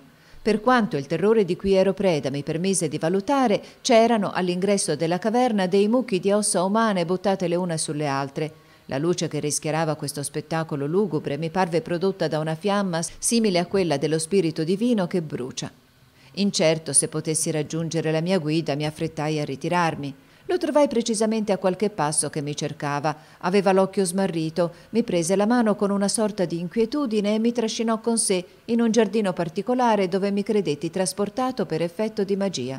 La luce diffusa da un numero prodigioso di lampioni, il mormorio delle cascate, il canto degli usignoli artificiali, il profumo che si respirava esaltarono subito la mia immaginazione fui posto dentro un capanno di fronde di cui l'interno era riccamente decorato e nel quale venne immediatamente trasportata una persona svenuta, verosimilmente quella che avevo visto nella bara aperta, e anche mi si fece segno di suonare il mio strumento. Molto turbato da questa scena, molte cose mi sono probabilmente sfuggite. Ho osservato comunque che l'individuo svenuto rinvenne appena suonai lo strumento, domandando sorpreso Dove sono? Di chi è questa voce? Grida di gioia accompagnate da trombe e da cimbali furono la sola risposta. Si corse alle armi e tutti si dileguarono all'interno del giardino dove non vidi più nessuno. Nota.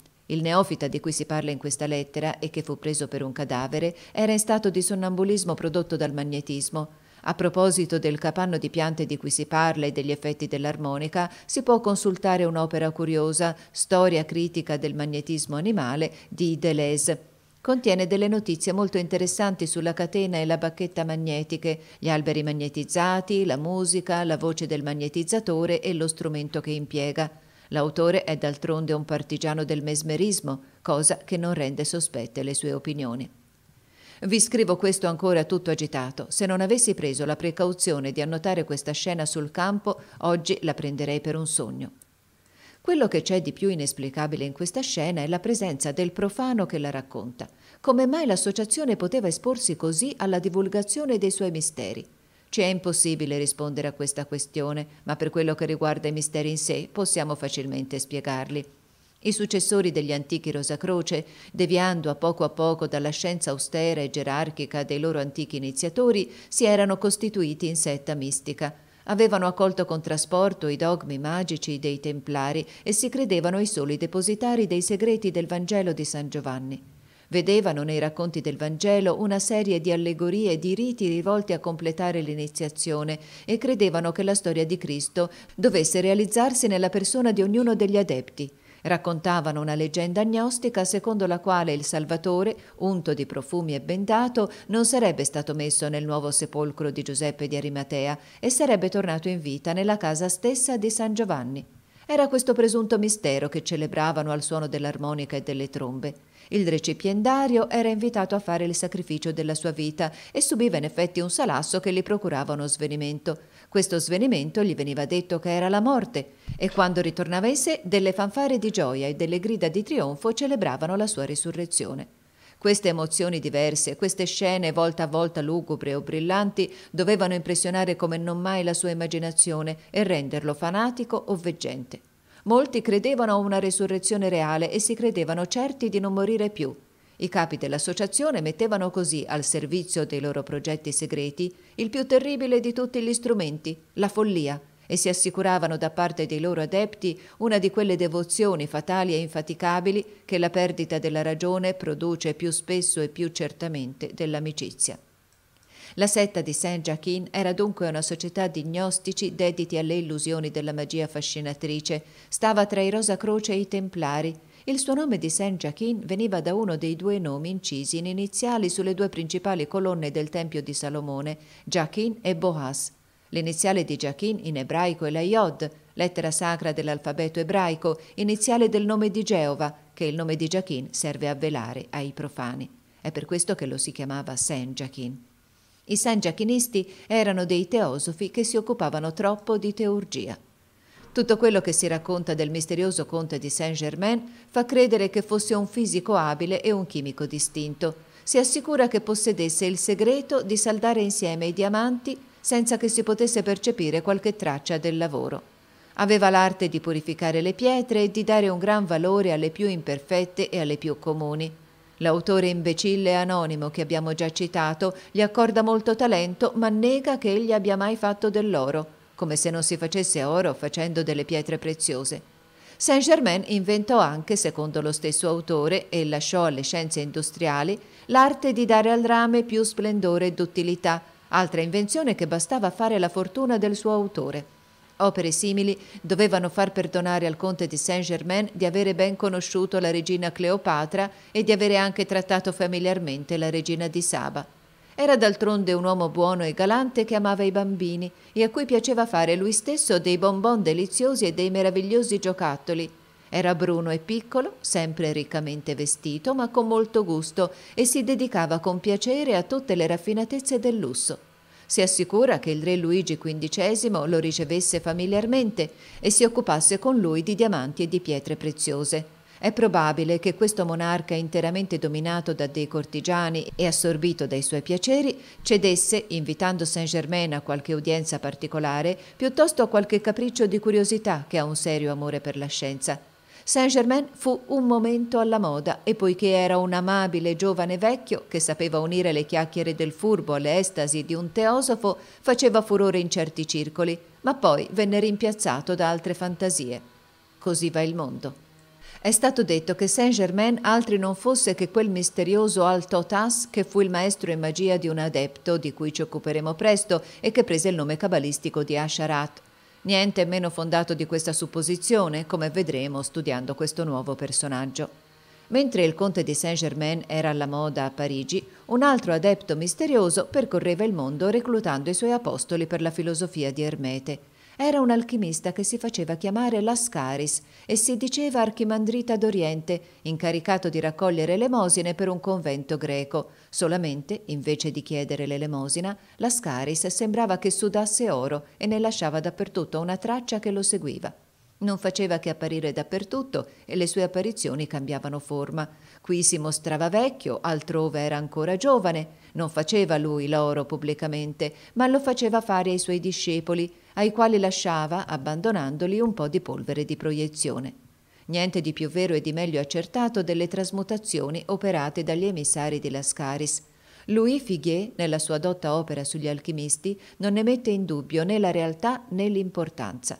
Ora, poiché non c'è niente, soprattutto in fisica, di più inesorabile dei fatti, occorrerebbe dunque concludere da questo che la pietra filosofale non è una fantasia, se l'immensa tradizione dell'occultismo, se le mitologie antiche, se i lavori seri dei più grandi uomini di tutte le epoche non ne dimostrassero sufficientemente l'esistenza e la realtà.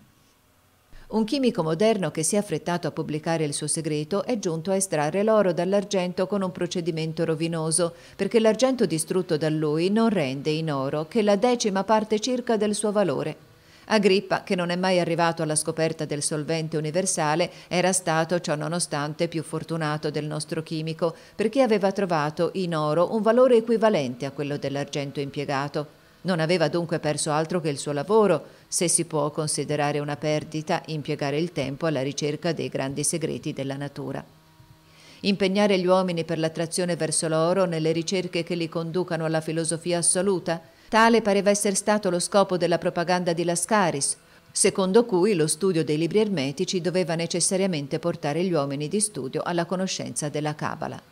Gli iniziati in effetti pensavano nel XVIII secolo che il loro tempo fosse giunto, gli uni per fondare una gerarchia nuova, gli altri per rovesciare ogni autorità e far passare su tutte le sommità dell'ordine sociale il livello egualitario. Le società segrete inviarono i loro agenti in tutto il mondo per sondare e risvegliare l'opinione al bisogno. Dopo Saint-Germain e Lascaris, Mesmer, dopo Mesmer, Cagliostro. Ma non tutti erano della stessa scuola. Saint-Germain era l'uomo degli illuminati teosofi, Lascaris rappresentava i naturalisti attaccati alla tradizione di Ermete. Cagliostro era l'agente dei Templari e dunque scriveva in una circolare indirizzata a tutti i franchi massoni o frammassoni di Londra che era giunto il tempo di mettere mano all'opera per ricostruire il Tempio dell'Eterno. Come i Templari, Cagliostro si dedicava alle pratiche della magia nera e praticava la scienza funesta delle evocazioni, divinava il passato e il presente, prediceva l'avvenire, faceva delle cure meravigliose e pretendeva anche di fare l'oro aveva introdotto nella massoneria un nuovo rito che chiamava rito egiziano e provava a resuscitare il culto misterioso di Iside. Lui stesso, la testa fasciata da bende e acconciato come una sfinge di Tebe, presiedeva delle solennità notturne in appartamenti pieni di geroglifici e di fiaccole. Aveva come sacerdotesse delle fanciulle che chiamava colombe e che esaltava fino all'estasi per far sì che dicessero oracoli per mezzo dell'idromanzia, essendo l'acqua un eccellente conduttore, un potente riflettore e un mezzo molto rifrangente alla luce astrale, come dimostrano i miraggi del mare e delle nuvole. Cagliostro, come si vede, continuava Mesmer e aveva ritrovato la chiave dei fenomeni di mediomania. Lui stesso era un medium, vale a dire un uomo di un'organizzazione nervosa eccezionalmente impressionabile. Aggiungeva ciò molto fascino e acume. L'esagerazione pubblica e l'immaginazione delle donne facevano il resto. Cagliostro ebbe un successo folle, se lo disputavano, il suo busto era dappertutto con questa iscrizione, il divino Cagliostro. Si poteva prevedere da quel momento una reazione uguale e contraria. Dopo essere stato un dio, Cagliostro divenne un intrigante, un ciarlatano, un mantenuto di sua moglie, uno scellerato, infine a cui l'Inquisizione di Roma credette far grazia, condannandolo solamente a una prigione perpetua. Fece credere di tradire la moglie, ma era sua moglie a tradirlo. Fu imprigionato e processato e del processo fu pubblicato solo quello che si volle. Nel frattempo arrivò la rivoluzione e tutti dimenticarono Cagliostro. Questo adepto non è però senza importanza nella storia della magia. Il suo sigillo è altrettanto importante di quello di Salomone e attesta la sua iniziazione ai segreti più alti della scienza. Questo sigillo, spiegato dalle lettere cabalistiche dei nomi di Asharat e di Alto Tas, esprime i principali caratteri del grande arcano e della grande opera. È un serpente trapassato da una freccia raffigurante la lettera Aleph, immagine dell'unione dell'attivo e del passivo, dello spirito e della vita, della volontà e della luce. La freccia è quella dell'Apollo antico, il serpente è il pitone del mito, il drago verde dei filosofi ermetici. La lettera Aleph rappresenta l'unità equilibrata. Questo pentacolo si riproduce sotto diverse forme nei talismani dell'antica magia, ma a volte il serpente viene rimpiazzato dal pavone di Giunone. Il pavone dalla testa reale, dalla coda multicolore, il simbolo della luce analizzata, l'uccello della grande opera di cui il piumaggio è tutto scintillante d'oro.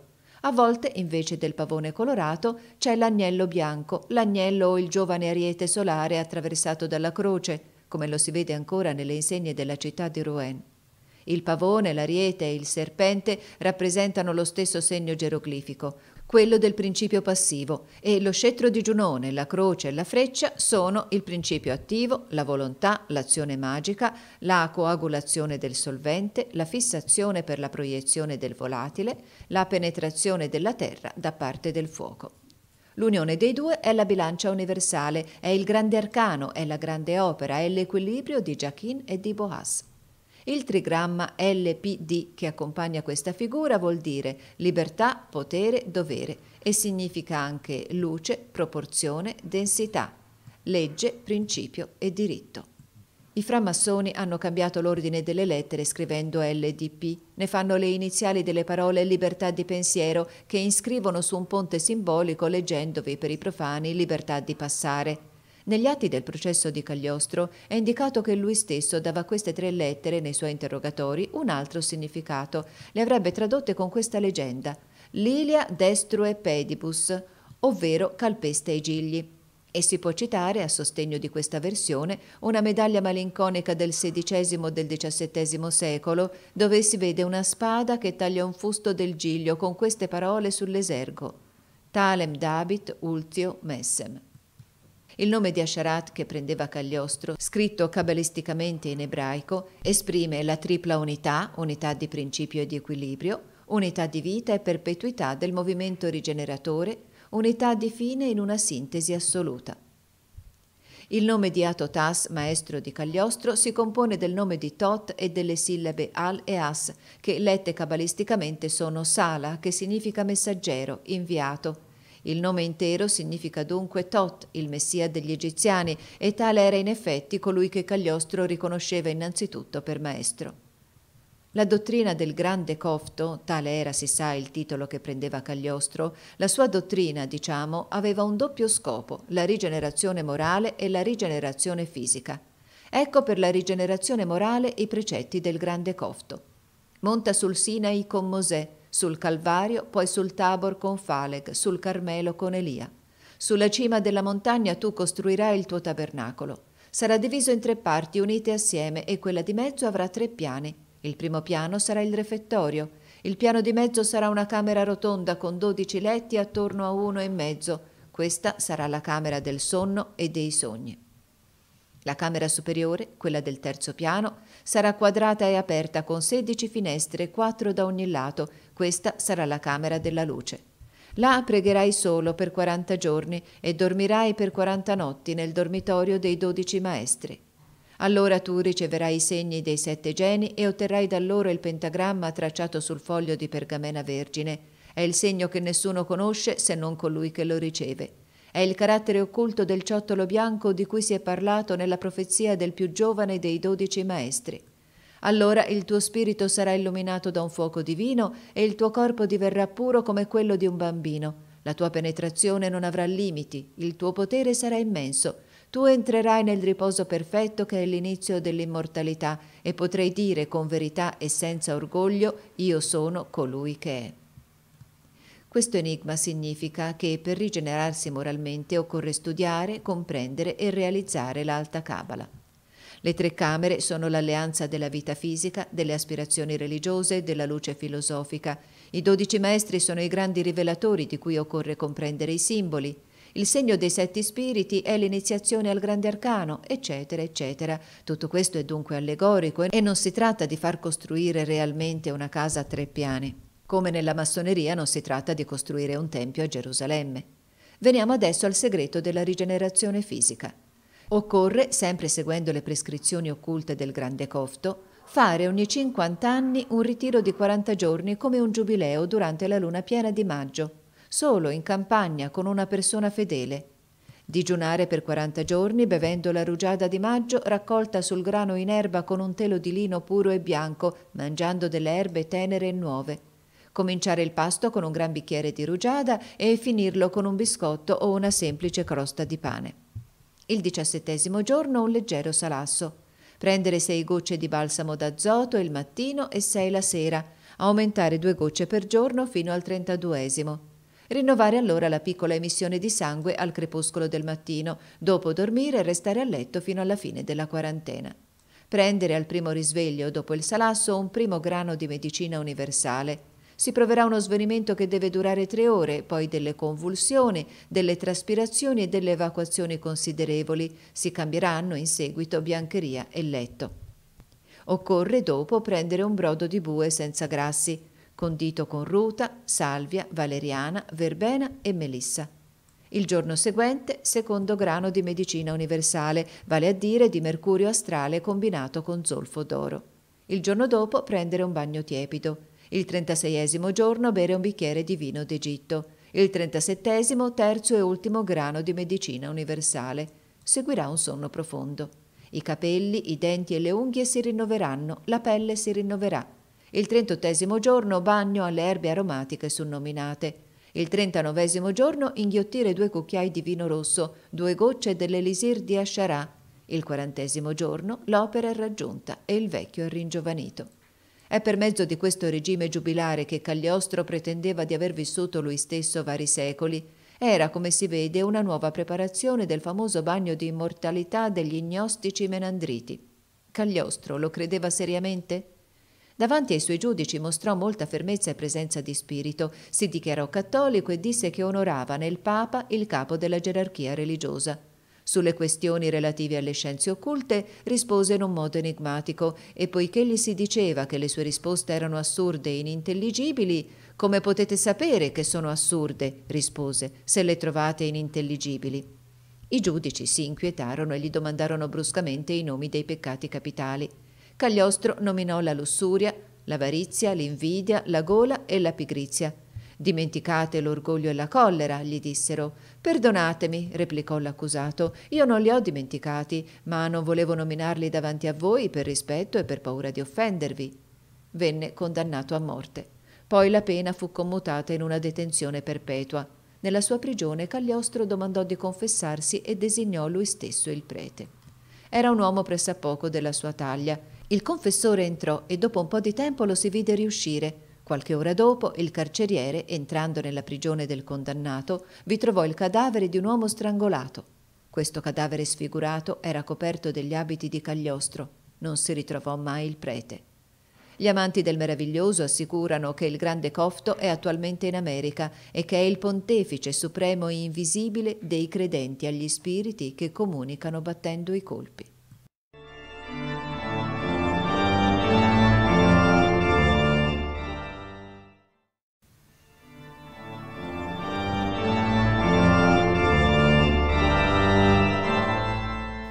Capitolo terzo. Profezie di Casot. La scuola dei filosofi sconosciuti, fondata da Pasqualis Martinez e continuata da Saint Martin, sembra aver raccolto gli ultimi adepti della vera iniziazione. Saint Martin conosceva la chiave antica dei tarocchi, vale a dire il mistero degli alfabeti sacri e dei geroglifici ieratici. Ha lasciato vari pentacoli curiosissimi che non sono mai stati stampati e di cui possediamo delle copie. Uno di questi pentacoli è la chiave tradizionale della grande opera e Saint-Martin la chiama chiave dell'inferno perché la chiave delle ricchezze. I martinisti, fra gli illuminati, furono gli ultimi cristiani e furono gli iniziatori del famoso Casot. Abbiamo detto che nel XVIII secolo si era creata una scissione nell'illuminismo. Gli uni, conservatori della tradizione della natura e della scienza, volevano restaurare la gerarchia. Gli altri, al contrario, volevano livellare tutto, rivelando il grande arcano che avrebbe reso impossibile nel mondo la regalità e il sacerdozio. Tra questi ultimi c'erano ambiziosi e scellerati che speravano di dominare sulle macerie del mondo, altri erano semplicemente crudeli e sciocchi. I veri iniziati vedevano con spavento la società lanciata così verso il precipizio e prevedevano tutti gli orrori dell'anarchia. Questa rivoluzione che in seguito doveva apparire al genio morente di Vergniaud sotto la cupa figura di Saturno che divora i suoi figli si drizzava già tutta armata nei sogni profetici di Casot. Una sera che si trovava in mezzo a degli strumenti ciechi del giacobinismo futuro, predisse a tutti il loro destino, ai più forti e ai più deboli il patibolo, ai più entusiasti il suicidio. E la sua profezia, che parve allora solo una lugubre facezia, si realizzò completamente. Questa profezia non era in effetti che un calcolo di probabilità e il calcolo si dimostrò rigoroso perché le probabilità si erano già mutate in conseguenze necessarie. La Harp, che in seguito fu molto stupito da questa predizione, vi aggiunse qualche dettaglio per renderla più meravigliosa, come il numero esatto di colpi di rasoio che doveva darsi uno dei convitati, eccetera. Bisogna perdonare un po' di licenza poetica a tutti i narratori di cose straordinarie. Simili abbellimenti non sono propriamente delle menzogne, sono semplicemente poesia e stile. Dare agli uomini disuguali per natura una libertà assoluta è organizzare la guerra sociale, e quando coloro che devono contenere gli istinti feroci delle folle hanno la follia di scatenarli, non occorre essere un gran mago per vedere che i primi saranno divorati, poiché le cupidigie animali si divoreranno tra loro fino alla venuta di un cacciatore audace e abile che li finirà a colpi di fucile o con un solo lancio di rete. Casot aveva previsto Marat, Marat prevedeva una reazione e un dittatore. Casot aveva debuttato nel mondo con qualche opuscolo di letteratura frivola e si racconta che dovette la sua iniziazione alla pubblicazione di uno dei suoi romanzi intitolato Il diavolo innamorato. Questo romanzo in effetti è pieno di intuizioni magiche e la più grande delle prove nella vita, quella dell'amore, vi viene mostrata sotto la vera luce della dottrina degli adepti. L'amore fisico, in effetti, questa passione delirante, questa follia invincibile per coloro che sono balocchi dell'immaginazione, non è che una seduzione della morte che vuole rinnovare la sua messe con la nascita. La Venere fisica è la morte incipriata e vestita da cortigiana, L'amore è distruttore come sua madre e recluta delle vittime per lei. Quando la cortigiana è sazia, la morte si smaschera e chiede la sua preda a sua volta. Ecco perché la Chiesa, che salva la nascita con la santità del matrimonio, svela e previene le debolezze della morte, condannando senza pietà le deviazioni dell'amore. Se la donna amata non è un angelo che si immortala per i sacrifici del dovere nelle braccia di colui che l'ama, è una strega che lo snerva, lo spossa e lo fa morire, mostrandosi infine a lui in tutto l'orrore del suo egoismo brutale. Disgrazia per le vittime del diavolo innamorato, disgrazia a coloro che si lasciano prendere dalle lusinghe lascive di biondetta. Presto il viso grazioso della ragazza si trasformerà per loro in quella spaventosa testa di cammello che appare così tragicamente in fondo al romanzo di Casot. Vi sono negli inferni, dicono i cabalisti, due regine delle streghe, una è Lilith, la madre degli aborti, e l'altra è Naema, la fatale bellezza assassina. Quando un uomo è infedele alla sposa che gli ha destinato il cielo, quando si vota alle sregolatezze di una passione sterile, Dio gli riprende la sua sposa legittima e santa per abbandonarlo nelle braccia di Naema. Questa regina delle streghe sa mostrarsi con tutti i suoi fascini della verginità e dell'amore. Ella distoglie il cuore dai padri e lo impegna ad abbandonare il proprio dovere e i propri figli, Essa spinge gli uomini maritati alla vedovanza e costringe ad un matrimonio sacrilego gli uomini consacrati a Dio. Quando usurpa il titolo di sposa è facile riconoscerla. Il giorno del suo matrimonio è calva, perché i capelli della donna, che sono il velo del pudore, le sono interdetti in quel giorno. Poi, dopo il matrimonio, affetta la disperazione e il disgusto dell'esistenza, predica il suicidio e lascia infine con violenza colui che le resiste, lasciandolo marchiato con una stella infernale fra i due occhi. Naema può divenire madre, dicono ancora, ma non alleva mai i suoi figli, li dà da divorare a Lilith, la sua funesta sorella. Queste allegorie cabalistiche che si possono leggere nel libro ebraico della Rivoluzione delle Anime, nel dizionario cabalistico del Soar e nei commentari dei talmudisti del Sota, sembrano essere stati conosciuti o divinati dall'autore del Diavolo innamorato. Così si dice che dopo la pubblicazione di quest'opera ricevette la visita di un personaggio sconosciuto avvolto in un mantello al modo dei franchi giudici. Questo personaggio gli fece dei segni che Casotto non comprese, poi infine gli chiese se realmente non fosse iniziato. Alla risposta negativa di Casotto, lo sconosciuto assunse una fisionomia meno cupa e gli disse Voglio che non siate un depositario infedele dei nostri segreti, ma un vaso di elezione per la scienza. Volete realmente dominare le passioni umane e gli spiriti impuri? Casotta era curioso, per cui ne seguì una lunga conversazione che fu preliminare di molte altre, e l'autore del diavolo innamorato fu realmente iniziato.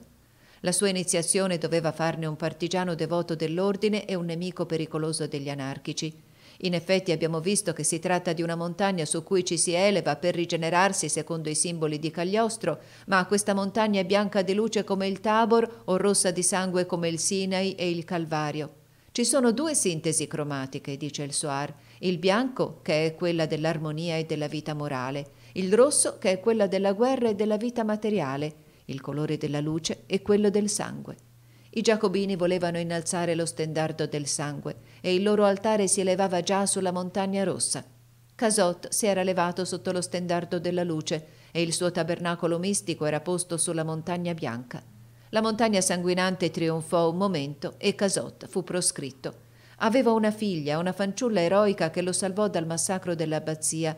Mademoiselle Casot non aveva davanti al nome delle particelle nobiliari e fu questo che la salvò in quel brindisi di una orribile fraternità per il quale viene immortalata la pietà filiale di Mademoiselle de Sombreuil questa nobile figlia, che per discolparsi di essere una ragazza nobile dovette bere la grazia del padre nel bicchiere sanguinante degli sgozzatori.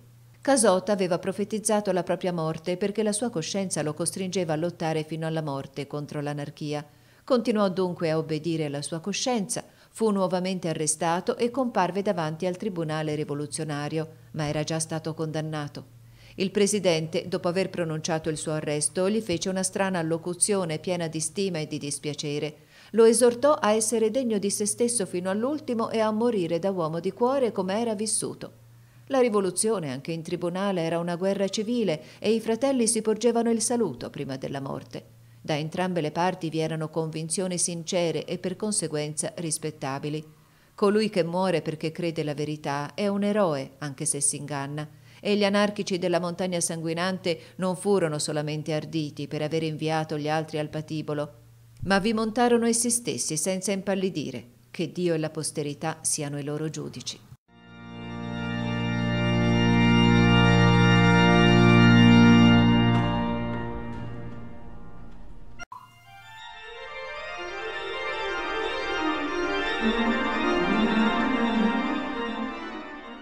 Capitolo IV. La rivoluzione francese.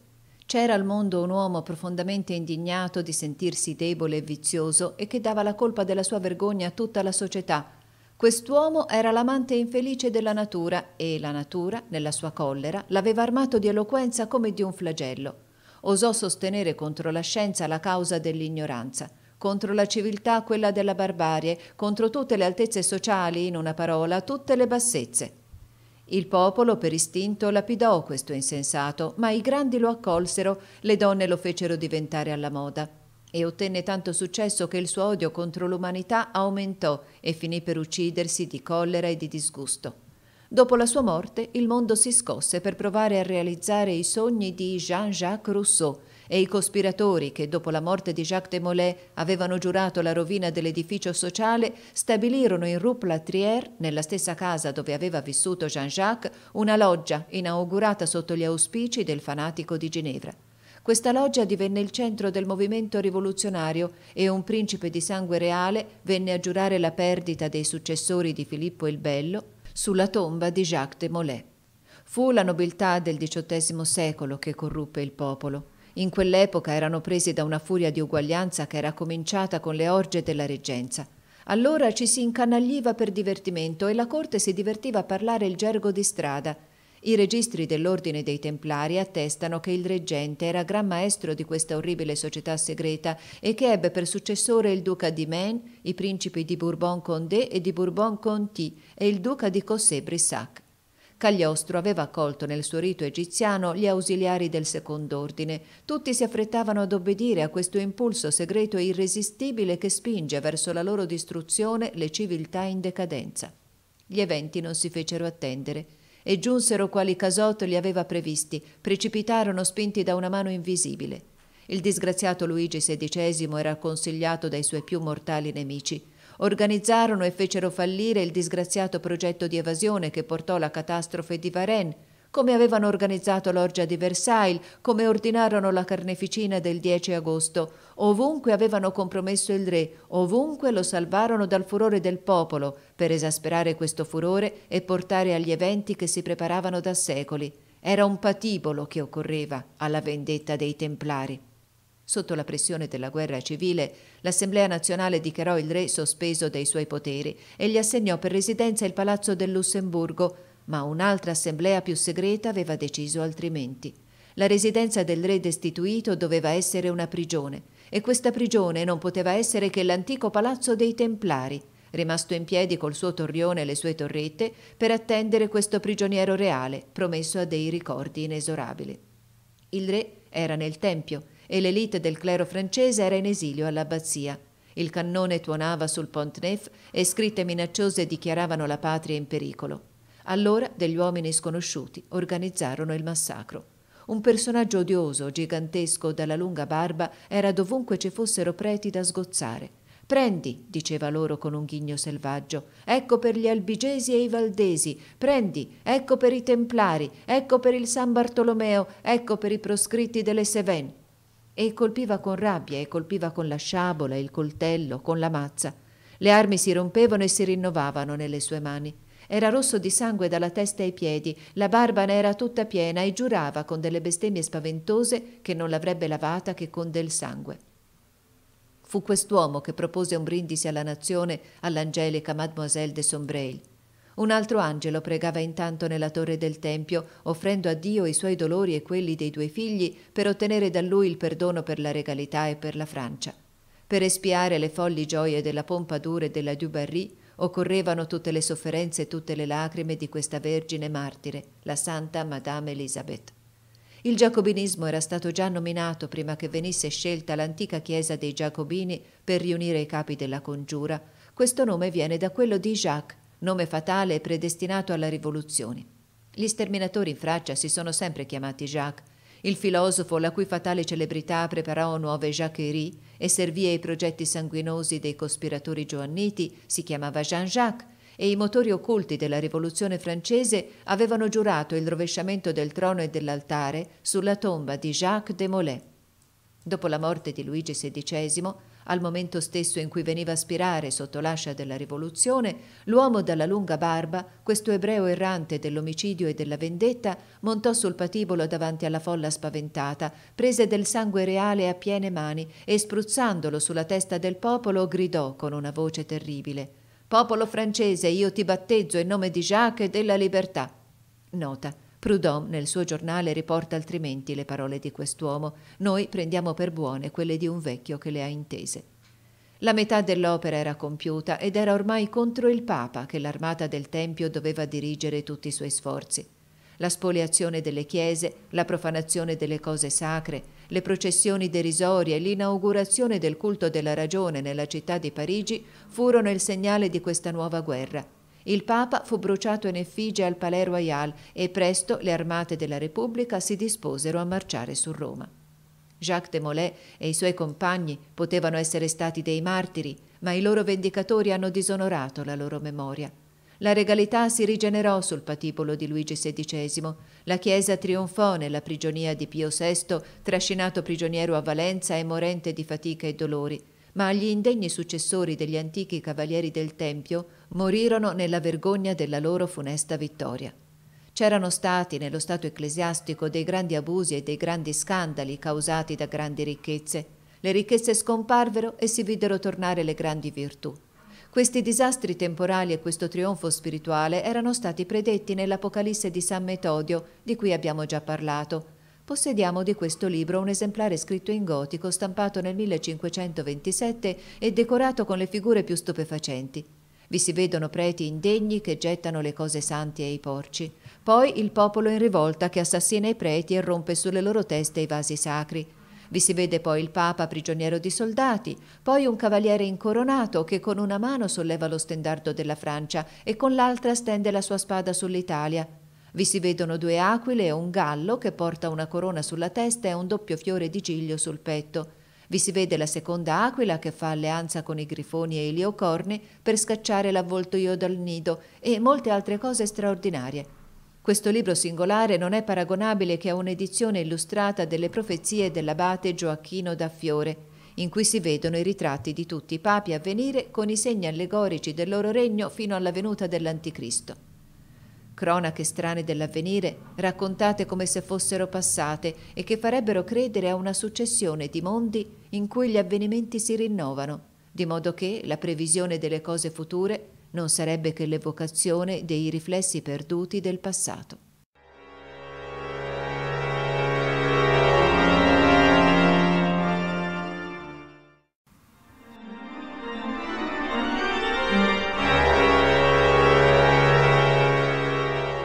Capitolo V. Fenomeni di mediomania. Nel 1772 un abitante di Saint-Mandé di nome Loiseau, in chiesa, credette di vedere in ginocchio accanto a sé un personaggio molto singolare. Era un uomo tutto di colore scuro e che aveva come solo abito dei calzoni di lana grossolana. Quest'uomo aveva la barba lunga, i capelli crespi e attorno al collo una cicatrice vermiglia e circolare. Portava un libro sul quale era tracciata in lettere d'oro questa iscrizione Ecce Agnus Dei.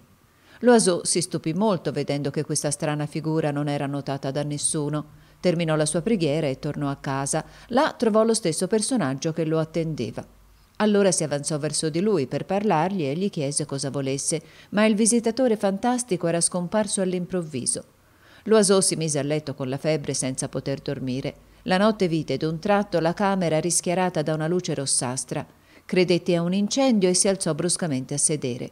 In mezzo alla stanza, sul suo tavolo, vide un piatto dorato e su questo piatto, tutto bagnato di sangue, la testa del suo visitatore del giorno. Questa testa era attorniata da un'aureola rossa e roteava gli occhi in un modo terribile, aprendo la bocca come per gridare. Disse con voce strozzata e sibilante: Attendo le teste del re e quelle di cortigiani del re, attendo Erode ed Erodiade. Poi l'aureola si spense e il malato non vide altro. Qualche giorno dopo guarì e poté ritornare ai suoi affari. Mentre attraversava la piazza Luigi XV, fu avvicinato da un povero che gli chiese l'elemosina. Lo asò senza guardarlo, estrasse una moneta e la gettò nel cappello dello sconosciuto.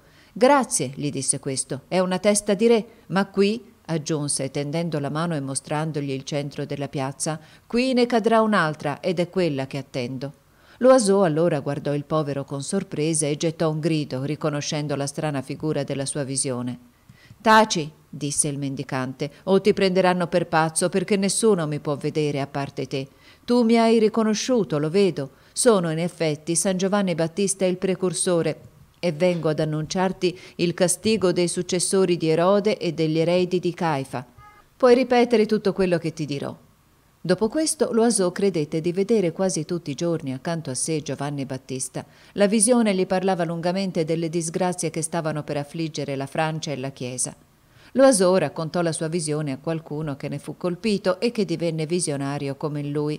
Formarono insieme una società mistica che si riuniva in gran segreto. I membri di questa associazione si ponevano in cerchio e si tenevano la mano attendendo in silenzio le comunicazioni. Attendevano spesso varie ore, poi la figura di San Giovanni appariva in mezzo a loro.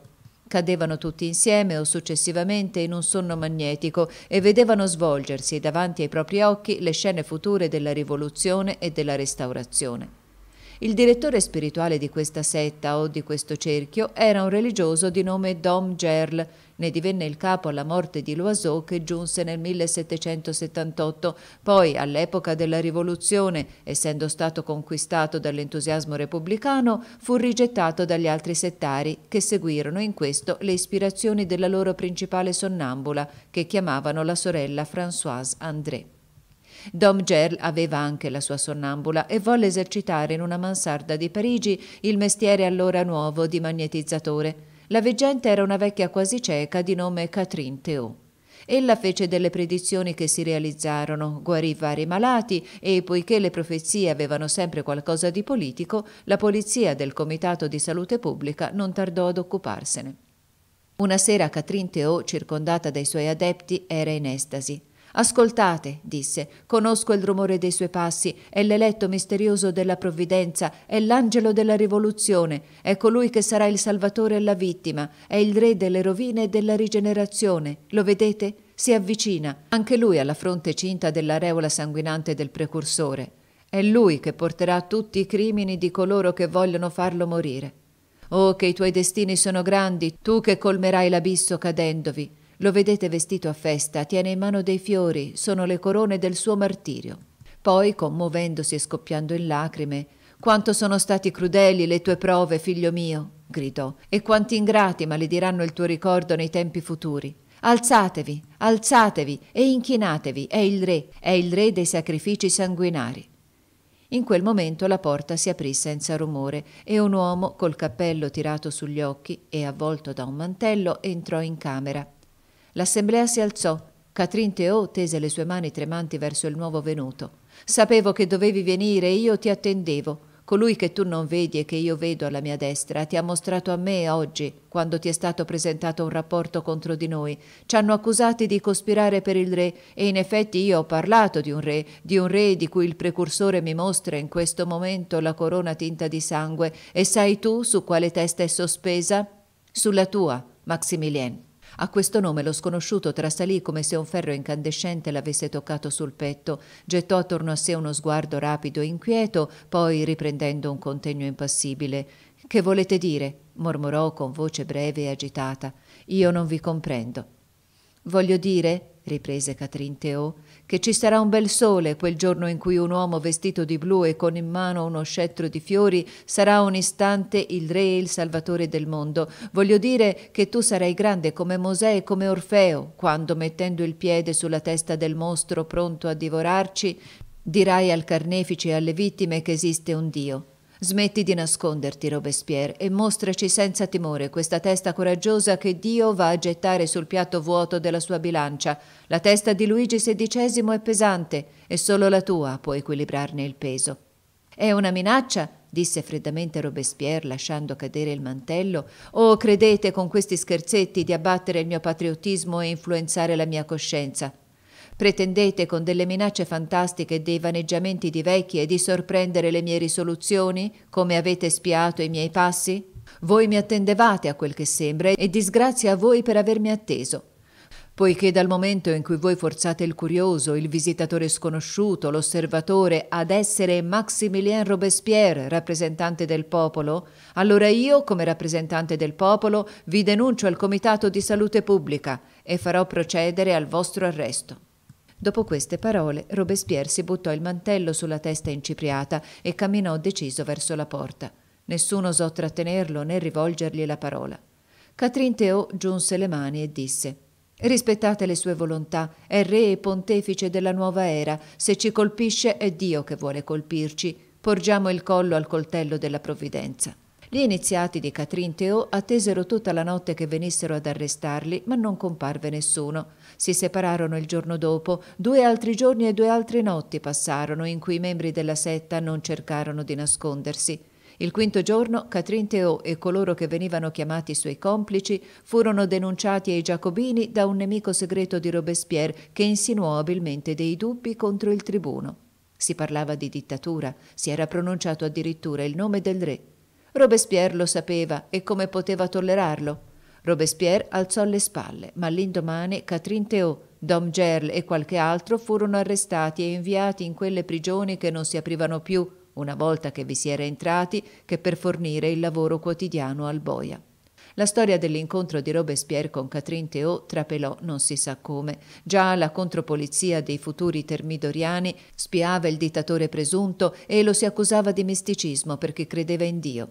Robespierre non era né l'amico né il nemico della setta dei nuovi Giovanniti, era venuto da Catherine per osservare dei fenomeni. Seccato di essere stato riconosciuto, se ne uscì a proferire delle minacce che non realizzò e coloro che trasformarono in cospirazione le conventicole del vecchio monaco e della vecchia beghina avevano sperato di far uscire da questo processo un dubbio o almeno un po' di ridicolo che si sarebbero attaccati alla reputazione dell'incorruttibile. La profezia di Catherine Théot ebbe la sua realizzazione con l'inaugurazione del culto dell'essere supremo e la reazione rapida del Termidoro. Nel frattempo, la setta che si era raccolta attorno alla sorella André, di cui un signor Dussy scriveva le rivelazioni, continuava le sue visioni e i suoi miracoli. La loro idea fissa era la conservazione della legittimità per il regno futuro di Luigi XVII. Molte volte salvarono in sogno il piccolo orfanello del Tempio e credettero di averlo realmente salvato, delle antiche profezie promettevano il trono del Giglio a un giovane che era stato in passato prigioniero. Santa Brigitta, Santa Ildegarda, Bernard Toyard, Lichtenberg annunciavano tutti una restaurazione miracolosa dopo dei grandi disastri. I neogiovanniti furono gli interpreti e continuatori di queste predizioni, ma mancarono loro i Luigi XVII. Ne ebbero anzi in successione sette o otto, tutti perfettamente autentici e non meno perfettamente conservati. È alle influenze di questa setta che dobbiamo attribuire le rivelazioni del contadino Martin de Gaillardon e i prodigi di Vintras. In questo circolo magnetico, come nelle assemblee dei quaccheri o dei tremanti della Gran Bretagna, l'entusiasmo era contagioso e si trasmetteva di fratello in fratello. Dopo la morte di sorella André, la seconda vista e la facoltà di profetizzare furono appannaggio di uno, chiamato Le Gros, che era a Charenton quando Martin vi fu messo provvisoriamente riconobbe un fratello nel contadino che non aveva mai visto prima. Tutti questi settari, a forza di volere un Luigi XVII, lo crearono in qualche modo, vale a dire che evocavano tali allucinazioni che dei medium prendevano l'aspetto del tipo magnetico e si credevano realmente l'infante regale sfuggito al tempio, attirando su di sé tutti i riflessi astrali della dolce e fragile vittima, e si sovvenivano di circostanze conosciute soltanto dalla famiglia di Luigi XVI. Questo fenomeno, per quanto paia incredibile, non è impossibile né ignoto. Paracelso assicura che se per uno sforzo straordinario di volontà ci si può immaginare di essere una persona diversa da se stessi, per conseguenza sarà possibile conoscere i pensieri più segreti della persona con la quale ci si sta identificando. Spesso, dopo un incontro che ha creato un vincolo di immaginazione fra noi e il nostro interlocutore, sogniamo dormendo dei ricordi inediti della sua vita. Fra i falsi Luigi XVII occorre dunque riconoscere che alcuni di loro non erano impostori, ma degli allucinati, e fra questi ultimi occorre distinguere un genovese di nome Naundorf, visionario come Swedenborg, e di una convinzione così contagiosa che degli antichi servitori della famiglia reale lo riconobbero e si gettarono ai suoi piedi piangendo. Aveva su di sé i segni particolari e le cicatrici di Luigi XVII, raccontava la sua infanzia con una verità stupefacente, entrava in quei dettagli insignificanti che sono decisivi per i ricordi intimi. I suoi stessi tratti erano quelli che avrebbe avuto l'orfanello di Luigi XVI se fosse vissuto. Una sola cosa, infine, gli mancava per essere veramente Luigi XVII, era quella di non essere che un certo Naundorf. Il potere contagioso del magnetismo di questo allucinato era tale che la sua morte non disingannò alcuni dei suoi credenti al suo regno futuro. Noi abbiamo visto uno dei più convinti, al quale obiettammo timidamente quando parlava della prossima restaurazione da parte di colui che chiamava il vero erede legittimo, che il suo Luigi XVII era morto. È dunque più difficile a Dio risuscitarlo di quanto non sia stato ai nostri padri il salvarlo dal Tempio, ci rispose con un sorriso così trionfante che era quasi sdegnoso. A questo non avemmo niente da replicare e fummo perciò costretti a inchinarci davanti a una simile convinzione.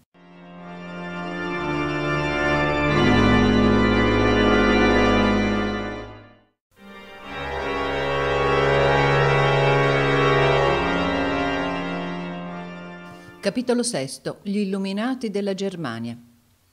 La Germania la terra natale del misticismo metafisico e dei fantasmi. Fantasma è la stessa dell'antico impero romano, sembra sempre evocare la grande ombra di Arminio, consacrandogli il simulacro delle aquile prigioniere di Varo.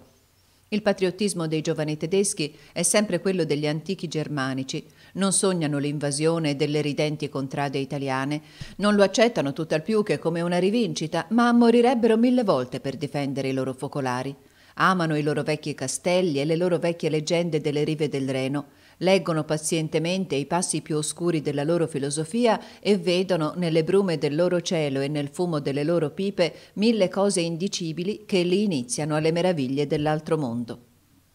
Molto prima che si parlasse in America e in Francia di medium e di evocazioni, c'erano in Prussia degli illuminati e dei veggenti che colloquiavano regolarmente con i morti. Un grande signore aveva fatto costruire a Berlino una casa destinata alle evocazioni. Il re Federico Guglielmo era molto curioso di tutti questi misteri e si fermava spesso in questa casa con un adepto di nome Steinert. Le impressioni che riceveva producevano in lui sensazioni così vive che sveniva e non riveriva che quando gli si dava qualche goccia di un elisir magico analogo a quello di Cagliostro si trova in una corrispondenza segreta sui primi tempi del regno di questo principe, citato dal marchese di Luket nella sua diatriba contro gli illuminati, una descrizione della camera oscura in cui si facevano le evocazioni. Era quadrata, separata in due da un velo trasparente davanti a cui era posto il fornello magico o l'altare dei profumi. Dietro il velo c'era un piedistallo sul quale si mostrava lo spirito. Ectarshausen, nel suo libro tedesco sulla magia, descrive tutta l'apparecchiatura di questa fantasmagoria. È un sistema di macchine e di procedimenti per aiutare l'immaginazione a crearsi fantasmi che desidera e per gettare i consultanti in una sorta di sonnambulismo vigile, molto simile alla sovrecitazione nervosa prodotta dall'oppio o dall'ashish. Quelli che si accontenteranno delle spiegazioni date dall'autore che ora citeremo non vedranno nelle apparizioni che degli effetti da lanterna magica, ma vi è certamente dell'altro e la lanterna magica in quest'affare è certamente uno strumento utile, ma non assolutamente necessario alla produzione del fenomeno. Non si fanno uscire dai riflessi di un vetro colorato dei visi conosciuti in passato e che si evocano col pensiero. Non si fanno parlare le immagini dipinte di una lanterna e non vengono a rispondere alle domande della coscienza. Il re di Prussia, a cui apparteneva la casa, sapeva meraviglia com'era congegnata e non era vittima di una ciarlataneria, come pretende l'autore della corrispondenza segreta. I mezzi naturali preparano ma non realizzano il prodigio. Accadevano realmente là delle cose che avrebbero stupito i più scettici e turbato i più arditi. Schrepfer, d'altronde, non impiegava né la lanterna magica né il velo, ma faceva bere ai suoi visitatori un punch preparato da lui – le figure che faceva apparire erano come quelle del medium americano Home, per metà corporee, e producevano una sensazione strana a colui che provava a toccarle. Era qualcosa di analogo a una commozione elettrica che faceva rabbrividire l'epidermide e non si provava niente se, prima di toccare la visione, ci si erano lavate le mani. Schrepfer era in buona fede, come anche l'americano Home, credeva alla realtà degli spiriti che evocava e si uccise quando arrivò a dubitarne. Lavalée, che morì anche lui di morte violenta, era interamente dedito all'evocazione degli spiriti. Ne aveva due ai suoi ordini, Faceva parte di un cerchio in cui si cadeva in estasi per mezzo dell'armonica. Allora si faceva la catena e una specie di idiota serviva da interprete allo spirito, scrivendo sotto il suo impulso. Questo spirito diceva di essere un cabalista ebreo morto prima della nascita di Gesù Cristo e fece scrivere al medium delle cose assolutamente degne dei sonnambuli di Cahagné come per esempio questa rivelazione sulle pene dell'altra vita, in cui lo spirito assicura che l'anima dell'imperatore Francesco fosse condannata nell'altro mondo a fare il conto e lo stato esatto di tutti i gusci di lumaca che possono esistere o essere esistiti in tutto l'universo. Rivelò anche che i veri nomi dei tre magi non erano affatto, come dice la tradizione delle leggende, Gaspare, Melchiorre e Baldassarre, ma bensì Vrasafarmion, Melchisedec e Baleatrasaron, Sembra di leggere dei nomi scritti dai nostri moderni tavolini rotanti. Lo spirito dichiarò inoltre che era lui stesso in penitenza per aver alzato la spada magica contro suo padre e che era disposto a donare ai suoi amici il suo ritratto. Su sua richiesta si posero dietro un paravento carta e colori tutti pronti con dei pennelli. Si vide allora disegnarsi sul paravento la silhouette di una piccola mano e si intese un lieve grattare sulla carta, quando cessò il rumore, tutti accorsero e si trovò un ritratto dipinto grossolanamente, rappresentante un vecchio rabbino vestito di nero con un collare bianco che ricadeva sulle spalle e una calotta nera sulla cima della testa, costume un po' eteroclito per un personaggio anteriore a Gesù Cristo. La pittura d'altronde era macchiata e non corretta e sembrava molto l'opera di qualche bambino che si fosse divertito a fare un disegno ad occhi chiusi. Le istruzioni scritte dalla mano del medium sotto l'impulso di Gablidone sono di una oscurità che supera quelle di tutti i metafisici tedeschi. Non bisogna dare, diceva, il nome di maestà alla leggera. Maestà deriva da mago perché i maghi, essendo pontefici e re, erano le maestà primarie. Peccare mortalmente e offendere Dio nella sua maestà vale a dire ferirlo come padre gettando la morte nella fonte della vita. La fonte del padre è luce e vita, la fonte del Figlio è sangue e acqua, la luce dello Spirito Santo è fuoco e oro. Si pecca contro il Padre con la menzogna, contro il Figlio con l'odio e contro lo Spirito Santo con la dissolutezza, che è opera di morte e distruzione. Il buon Lavaté riceveva queste comunicazioni come degli oracoli e quando domandava allo spirito qualche nuovo chiarimento, il grande iniziatore verrà, rispondeva Gablidone. Nascerà il prossimo secolo. Allora la religione dei patriarchi sarà conosciuta sul nostro globo. Spiegherà al mondo il trigramma di Agion, Elion, Tetragrammaton e il Signore, il cui corpo è cinto di un triangolo, apparirà sul quarto scalino dell'altare L'angolo supremo sarà rosso e la divisa misteriosa del triangolo sarà Venite ad Patres Osfal. Che vuol dire la parola Osfal? chiese uno degli assistenti allo spirito. Il medium scrisse queste tre parole. Alfos, M. Alfon, Elifismatis, senza dare altre spiegazioni. Qualche interprete ne concluse che il mago promesso al XX secolo si sarebbe chiamato Mafon, figlio di Elifisma. Era una spiegazione forse un po' arrischiata. Niente è più pericoloso del misticismo, perché produce la follia che distrugge tutte le combinazioni della saggezza umana. Sono sempre dei folli a sconvolgere il mondo e quello che i grandi politici non prevedono mai sono i colpi di testa e i colpi di mano degli insensati. L'architetto del tempio di Diana a Efeso, ripromettendosi una gloria eterna, aveva fatto i conti senza Erostrato. I girondini non avevano previsto Marà.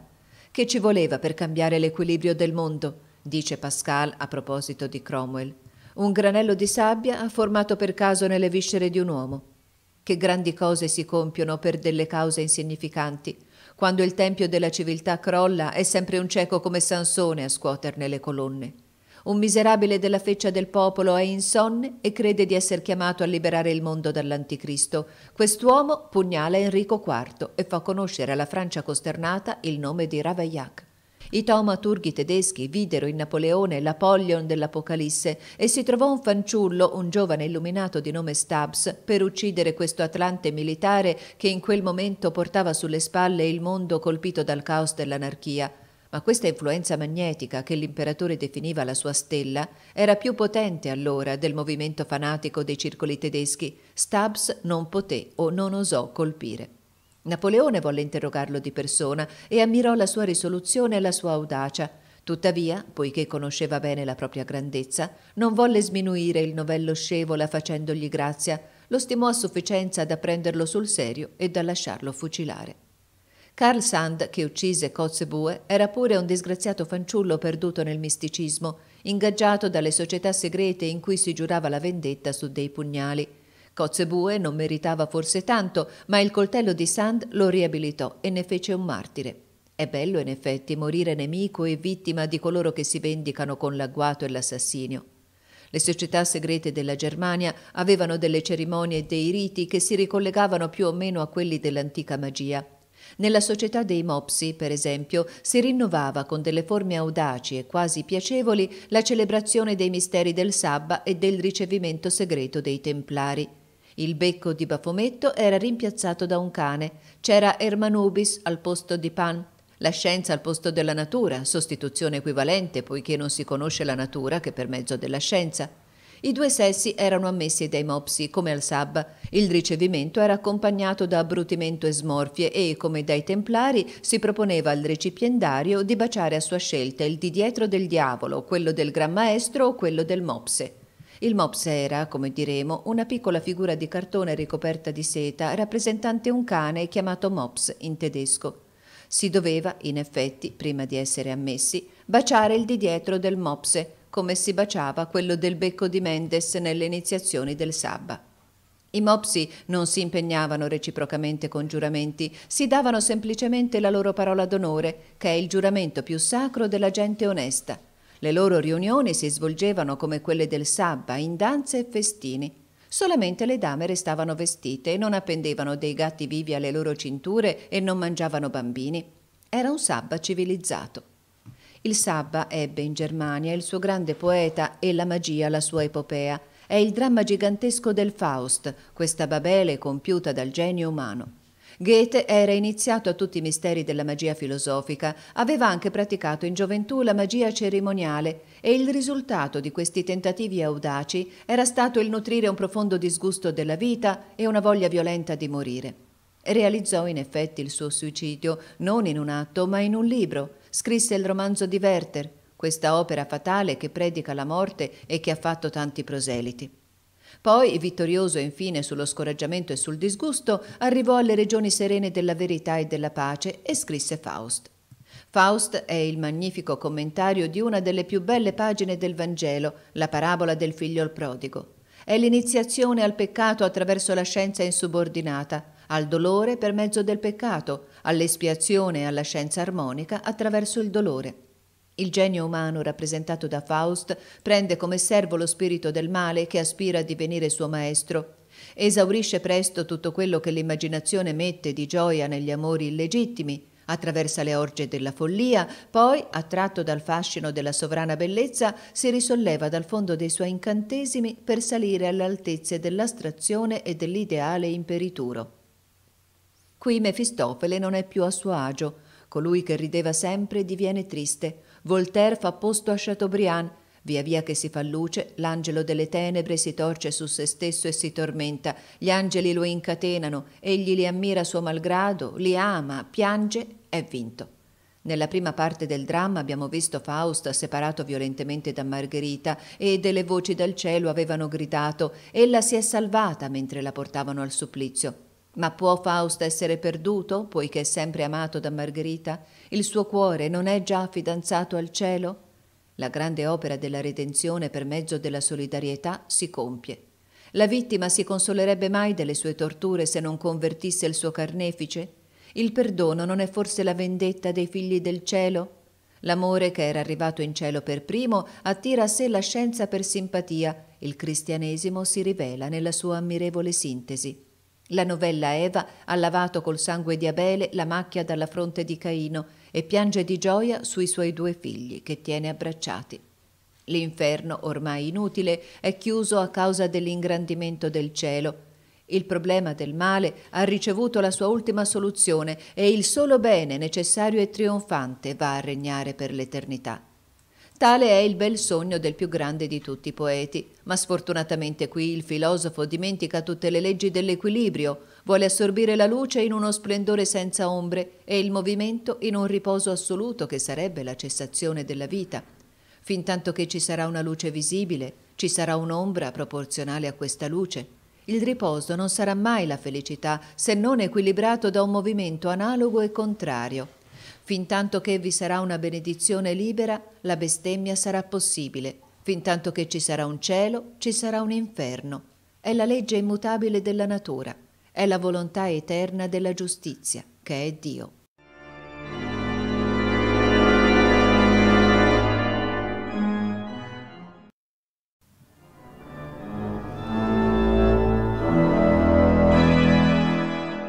Capitolo VII. Impero e restaurazione.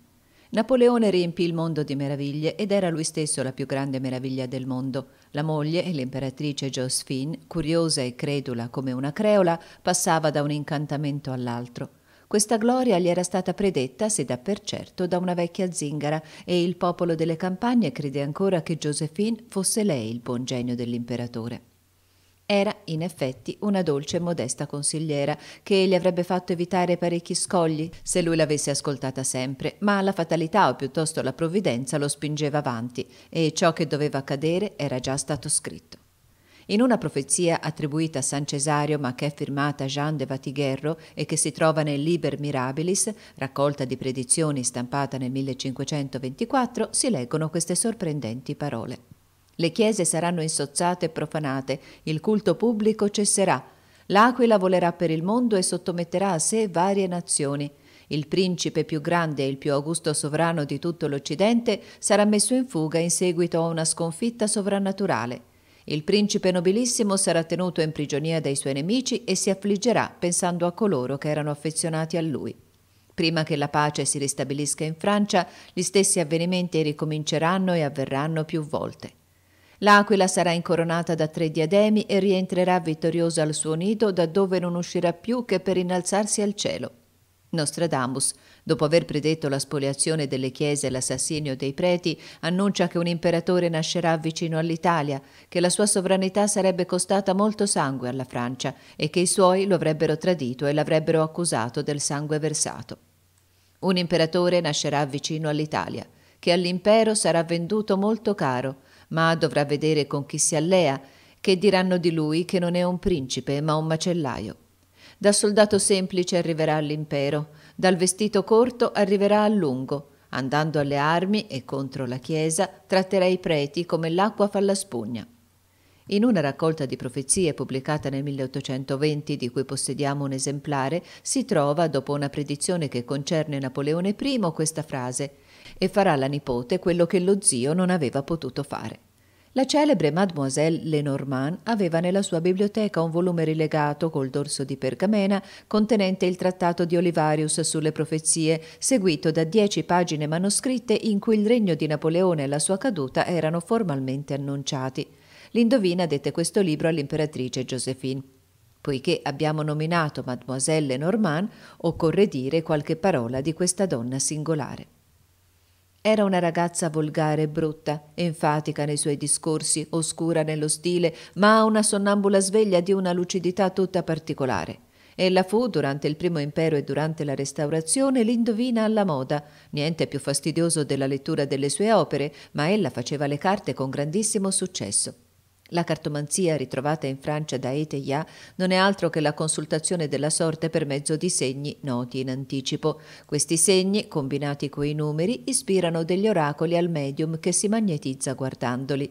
Si estraggono a caso questi segni dopo averli mescolati lentamente, si dispongono per numeri cabalistici e rispondono sempre al pensiero di colui che li interroga seriamente e in buona fede perché noi portiamo in noi tutto un mondo di presentimenti ai quali non occorre che un pretesto per apparirci. Le nature impressionabili e sensitive ricevono da noi la scossa magnetica che gli comunica l'impronta del nostro stato nervoso.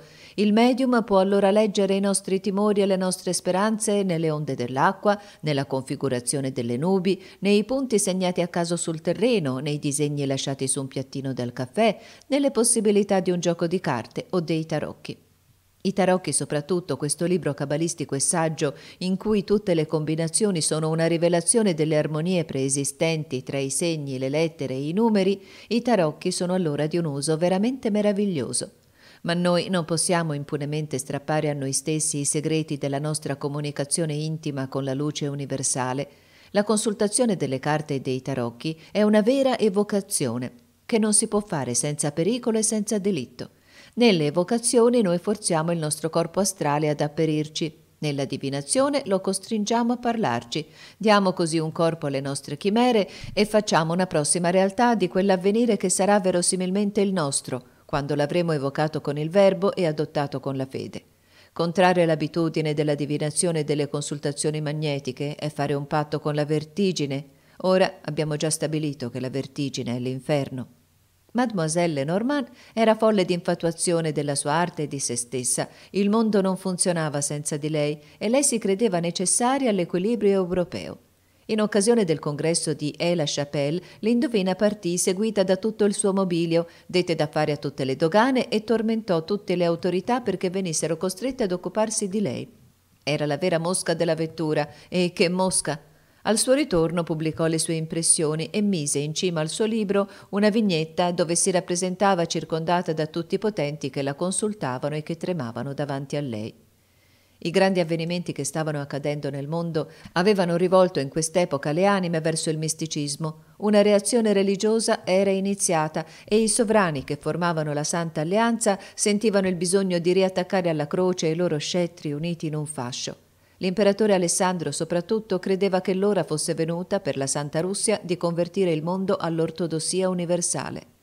La setta dei salvatori di Luigi XVII, setta intrigante e turbolenta, volle profittare di questa disposizione per fondare un nuovo sacerdozio e giunse a introdurre presso l'imperatore di Russia uno dei suoi illuminati.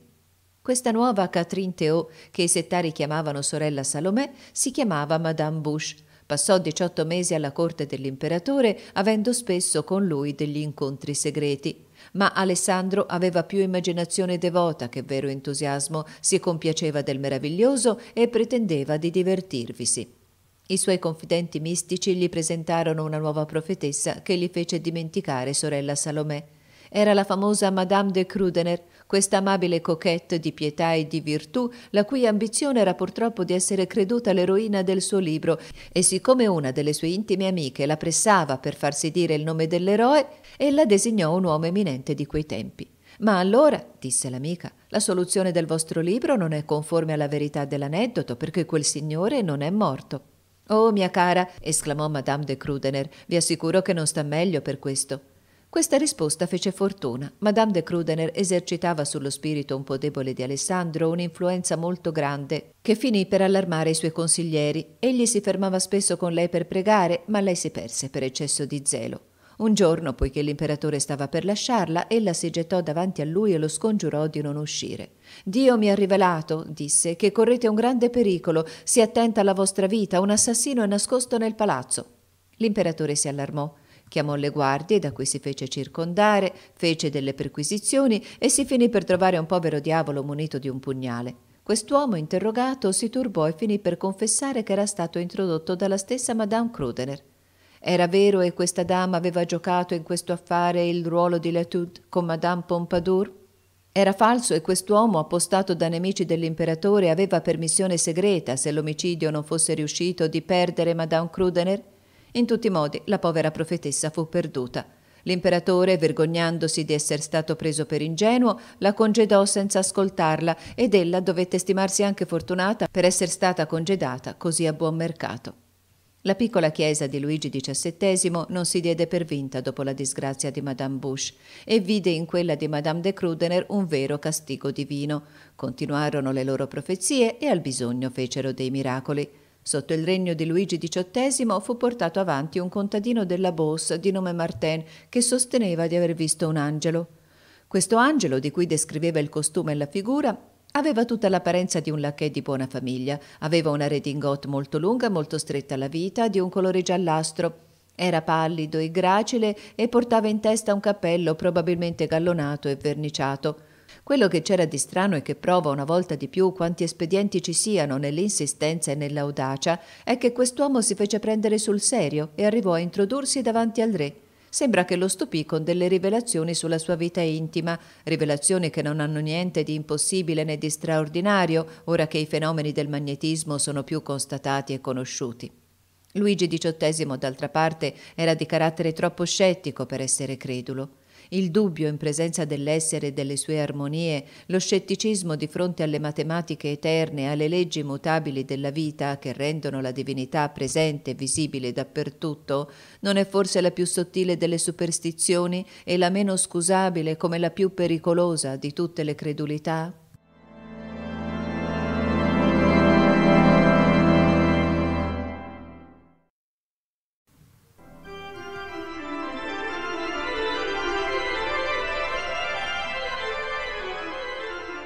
Libro settimo. La magia nel XIX secolo. Capitolo primo. I magnetizzatori mistici e i materialisti. La negazione del dogma fondamentale della religione cattolica, formulato così poeticamente nel poema del Faust, aveva portato i suoi frutti nel mondo. La morale, privata della sua sanzione eterna, diveniva dubbia e barcollante. Un mistico materialista rovesciò il sistema di Swedenborg per creare sulla terra il paradiso delle attrazioni proporzionali ai destini. Con attrazioni, Fourier intendeva le passioni sensuali, a cui prometteva un'espansione integrale e assoluta. Dio, che è la ragione suprema, marchiò con un sigillo terribile queste dottrine riprovevoli. I discepoli di Fourier avevano cominciato con l'assurdità, finirono con la follia credettero seriamente al prossimo cambiamento dell'oceano in un'ampia scodella di limonata, alla creazione futura degli antileoni e degli antiserpenti, alla corrispondenza epistolare dei pianeti gli uni con gli altri. Noi non parliamo della famosa coda di 32 piedi di cui volevano, si dice, gratificare la specie umana, perché ebbero essi stessi la generosità di rinunciare a questa coda e di considerarne l'avvento, possibile secondo il maestro, come puramente ipotetico. È a simile assurdità che conduce la negazione dell'equilibrio e in fondo a tutte queste follie c'è più logica di quanto non si pensi. La stessa ragione che determina il dolore nell'umanità rende indispensabile l'amarezza delle acque del mare. Supponete giusta l'espansione degli istinti e non potrete ammettere l'esistenza degli animali feroci. Date all'uomo per tutta moralità l'attitudine a soddisfare i suoi appetiti, avrà sempre qualcosa da invidiare agli orangutang e alle scimmie. Negare l'inferno è negare il cielo, poiché seguendo la più alta interpretazione del dogma unico di Ermete, l'inferno è la ragione equilibrante del cielo, perché l'armonia risulta dall'analogia dei contrari. Quod superius sicut quod inferius. La superiorità esiste in ragione dell'inferiorità, è la profondità che determina l'altezza. Se colmate le valli farete sparire le montagne. Lo stesso, se cancellate le ombre, annienterete la luce, che non è visibile che per contrasto graduale tra ombra e giorno, e produrrete l'oscurità universale per mezzo di un immenso annebbiamento.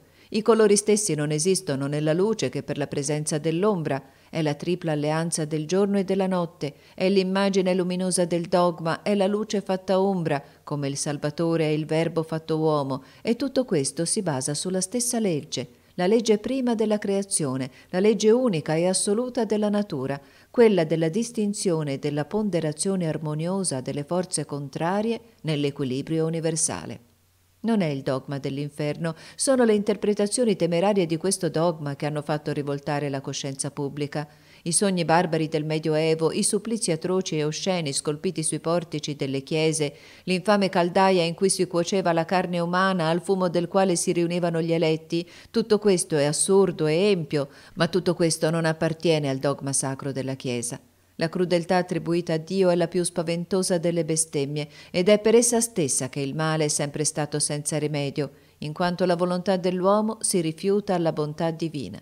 Dio non infligge ai dannati le torture della riprovazione eterna più di quanto non dia la morte ai suicidi. Lavora per possedere e sarai felice, dice all'uomo la giustizia suprema. Io voglio possedere e gioire senza lavorare. Allora ruberai e soffrirai. Io mi ribellerò. Allora ti spezzerai e soffrirai anche di più. Io mi ribellerò sempre. Allora soffrirai eternamente. Questa è la sentenza della ragione assoluta e della giustizia sovrana, che può rispondere a questo l'orgoglio e la follia umana. La religione non ha nemici più grandi del misticismo temerario che prende le visioni provocate dalla sua febbre per delle rivelazioni divine. Non sono i teologi che hanno creato l'impero del diavolo, sono i falsi devoti e gli stregoni. Credere a una visione del nostro cervello piuttosto che all'autorità della ragione e della pietà pubblica, questo è sempre l'inizio dell'eresia in religione, della follia nell'ordine della filosofia umana. Un folle non sarebbe mai folle se credesse alla ragione degli altri. Le visioni non mancano mai alla pietà che si rivolta, non più delle chimere a una ragione che si scomunica e si smarrisce. Da questo punto di vista il magnetismo ha certamente i suoi rischi, perché lo stato di crisi porta sia le allucinazioni che le intuizioni lucide. Consacreremo in questo libro un capitolo speciale ai magnetizzatori, gli unimistici e gli altri materialisti, e li avvertiremo in nome della scienza dei rischi ai quali si espongono. La consultazione della sorte, le esperienze magnetiche e le vocazioni appartengono a un solo e stesso ordine di fenomeni. Ora sono dei fenomeni di cui non si può abusare impunemente, ne va della ragione e della vita. Trenta o quarant'anni fa un vicario del coro della chiesa di Notre Dame, uomo molto pio e anche molto stimabile, si era infatuato del magnetismo e si abbandonò a frequenti esperienze, consacrando più tempo del dovuto alla lettura dei mistici e soprattutto del vertiginoso Swedenborg, la sua testa presto si stancò, iniziò a soffrire di insonnia. Allora si alzava per studiare, ma lo studio non riusciva a calmare l'agitazione del suo cervello. Prendeva la chiave della chiesa e vi entrava per la porta rossa, poi entrava nel coro, illuminato soltanto dalla debole lampada dell'altare principale, giungeva al suo stallo e vi rimaneva fino al mattino, sprofondato nelle sue preghiere e nelle meditazioni profonde. Una notte il soggetto della sua meditazione era la dannazione eterna. Pensava alla dottrina così minacciosa, al piccolo numero degli eletti e non sapeva come conciliare questa rigorosa esclusione del maggior numero degli uomini con la bontà infinita di questo Dio che vuole che tutti gli uomini siano salvi, secondo la scrittura, e che arrivino alla conoscenza della verità. Pensava a questo supplizio del fuoco che il più crudele tiranno della terra non vorrebbe infliggere se potesse neanche per un solo giorno al suo maggior nemico, e il dubbio penetrò nel suo cuore. Poi si mise a pensare alle spiegazioni concilianti della teologia.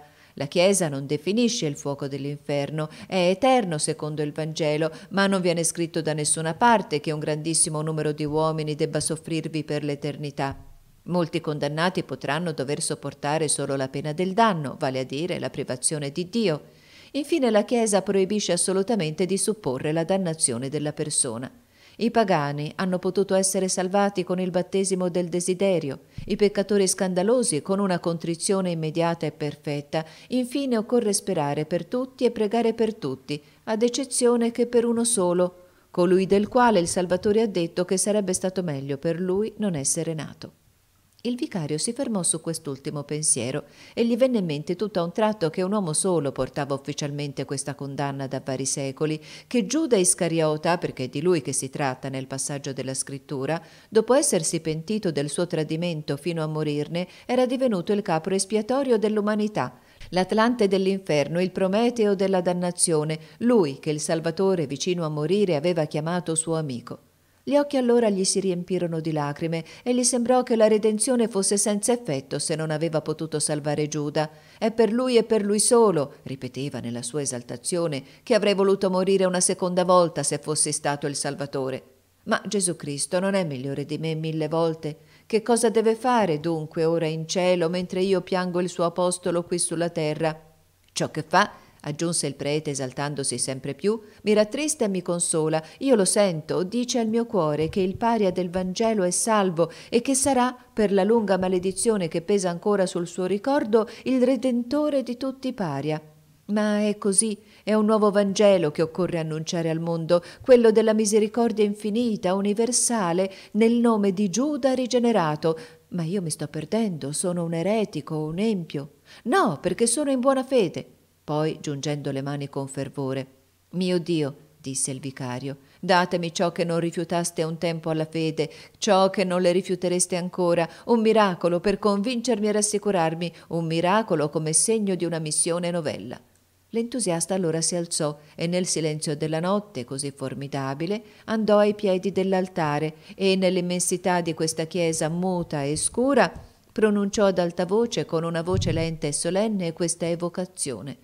Tu che sei stato maledetto per diciotto secoli e per cui io piango, poiché sembri aver preso l'inferno per te solo al fine di lasciare il cielo a noi, Infelice Giuda, se è vero che il sangue del tuo maestro ti ha purificato, se tu sei salvo, vieni a impormi le mani per il sacerdozio della misericordia e dell'amore.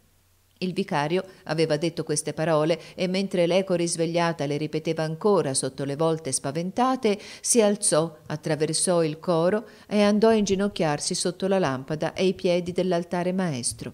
Allora, dice, perché è a lui stesso che dobbiamo il racconto di questa storia. Allora io sentii positivamente e realmente due mani calde e vive posarsi sulla mia testa, come fanno quelle del vescovo il giorno dell'ordinazione. Io non dormivo, ero sveglio e le sentivo, era un contatto reale che durò qualche minuto. Dio mi aveva esaudito, il miracolo era avvenuto, dei nuovi doveri mi erano stati imposti e una vita nuova cominciava per me, a partire dall'indomani dovevo essere un uomo nuovo. L'indomani, in effetti, l'infelice vicario divenne folle. Il sogno di un cielo senza inferno, il sogno di Faust ha fatto ben altre vittime in questo disgraziato secolo di dubbio e di egoismo che non è arrivato che a realizzare solo un inferno senza cielo. Dio stesso diveniva inutile in un sistema in cui tutto era permesso, in cui tutto era bene. Gli uomini, arrivati a non temere più un giudizio supremo, hanno trovato ben facile fare a meno del Dio della buona gente, più a meno di Dio in effetti che della stessa buona gente. I folli che si ergono vittoriosi sul diavolo giungono a farsi dei. Il nostro secolo e soprattutto quello delle mascherate considerate divine, ne abbiamo viste di tutti i colori. Il dio Gannò, natura buona e troppo poetica, che avrebbe dato ai poveri anche la camicia e che riabilitava i ladri, Gannò che ammirava la Sener e che non avrebbe ucciso una mosca. Il dio Chenot, mercante di bottoni della Rue Croix de Petit Champ, che era visionario come Swedenborg e che scriveva le sue ispirazioni nello stile di Jeannot. Il dio Turrein, uomo buono ed eccellente che divinizza la donna e vuole che sia stato Adamo ad uscire da Eva. Il dio Auguste Comte, che conservava tutto della religione cattolica ad eccezione di due cose insignificanti, l'esistenza di Dio e l'immortalità dell'anima il dio Vronsky, vero sapiente questo, e che ebbe la gloria e la felicità di ritrovare i primi teoremi della Cabala e che, avendo venduto la cosa per 150 franchi a un ricco imbecille di nome Arson, dichiara in uno dei suoi libri più seri che il citato Arson, per aver rifiutato di pagarlo integralmente, è divenuto realmente in verità la bestia dell'Apocalisse. Ecco questo curioso passaggio che teniamo a citare perché non ci si possa accusare di ingiustizia verso un uomo il cui lavoro ci è indubbiamente stato utile e di cui abbiamo già avuto occasione di fare l'elogio in una delle nostre precedenti pubblicazioni. Vronsky, per costringere Arson a pagarlo, aveva pubblicato una brochure intitolata Sì o no, vale a dire mi avete comprato sì o no per 150.000 franchi la mia scoperta dell'assoluto. Ora ecco in quali termini, nel suo libro intitolato Riforma della filosofia, Vronsky ricorda all'intero universo, che non sembra neanche interessato alla cosa, la pubblicazione di questa brochure. Si troverà al tempo stesso in questo passaggio una perla curiosa nello stile di questo negoziante dell'assoluto. Questo fatto della scoperta dell'assoluto che sembra agitare così fortemente gli uomini si trova già constatato in un grande scandalo, quello del famoso libello sì o no, che è stato così decisivo per l'eclatante trionfo della verità, che ne fu l'oggetto, che è notevole per l'improvvisa apparizione dell'essere simbolico di cui minaccia l'Apocalisse, di quel mostro della creazione che porta in fronte il nome mistero e che questa volta, temendo di essere colpito mortalmente, non può più contenere nell'ombra le sue odiose convulsioni e viene, attraverso i giornali e tutte le altre voci dalle quali è trascinato il pubblico, a mostrare alla luce del giorno la sua rabbia infernale la sua estrema impostura, eccetera, eccetera. È bene sapere che quel povero Arson che ha accusato qui di rabbia infernale e di estrema impostura aveva già pagato allo Ierofante 40 o 50 mila franchi. L'assoluto che Vronsky vendeva così caro, noi l'abbiamo ritrovato dopo di lui e l'abbiamo donato per niente ai nostri lettori, perché la verità è dovuta al mondo e nessuno ha il diritto di appropriarsene e di farne oggetto di commercio. Possa questo atto di giustizia far espiare i misfatti di un uomo che è morto in uno stato vicino alla miseria, dopo aver tanto lavorato non per la scienza, ma per arricchirsi per mezzo della scienza, che forse non era degno di comprendere né di possedere.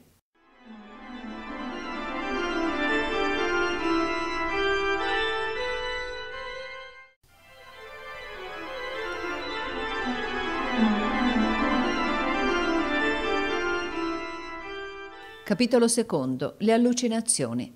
Si trova sempre al fondo del fanatismo di tutte le sette un principio di ambizione o di cupidigia. Gesù Cristo stesso aveva spesso ripreso severamente coloro dei suoi discepoli che lo circondavano durante i giorni delle sue privazioni e del suo esilio nella sua stessa patria solo per la speranza di un regno in cui sarebbero stati ai primi posti. Più le speranze sono folli, più seducono certe immaginazioni. Si paga allora di tasca propria e con la propria persona la fortuna di sperare. È così che il dio Vronsky rovinava degli imbecilli promettendo loro l'assoluto, che il dio Augusto Comte si faceva 6.000 lire di rendita alle spese dei suoi adoratori, ai quali aveva distribuito in anticipo dignità fantastiche, realizzabili quando la sua dottrina avrebbe conquistato il mondo. È così che certi magnetizzatori prendevano dei soldi a un gran numero di sciocchi, promettendo loro dei tesori che gli spiriti scompigliano sempre. Qualche settario credeva realmente a quello che prometteva e questi sono sempre più infaticabili e più arditi nei loro intrighi. I soldi, i miracoli, le profezie non si facevano mancare niente perché avevano quell'assoluta volontà e azione che realmente produce dei prodigi. Erano dei maghi senza saperlo. La setta dei salvatori di Luigi XVII appartiene sotto questo aspetto alla storia della magia. La follia di questi uomini era contagiosa al punto di convincere alle loro credenze quelli stessi che andavano a trovarli per combattere. Si procuravano i documenti più importanti e introvabili, attiravano a sé i testimoni più singolari, evocavano dei ricordi perduti, comandavano all'esercito dei sogni, facevano apparire degli angeli a Martin, del sangue a Rose Tamisier, un angelo in gonnella a Eugène Vintras. Quest'ultima storia è curiosa a causa delle sue fenomenali conseguenze e la racconteremo.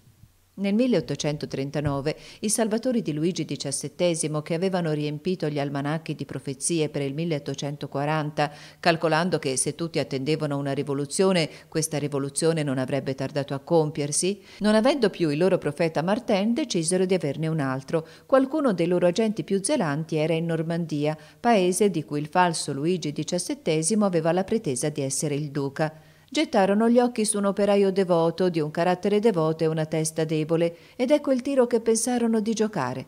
Concepirono una lettera indirizzata al principe, vale a dire un preteso Luigi XVII, riempirono questa lettera di promesse enfatiche del regno futuro, unite a delle espressioni mistiche capaci di fare impressione su una testa debole, e fecero cadere questa lettera nelle mani dell'operaio che si chiamava Eugène Vintras, nelle circostanze che lui stesso racconta. 6 agosto 1839. Alle nove circa ero occupato a scrivere. Bussarono alla porta della camera in cui ero. Credendo che fosse un operaio con cui avevo da fare, risposi piuttosto bruscamente: Entrate. Fui molto sorpreso di vedere al posto di un operaio un vecchio straccione. Gli chiesi solamente cosa volesse. Mi rispose tranquillamente: Non vi inquietate, Pierre Michel, nome di cui nessuno si serve per chiamarmi. Dappertutto mi chiamano Eugène e anche quando firmo non scrivo mai quei due prenomi.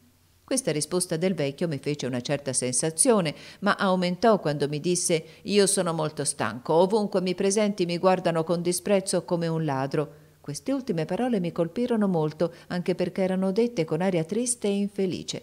Mi alzai, presi una moneta da dieci soldi e gliela misi in mano dicendogli Io non vi prendo per niente di tutto questo, buon uomo. E dicendogli questo gli feci capire che volevo congedarlo. Lui non chiese di meglio e mi volse le spalle con aria afflitta. Appena mise piede sull'ultimo scalino, io richiusi la porta e girai la chiave. Non sentendolo scendere, chiamai un operaio e gli dissi di salire in camera mia. Là, col pretesto di parlare di affari, speravo di fargli percorrere con me tutti i posti in cui credevo possibile che il vecchio si nascondesse, visto che non l'avevo visto uscire. Questo operaio salì in camera mia, uscii con lui, chiudendo la mia porta a chiave, e percorsi tutti i piccoli nascondigli. Non vidi nessuno. Stavo per entrare in fabbrica quando tutto a un tratto sentì suonare la messa. Provai piacere, pensando che, malgrado il disturbo provato a causa del vecchio, avrei potuto almeno assistere a una messa. Allora corsi in camera per prendere un libro di preghiere. Trovai, sul posto in cui scrivevo, una lettera indirizzata a Madame de Gener a Londra. Questa lettera era firmata e scritta da Messier Paul de Montfleury de Caen e conteneva una confutazione di eresia e una professione di fede ortodossa. Questa lettera, quantunque indirizzata a Madame de Gener, era destinata a rimettere sotto gli occhi del duca di Normandia le più grandi verità della nostra santa religione cattolica, apostolica, romana. Sulla lettera era posto il pezzo da dieci soldi che avevo dato al vecchio. In un'altra lettera, Pierre Michel giura che la figura del vecchio non gli è affatto sconosciuta, ma vedendoselo apparire davanti d'un tratto, ebbe una paura straordinaria, tanto che aveva barricato la porta quando fu uscito e aveva ascoltato a lungo alla porta per sentirlo scendere. Il vecchio mendicante senza dubbio si era tolto le scarpe per scendere senza far rumore, perché Vintras non udì niente. Corse allora alla finestra e non lo vide uscire perché era già andato via da molto tempo. Ecco il mio uomo scombussolato, chiama soccorso, cerca dappertutto, trova infine la lettera che gli si voleva far leggere. È evidentemente una lettera caduta dal cielo. Ed ecco Vintras votato a Luigi XVII, eccolo visionario per il resto dei suoi giorni, perché ormai l'immagine del vecchio mendicante non lo lascerà più. Questo mendicante diventerà Saint Michel, perché l'ha chiamato Pierre Michel, associazione di idee analoga a quella dei sogni. Gli allucinati della setta di Luigi XVII avevano indovinato, con la seconda vista dei maniaci, il momento giusto in cui occorreva colpire la debole testa di Vintras per farne in un solo istante un illuminato e un profeta. La setta di Luigi XVII si compone soprattutto di antichi servitori della regalità legittimista, così Vintras, divenuto il loro medium, si fa il riflesso fedele di tutte queste immaginazioni piene di ricordi cavallereschi e di vecchi misticismi. Sono dappertutto, nelle visioni del nuovo profeta, letti bagnati di sangue, angeli in costume da cavaliere, santi mascherati da trovatori. Poi appaiono ostie incollate su seta blu, Vintras ha delle sorelle di sangue e il suo sangue appare su tutte le ostie, ove si disegnano dei cuori con delle leggende delle scritture nell'ortografia di Vintras. Dei calici vuoti appaiono di colpo pieni di vino, poi dove il vino cade appaiono delle macchie di sangue. Gli iniziati credono di udire una musica deliziosa e di respirare dei profumi ignoti. Dei preti chiamati a constatare questi prodigi sono trascinati dalla corrente dell'entusiasmo. Un curato della diocesi di Tours, un vecchio e venerabile ecclesiastico, lascia la sua curia e si mette al seguito del profeta. Noi abbiamo visto questo prete e ci ha raccontato le meraviglie di Vintras con l'accento della più perfetta convinzione, ci ha mostrato delle ostie iniettate di sangue in un modo inesplicabile, ci ha comunicato dei processi verbali firmati da più di 50 testimoni, tutta gente onorevole di un buono stato sociale, degli artisti, dei medici, degli uomini di legge, un cavaliere di Razzaco, una duchessa d'Armaillet. I medici hanno analizzato il fluido vermiglio che colava dalle ostie e hanno riconosciuto che verosimilmente era del sangue umano. Gli stessi nemici di Vintras, e ne aveva di crudeli, non contestavano i miracoli e si contentavano di attribuirli al demonio. Ma come si può concepire, ci diceva l'abate Charvaux, questo curato di Tours di cui abbiamo parlato, come si può concepire che il demonio falsifichi il sangue di Gesù Cristo su delle ostie realmente consacrate? Perché l'abate Charvaux è realmente un sacerdote e i suoi segni si producono anche sulle ostie che consacra. Ciò nonostante la setta di Vintras è anarchica e assurda e Dio non compie dei miracoli a suo favore. Resta l'applicazione naturale dei fenomeni e nel corso di quest'opera l'abbiamo già indicato, per cui sarebbe inutile parlarne ancora qui. Vintras, che i suoi settari indicarono come un nuovo Cristo, ebbe anche lui i suoi iscarioti. Due membri della setta, un certo Gozzoli e uno di nome Alessandro Geoffroy, pubblicarono contro di lui le rivelazioni più odiose. A creder loro i settari di Tilly-sur-Seine, così si chiamava la loro residenza, si abbandonavano alle pratiche più oscene, celebravano nella loro cappella particolare, che si chiamava il cenacolo, delle messe sacrileghe, ai quali gli eletti assistevano completamente nudi. A un certo punto tutti gesticolavano, scoppiavano in lacrime e gridavano amore, amore, e si gettavano nelle braccia gli uni degli altri. Ci sia permesso di non parlare del resto. Erano le orge degli antichi gnostici, ma senza che si prendessero la pena di spegnere le luci.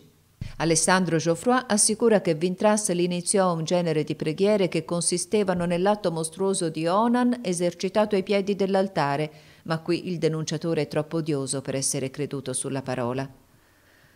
L'abate Charvaux, a cui abbiamo parlato di queste accuse infami, ci ha detto che si doveva attribuirle all'odio di due uomini scacciati dall'associazione per aver commesso essi stessi gli atti di cui accusavano Vintras.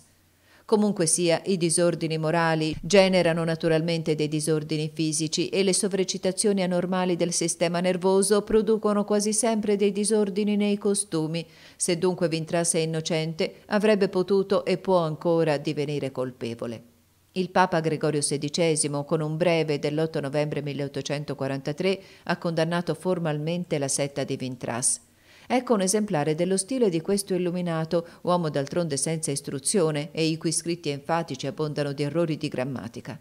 Dormite, dormite, indolenti mortali, riposate riposate ancora sui vostri letti morbidi, sorridete ai vostri sogni di festa e di grandezza, l'angelo dell'alleanza è disceso sui vostri monti, ha scritto il suo nome fin dentro il calice dei vostri fiori, ha toccato con gli agnelli che ornano i suoi piedi i fiumi che sono il vostro orgoglio e la vostra speranza, le querce delle vostre foreste hanno preso lo splendore della sua fronte per una novella aurora, il mare con uno slancio voluttuoso ha salutato il suo sguardo, guardo, Elia l'ha preceduto. Inchinatevi dalla parte della terra, ma non spaventatevi del rumore così attivo delle tombe. Dormite, dormite ancora. Io l'ho visto verso oriente, incideva il suo nome su dei monti inaccessibili, gridava al tempo di allestire la sua barca e ho visto sorridergli il più vecchio dei vecchi. Dormite, dormite ancora. Elia a occidente pone una croce sulla porta del tempio, la sigilla col fuoco e con l'acciaio di un pugnale.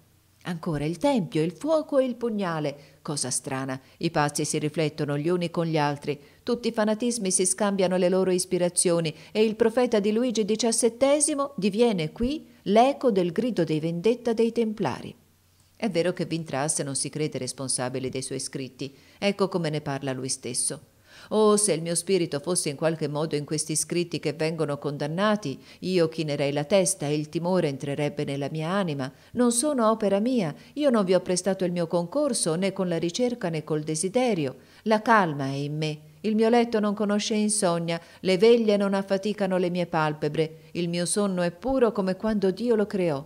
Posso dire al mio Dio con un cuore libero, custodi animam meam et erue me, non erubescam quonian speravi in te. Un altro preteso riformatore, colui che si atteggiava messia dei bagni del patibolo, la Sener, cui non paragoneremo certamente Vintras, scriveva pure dalla sua prigione. Come una vergine casta e pura, nei sogni d'amore veglio e mi addormento. Qualcuno mi insegnerà che cos'è un rimorso? L'argomento di Vintras per legittimare la sua ispirazione non è dunque concludente, poiché è servito anche alla Sener per scusare e anche per legittimare non più dei sogni, ma dei delitti. Condannati dal Papa, i settari di Tilly-sur-Selle condannarono il Papa a loro volta. Vintras, di sua autorità privata, si creò pontefice lui stesso. La forma dei suoi vestiti sacerdotali gli è stata rivelata Porta un diadema d'oro con un lingam indiano sulla fronte, un vestito porpora e tiene in mano uno scettro magico che termina con una mano in cui le dita sono chiuse, eccetto il pollice e il mignolo, le dita consacrate a Venere e a Mercurio. Geroglifico dell'ermafrodita antico, emblema degli antichi culti orgiastici e dei priapei del Sabba. Così le reminiscenze e i riflessi della magia nera portati dalla luce astrale vengono a ricollegarsi ai misteri dell'India e al culto profano di Bafometto, la estasi di questo malato contagioso la cui infermeria è a Londra e che continua a fare dei proseliti e delle vittime. L'esaltazione del povero profeta non è sempre esente da spavento e rimorso o qualunque cosa dica, e a volte si lascia sfuggire le più tristi confessioni. Ecco cosa troviamo in una lettera indirizzata a uno dei suoi più intimi amici.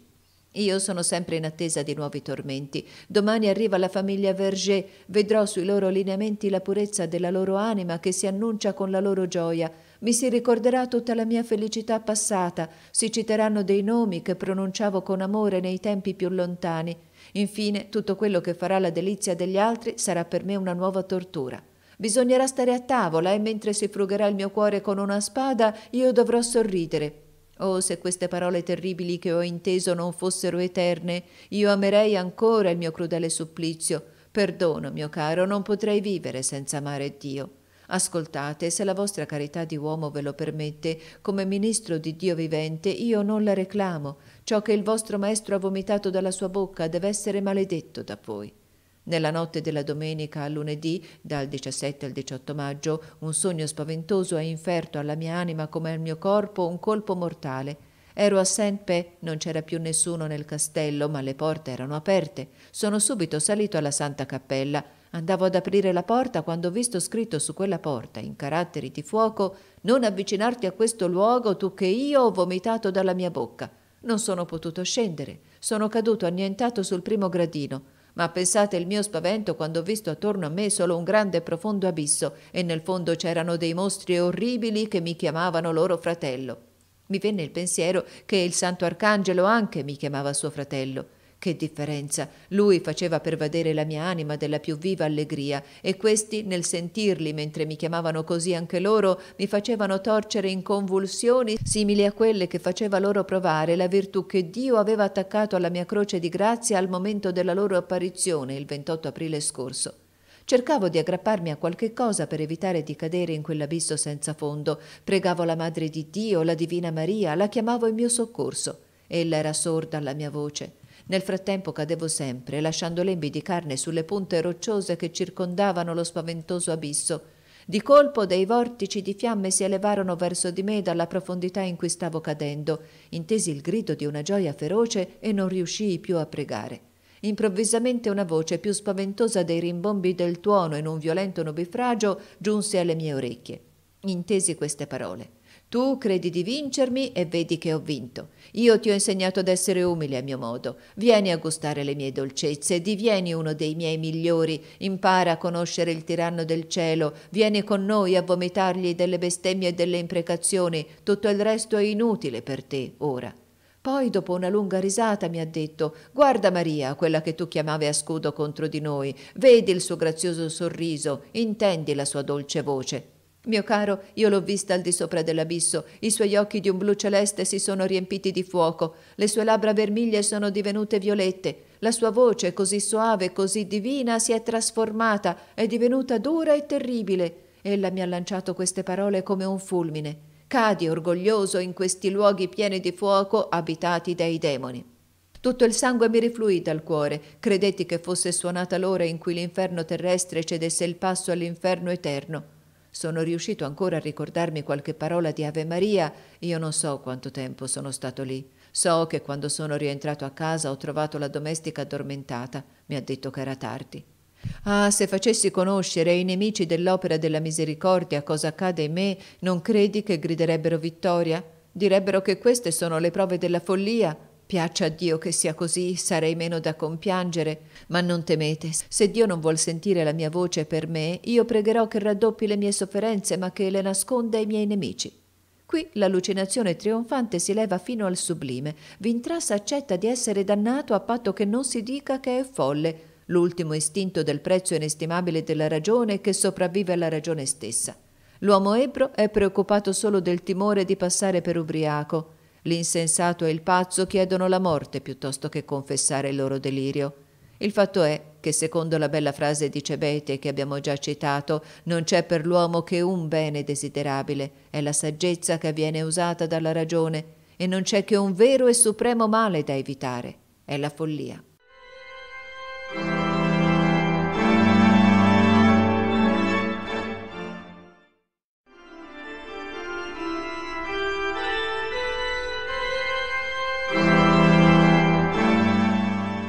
Capitolo terzo. I magnetizzatori e i sonnambuli. La Chiesa, nella sua grande saggezza, ci proibisce di consultare la sorte e di violare con un'indiscreta curiosità i segreti dell'avvenire.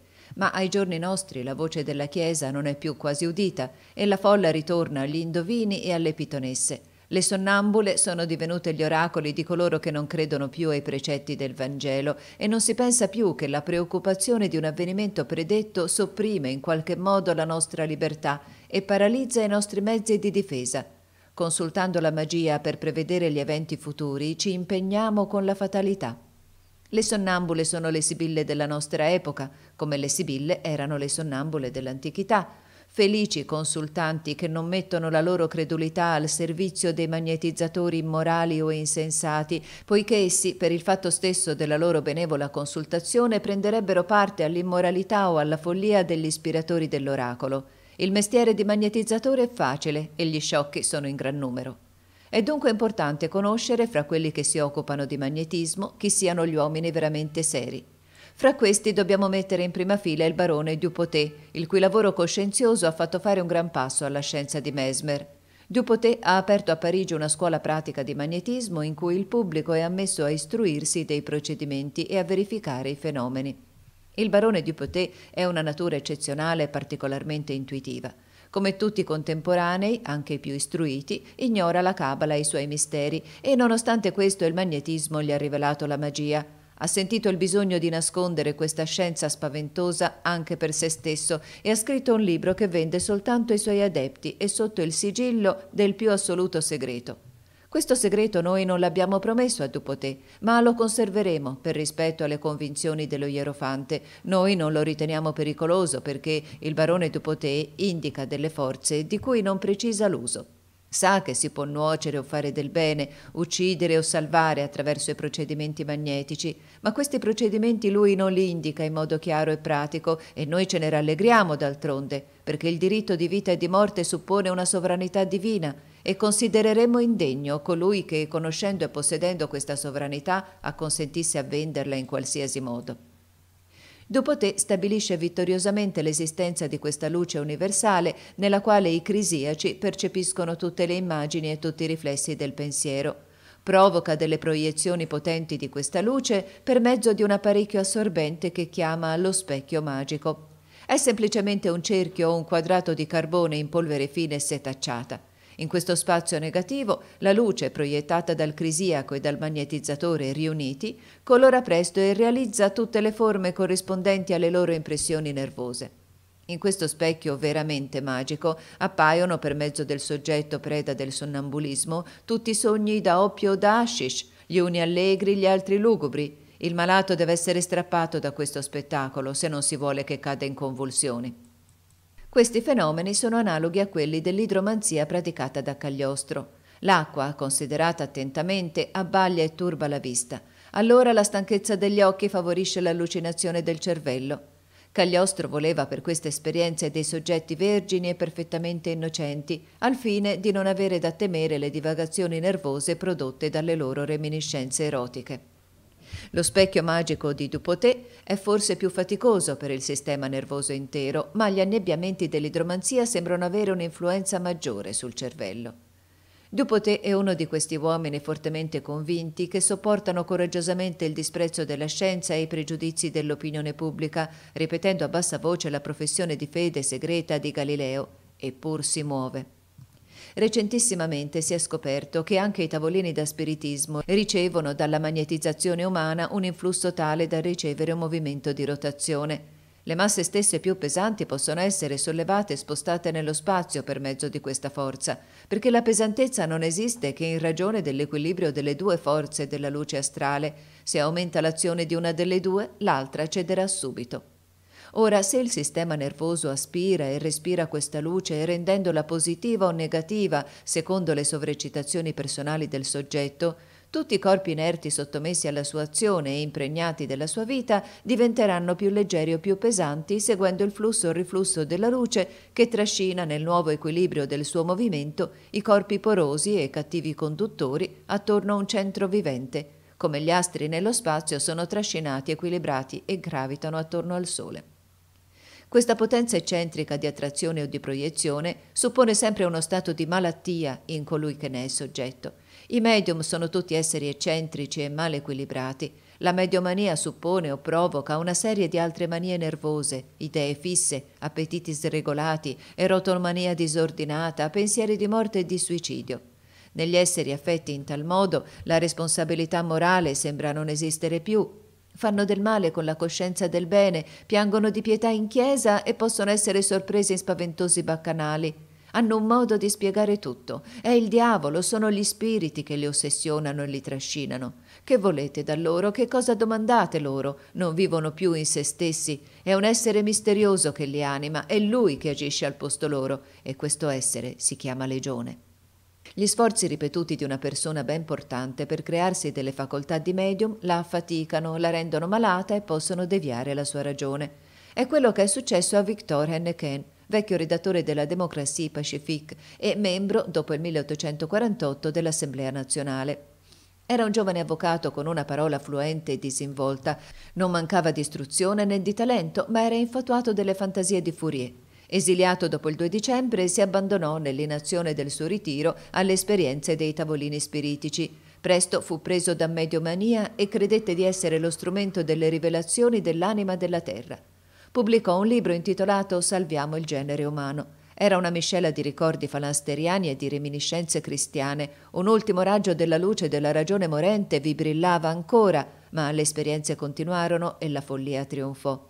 In un'ultima opera, in cui il primo volume soltanto è stato pubblicato, Victoria Neken rappresenta Dio come un immenso polipo posto al centro della terra con delle antenne e delle trombette contornate da viti che vanno e vengono attraverso il suo cervello e quello di sua moglie Ottavia. Poco tempo dopo si seppe che Victor Henneken era morto in seguito a un accesso di demenza furiosa in un manicomio. Abbiamo sentito parlare di una dama del gran mondo che si abbandonava delle conversazioni con i pretesi spiriti dei mobili e che, scandalizzata oltre misura dalle risposte sconvenienti del suo comodino, fece un viaggio a Roma per deferire il mobile eretico alla Santa Sede. Aveva portato con sé il colpevole e ne fece un rogo nella capitale del mondo cristiano. Meglio bruciare il proprio mobilio che impazzire, e in verità per questa dama il pericolo era imminente. Non ridiamo di lei, noi figli di un secolo della ragione in cui uomini seri come il conte di Mirville attribuiscono al diavolo i fenomeni non spiegati della natura. In un melodramma che si rappresenta sui boulevard si parla di un mago che, per farsi un aiutante formidabile, ha creato un androide, un mostro col muso da leone, le corna da toro, le scaglie da leviatano. Dà vita a questa sfinge ibrida e presto, spaventato dalla sua creazione, si dà alla fuga. Il mostro lo insegue, si mostra tra lui e la fidanzata, incendia la sua casa, brucia suo padre, rapisce suo figlio, lo insegue fin sul mare, monta con lui sulla sua nave che fa affondare e muore lui stesso per un colpo di fulmine. Questo spettacolo orribile, comico per i troppi spaventi, è stato realizzato nella storia dell'umanità. La poesia è stata personificata, il fantasma del male le ha prestato tutte le forze della natura. Essa voleva fare di questo spauracchio un aiuto per la morale, poi ha avuto paura di questa sozzura partorita dai suoi sogni. Da allora il mostro ci insegue attraverso le ere, appare spaventoso e ghignante tra noi e gli oggetti del nostro amore, incubo immondo.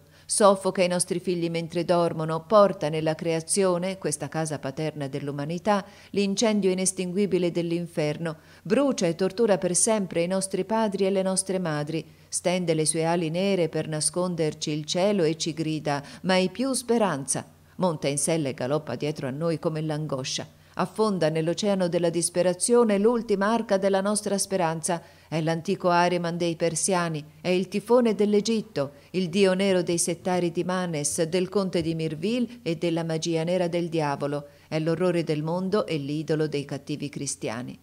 Gli uomini hanno provato a riderne e hanno avuto paura. Ne fanno delle caricature e trasaliscono perché sembra loro di vedere queste stesse caricature che si animano per sbeffeggiarli a loro volta. Il suo regno è passato, ma non morirà colpito dalla folgore del cielo. La scienza ha conquistato il fuoco del tuono, ne ha fatto delle fiaccole.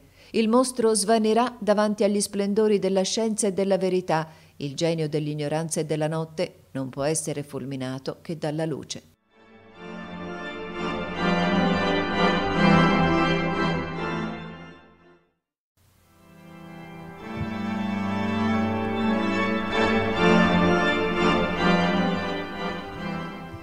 Capitolo IV. I fantasisti in magia.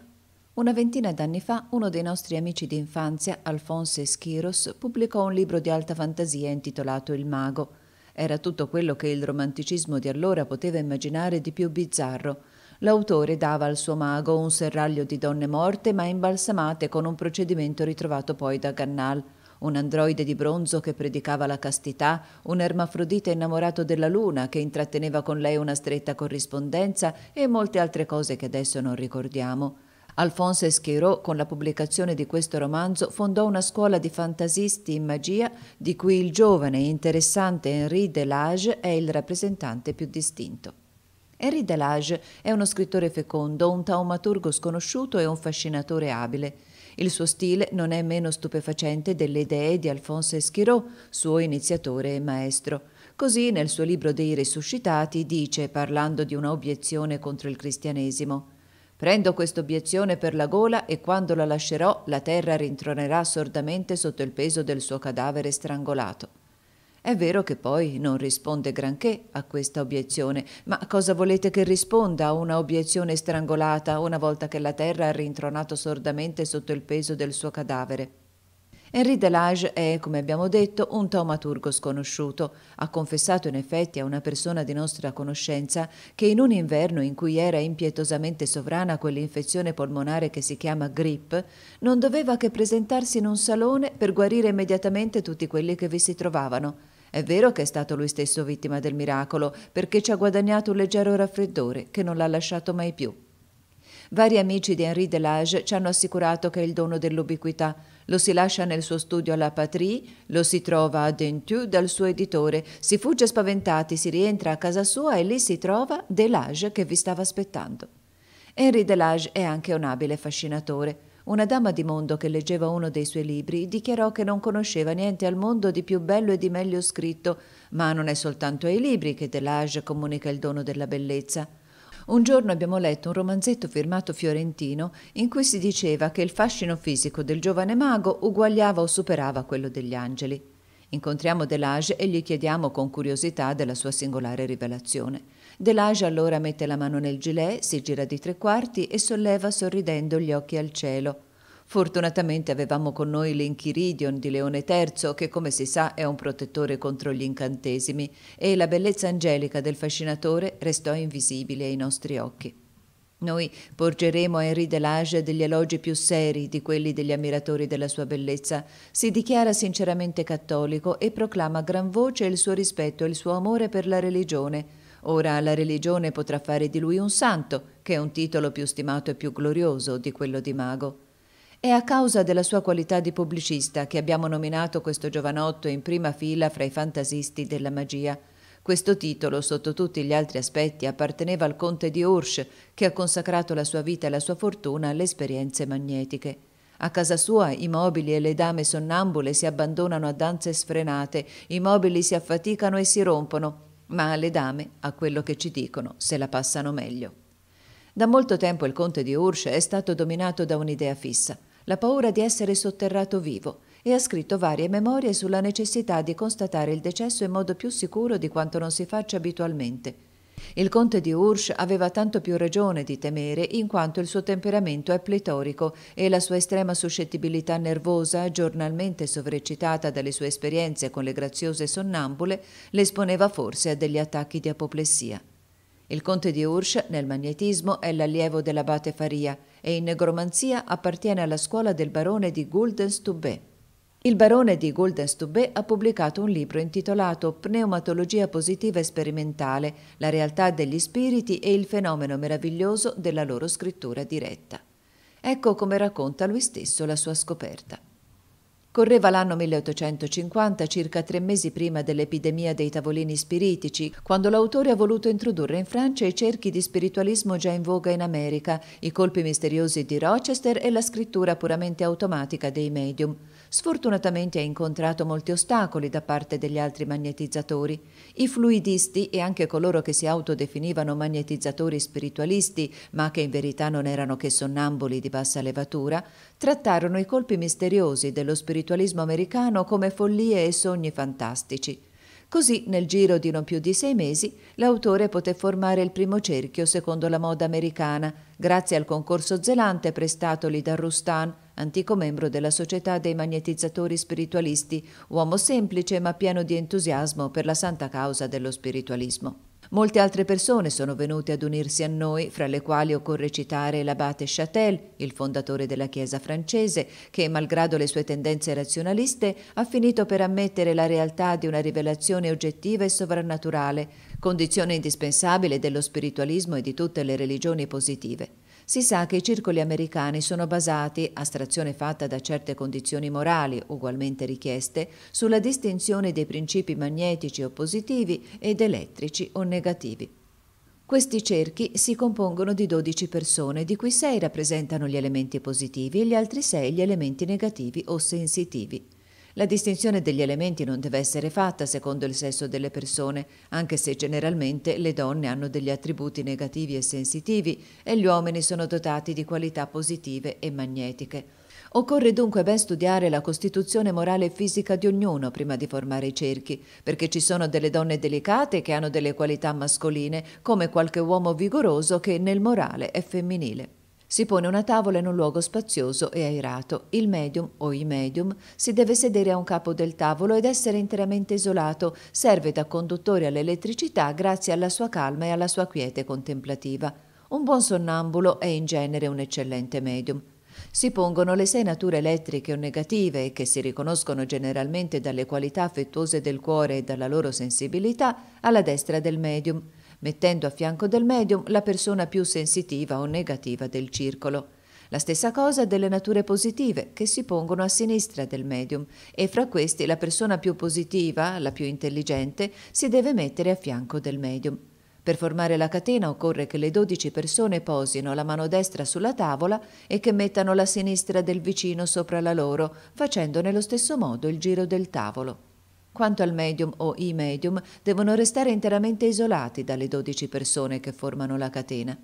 Abbiamo ottenuto, dopo numerose sedute, certi fenomeni notevoli come delle scosse simultanee sentite da tutti i membri del cerchio al momento dell'evocazione mentale delle persone più intelligenti. Si sono sentiti anche dei colpi misteriosi e dei suoni strani, Varie persone, anche molto insensibili, hanno avuto visioni simultanee, anche se erano rimaste nella condizione ordinaria di veglia.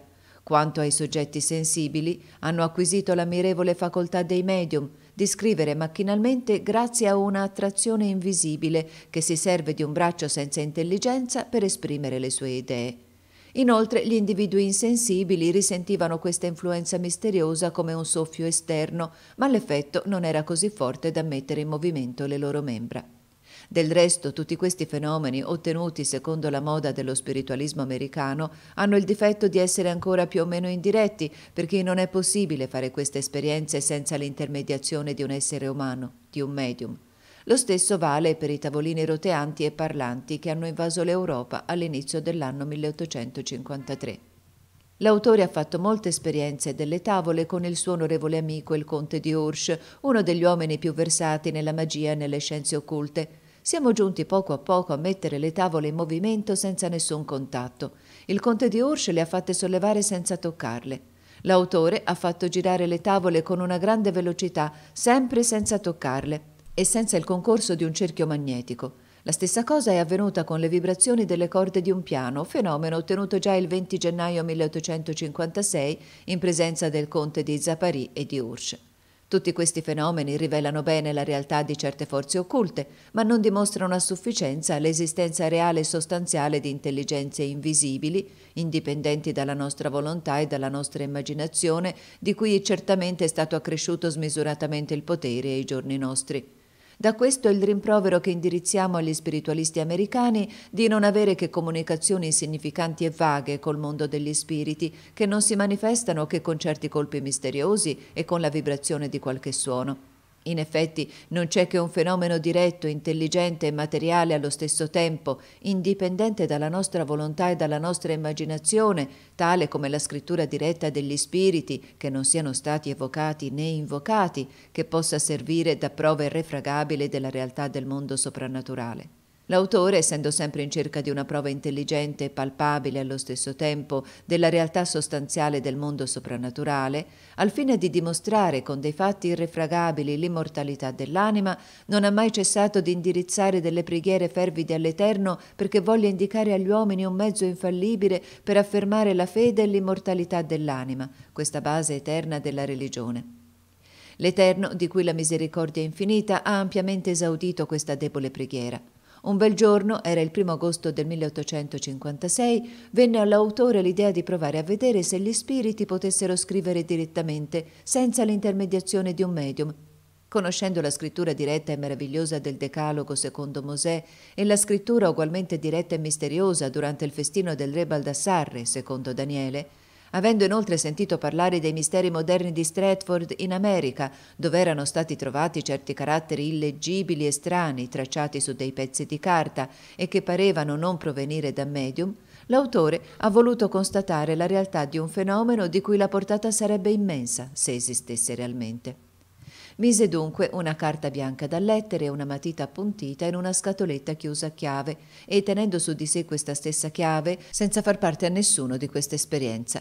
Attese invano per dodici giorni senza trovare la minima traccia di segno sulla carta, ma quale fu il suo stupore quando vide, il 13 agosto 1856, certi caratteri misteriosi tracciati sulla carta. Appena li ebbe visti, questa stessa esperienza si ripeté dieci volte in quella giornata memorabile, cambiando ogni mezz'ora il foglio di carta nella stessa scatola. L'esperienza fu coronata ogni volta da un successo completo. L'indomani, il 14 agosto, l'autore fece nuovamente una ventina di esperienze, lasciando la scatola aperta senza perderla di vista. Fu allora che l'autore vide che dei caratteri e delle parole in lingua estone si formavano o venivano tracciati sulla carta senza che la matita si muovesse. Dopo questo momento l'autore, vedendo l'inutilità della matita, ha cessato di metterla sulla carta.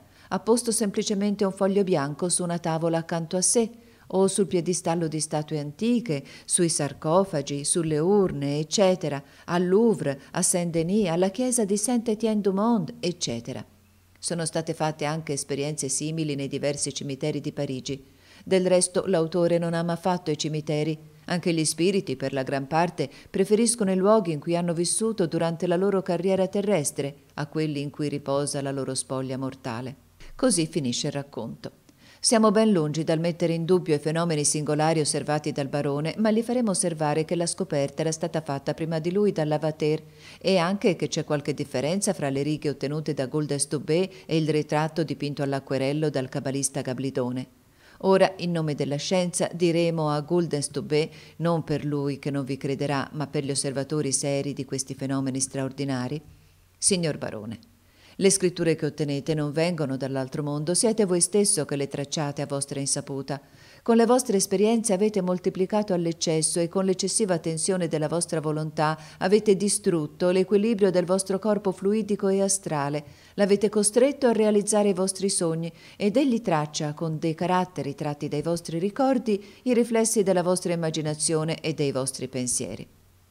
Se siete immerso in un sonno magnetico perfettamente lucido, vedrete il miraggio luminoso della vostra mano allungarsi come un'ombra al tramonto e tracciare sulla carta preparata da voi o dai vostri amici i caratteri che vi stupiscono. Questa luce corporale che emana dalla terra e da voi è contenuta in un viluppo fluidico di una estrema elasticità e questo viluppo si forma dalla quintessenza dei vostri spiriti vitali e dal vostro sangue. Questa quintessenza dona alla luce un colore determinato dalla vostra volontà segreta, diventa come voi sognate che sia. Allora i caratteri si imprimono sulla carta come i segni sui corpi dei bambini che non sono ancora nati e che sono sotto l'influsso dell'immaginazione delle madri. Questo inchiostro che vedete apparire sulla carta è il vostro sangue annerito e trasfigurato. Voi vi stancate a misura che le scritture si moltiplicano. Se continuate le vostre esperienze, il vostro cervello si indebolirà gradualmente, perderete la memoria, risentirete nelle articolazioni delle membra e nelle dita dei dolori inesprimibili e infine morrete, sia folgorato subitamente, sia dopo una lunga agonia, accompagnata da allucinazioni e da demenza. Ecco per il barone di Guldestubé. Ora diremo al conte di Ursch voi non sarete sorterrato vivo, ma rischiate di morire a causa delle stesse precauzioni che prendete per non esserlo. Le persone sotterrate vive non possono d'altronde avere sottoterra che dei risvegli rapidi e di breve durata, possono tuttavia vivervi a lungo, conservate dalla luce astrale, in uno stato completo di sonnambulismo lucido. Le loro anime sono sulla terra, allora incatenate al corpo addormentato da una catena invisibile. Allora, se sono delle anime avide criminali, possono aspirare la quintessenza del sangue delle persone addormentate di un sonno naturale e trasmettere questo fluido al loro corpo sotterrato per conservarlo più a lungo nella speranza vaga che infine sarà reso alla vita. È questo fenomeno spaventoso che si chiama vampirismo, fenomeno la cui realtà è stata constatata da numerose esperienze altrettanto ben attestate rispetto a quelle che ci sono di più solenni nella storia. Se dubitate della possibilità di questa vita magnetica del corpo umano nella Terra, leggete il racconto di un ufficiale inglese di nome Osborne, racconto la cui fedeltà è attestata al barone Dupotet dal generale Ventura. Il 16 giugno 1838, dice Osborne, la monotonia della nostra vita di campo fu fortunatamente interrotta dall'arrivo di un individuo celebre nel Punjab, godeva fra i Sikh di una grande venerazione a causa della facoltà di restare sepolto sottoterra per tutto il tempo che voleva. Si riferiscono nel paese dei fatti così straordinari su quest'uomo e tante persone rispettabili ne garantiscono l'autenticità che eravamo estremamente desiderosi di vederlo. Ci raccontò lui stesso che esercitava quello che lui definiva il suo mestiere, quello di farsi seppellire, da molti anni. È stato visto in effetti ripetere questa strana esperienza in vari punti dell'India. Fra gli uomini gravi e degni di fede che ne rendono testimonianza, devo citare il capitano Wade, agente politico all'Odiana. Questo ufficiale mi ha affermato molto seriamente di aver assistito lui stesso alla resurrezione di questo fakiro dopo un interramento che aveva avuto luogo qualche mese prima in presenza del generale Ventura, del Maharajà e dei principali capi Sikh. Ecco i dettagli che mi ha dato sull'interramento e quelli che ha aggiunto di sua propria autorità sull'esumazione. In seguito ai preparativi che erano durati qualche giorno e che egli ripugnava di enumerare, il fakiro dichiarò di essere pronto a subire la prova. Il Maharajà, i capi Sikh e il generale Ventura si riunirono vicino a una tomba in muratura costruita espressamente per riceverlo. Sotto i loro occhi il fakiro fermò con della cera, ad eccezione della bocca, tutte le aperture del suo corpo che potevano far passare l'aria. Poi si tolse i vestiti che portava, Venne poi avvolto in un sacco di tela e, secondo il suo desiderio, gli si torse la lingua all'indietro in modo da bloccare l'ingresso all'esofago. Subito dopo questa operazione, il fakiro cadde in una sorta di letargia. Il sacco che lo conteneva fu chiuso e vi fu posto un sigillo dal Maharajà.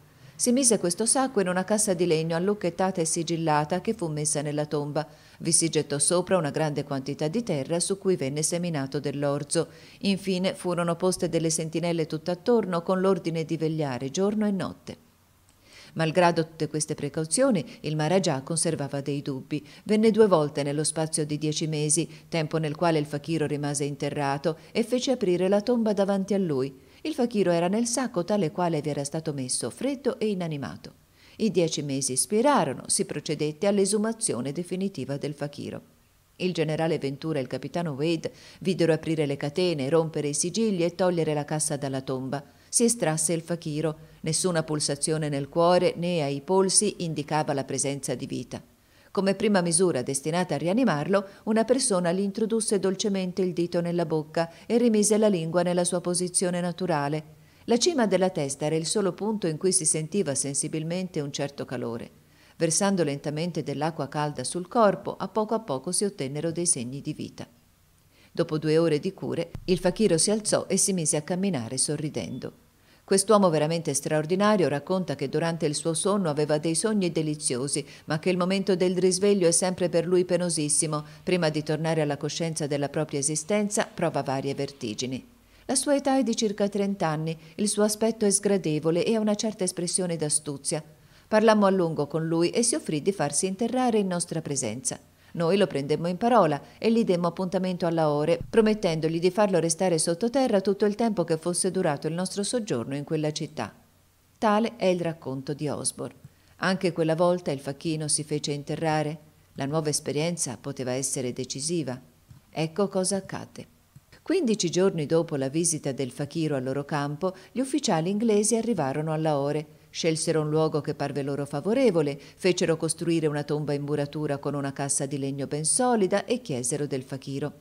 Quello li andò a trovare l'indomani, testimoniando loro il suo desiderio ardente di provare che non era un impostore. Aveva già, diceva, subito i preparativi necessari all'esperienza. Il suo atteggiamento tradiva l'inquietudine e l'abbattimento. Volle subito sapere quale sarebbe stata la ricompensa. Gli venne promessa una somma di 1500 rupie e una rendita di 2000 rupie l'anno che si sarebbero incaricati di fargli avere dal re. Soddisfatto su questo punto, volle sapere quali precauzioni si contavano di prendere. Gli ufficiali gli fecero vedere l'apparecchiatura di catene e di chiavi e l'avvertirono che delle sentinelle scelte fra i soldati inglesi avrebbero vegliato per una settimana. Il fakiro si lamentò ed emise forti ingiurie contro i Frenghis, contro gli increduli che volevano rovinare la sua reputazione, espresse il sospetto che si volesse attentare alla sua vita, rifiutò di abbandonarsi così completamente alla sorveglianza degli europei e domandò che la doppia chiave di ogni catena venisse data a qualcuno dei suoi correligionari. Insisté soprattutto perché le sentinelle non fossero nemici della sua religione. Gli ufficiali non vollero acconsentire alle sue condizioni. Diversi incontri avvennero, ma senza risultato. Infine il fakiro fece sapere, attraverso uno dei capi Sikh, che il Maharaja l'aveva minacciato della sua collera se non avesse onorato il suo impegno con gli inglesi. Voleva sottomettersi alla prova, anche se interamente convinto che il solo scopo degli ufficiali fosse quello di togliergli la vita e che non sarebbe mai uscito vivo dalla tomba. Gli ufficiali dichiararono che, siccome su quest'ultimo punto condividevano la sua convinzione e che non volevano rimproverarsi la sua morte, lo consideravano libero dalla sua promessa. Queste esitazioni e questi timori del fakiro sono delle prove perentorie contro di lui? Ne risulta forse che tutte le persone che in precedenza hanno sostenuto di aver visto i fatti su quali riposa la sua celebrità abbiano mentito oppure siano state sciocche vittime di un'abile truffa? Confessiamo che non possiamo dubitare, visto il numero e il carattere dei testimoni, che il fakiro non si sia fatto spesso e realmente interrare, ma ammettendo anche che dopo il seppellimento egli sia riuscito a comunicare ogni volta con l'esterno, sarebbe ancora inesplicabile come avrebbe potuto restare privo della respirazione per tutto il tempo trascorso fra la sua sepoltura e il momento in cui i complici gli giungevano in aiuto.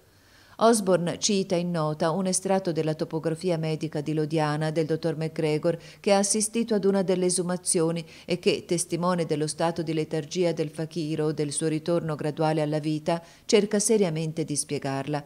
Un altro ufficiale inglese, Boileau, in un'opera pubblicata da qualche anno, racconta che è stato testimone di un'altra esperienza in cui tutti i fatti sono avvenuti esattamente nello stesso modo. Le persone che volessero soddisfare maggiormente la loro curiosità, cercando in questo racconto l'indicazione di un curioso fenomeno fisiologico, potranno risalire con fiducia alle fonti che abbiamo indicato. Esiste ancora un gran numero di processi verbali sull'esumazione dei vampiri. La carne era in uno stato notevole di conservazione, ma astillavano sangue. I capelli erano cresciuti in un modo straordinario e sfuggivano a ciocche dalle aperture della bara. La vita non esisteva più negli organi che servono alla respirazione, ma soltanto nel cuore, che da animale sembrava essere divenuto un vegetale. Per uccidere il vampiro occorreva attraversargli il petto con un piolo e allora un grido terribile annunciava che il sonnambulo della tomba si era risvegliato di soprassalto per una morte vera.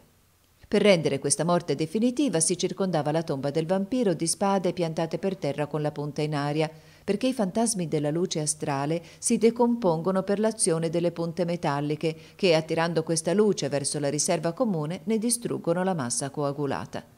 Aggiungiamo, per rassicurare le persone timorose, che i casi di vampirismo sono fortunatamente molto rari e che una persona sana di spirito e di corpo non potrebbe essere la vittima di un vampiro se non gli ha abbandonato in vita il corpo e l'anima per qualche complicità di crimine o di passione sregolata. Ecco una storia di vampiri che è riportata da Tournefort nel suo viaggio in Oriente. Fummo testimoni, dice l'autore, nell'isola di Micone di una scena molto singolare, in occasione di uno dei suoi morti che credemmo di veder ritornare alla vita dopo essere stato seppellito. Gente del nord lo chiama vampiro, i greci lo designano col nome di Brucolaquo. Colui del quale si va a raccontare la storia era un paesano di Micone, naturalmente cattivo e attaccabrighe. È una circostanza da sottolineare rispetto a parecchi soggetti. Fu ucciso in campagna, non sappiamo come. Due giorni dopo che era stato inumato in una cappella della città, corse la voce che si vedeva di notte passeggiare a grandi passi, che entrava nelle case a rovesciare i mobili, spegnere le lampade, abbracciare la gente da dietro e fare mille piccoli tiri analoghi. Sulle prime non si fece che riderne, ma l'affare divenne serio quando le persone più oneste cominciarono a lamentarsene. I pope stessi convenivano del fatto e senza dubbio avevano le loro ragioni. Non si mancò di far dire delle messe. Nel frattempo il paesano continuava la stessa vita, senza correggersi. Dopo varie assemblee dei notabili della città, dei preti e dei religiosi, si concluse che occorreva, non si sa per quale antico cerimoniale, attendere nove giorni dopo l'interramento. Il decimo giorno si disse una messa nella cappella in cui era il corpo, al fine di scacciare il demone che si credeva vi si fosse stabilito. Dopo la messa si dissotterrò il corpo e si tolse il cuore. Il cadavere aveva un così cattivo odore che si fu obbligati a bruciare dell'incenso, ma il fumo, confuso col cattivo odore, non fece che aumentarlo e cominciò a soffocare parecchie persone. Si pensò di dire che dal corpo usciva un fumo spesso. Noi, che eravamo testimoni, non osiamo dire che fosse solo quello dell'incenso. Molti assistenti assicurarono che il sangue di questo disgraziato era rosso, altri giurarono che il corpo era ancora caldo, dal che si concluse che il morto aveva il gran torto di non essere veramente morto, o per meglio dire di essersi lasciato rianimare dal diavolo. È questa precisamente l'idea che si ha di un brucolaquo. Questo termine corse allora sulle bocche di tutti. Molte persone che sopravvennero protestarono ad alta voce che si erano ben accorti che quel corpo non era rigido quando era stato portato dalla campagna in chiesa per sotterrarlo e che di conseguenza era un vero brucolaquo. Questo era il ritornello. Quando ci venne chiesto che cosa pensavamo di questo morto, rispondemmo che lo credevamo decisamente morto e che per quel preteso sangue rosso si poteva vedere facilmente che era fango puzzolente. Infine facemmo del nostro meglio per guarire o almeno per non eccitare la loro immaginazione turbata, spiegando loro i pretesi vapori e il calore di un cadavere. Malgrado tutti i nostri ragionamenti, si fu dell'avviso di bruciare il cuore del morto, che dopo questa esecuzione non fu affatto più docile di prima e fece ancora più rumore. Venne accusato di battere la gente di notte, di sfondare le porte, di rompere le finestre, di strappare gli abiti e di vuotare le brocche e le bottiglie. Era un morto molto assetato, credo che non risparmiasse che la casa del console da cui alloggiavamo. Tutti avevano l'immaginazione in subbuglio. Le persone di spirito migliore parevano colpite come le altre. Era una vera malattia del cervello, altrettanto pericolosa della mania e della rabbia. Si vedevano famiglie intere abbandonare la casa e venire all'estremo della città portando con sé i propri lettucci per passare la notte.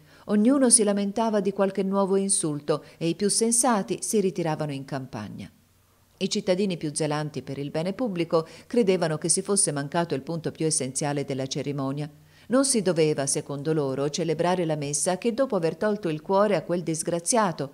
Pretendevano che con questa precauzione sarebbero riusciti a sorprendere il diavolo e senza dubbio questo non sarebbe potuto tornare. Invece, avendo cominciato dalla messa, aveva avuto tutto il tempo di fuggire e di tornare a suo piacimento. Dopo tutti questi ragionamenti ci si trovò nello stesso imbarazzo del primo giorno. Ci si riuniva in assemblea sera e mattina. Si fecero processioni per tre giorni e tre notti, si obbligarono i preti a digiunare, li si vedeva correre nelle case con l'aspersorio in mano, gettare dell'acqua benedetta e lavarne le porte, riempivano anche con l'acqua benedetta la bocca del povero brucolacquo. Con una prevenzione così generale abbiamo preso la decisione di non dir niente. Non solo saremmo stati trattati da ridicoli, ma anche da infedeli. Come far tornare in sé tutto un popolo? Tutte le mattine ci veniva ripetuta la commedia col racconto delle nuove follie di questo uccello notturno. Lo si accusava sempre di aver commesso i peccati più abominevoli. Pertanto ripetemmo spesso agli amministratori della città che in un caso simile nel nostro paese non avremmo mancato di far la guardia di notte per osservare quello che avveniva, che infine avremmo arrestato qualunque vagabondo che certamente aveva preso parte a tutti questi disordini. E questo fu fatto, ma i vagabondi vennero rilasciati troppo presto, perché due giorni dopo, per rifarsi del digiuno che avevano fatto in prigione, ricominciarono a vuotare le brocche di vino da coloro che erano stati così sciocchi da abbandonare la loro casa di notte. Si fu dunque obbligati a tornare alle preghiere.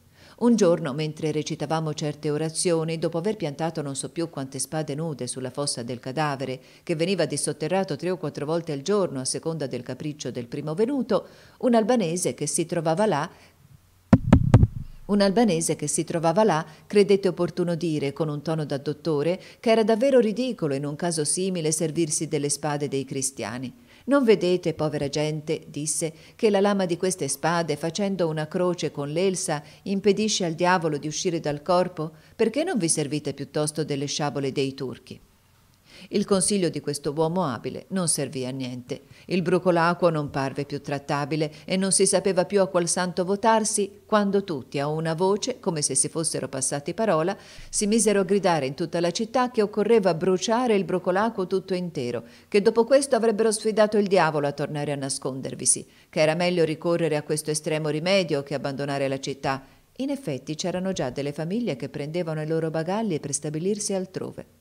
Si portò dunque il brocolacquo, per ordine degli amministratori, sulla punta dell'isola di San Giorgio, dove era stato preparato un grande rogo con catrame, per paura che il legno, anche se fosse stato secco, non avrebbe bruciato abbastanza velocemente.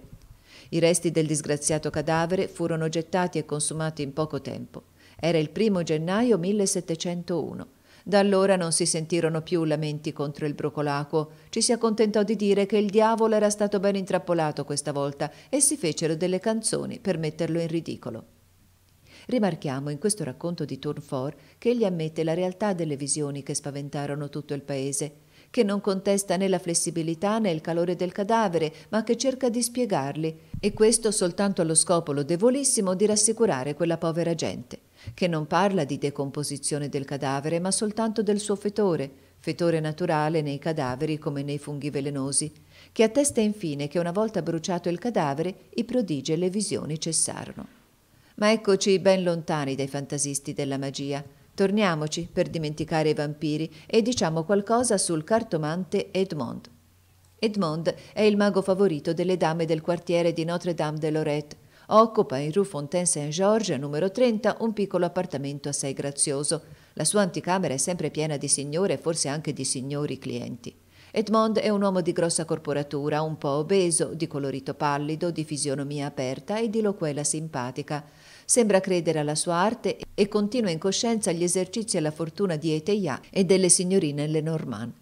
L'abbiamo interrogato sui suoi procedimenti e ci ha risposto con l'accento della franchezza e con molta gentilezza che è stato fin dall'infanzia appassionato di scienze occulte e che si è presto esercitato alla divinazione, che ignora i segreti filosofici delle alte scienze e che non ha le chiavi della cabala di Salomone, ma che è estremamente sensitivo e che la sola presenza dei suoi clienti l'impressiona così vivamente che sente in qualche modo il loro destino.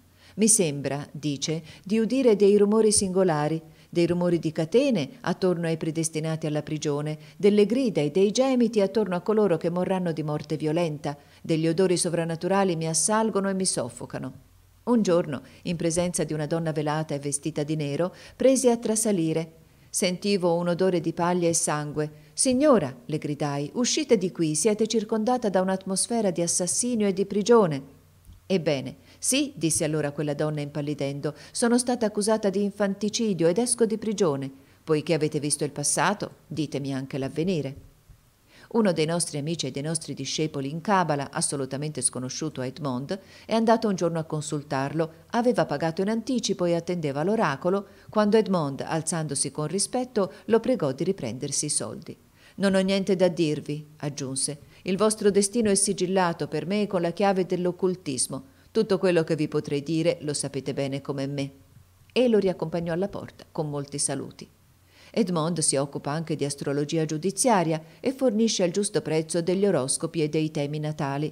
È d'altronde un mestiere triste e faticoso il suo, avendo tante teste malate e cuori malsani con cui dover essere continuamente in relazione.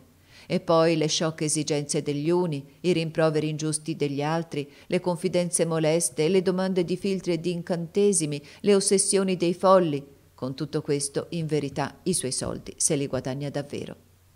Edmond, infine, non è che un sonnambulo come Alexis. Si magnetizza da solo con le sue carte dipinte con figure diaboliche, si veste di nero e fornisce le sue consultazioni in un gabinetto nero. È il profeta del mistero.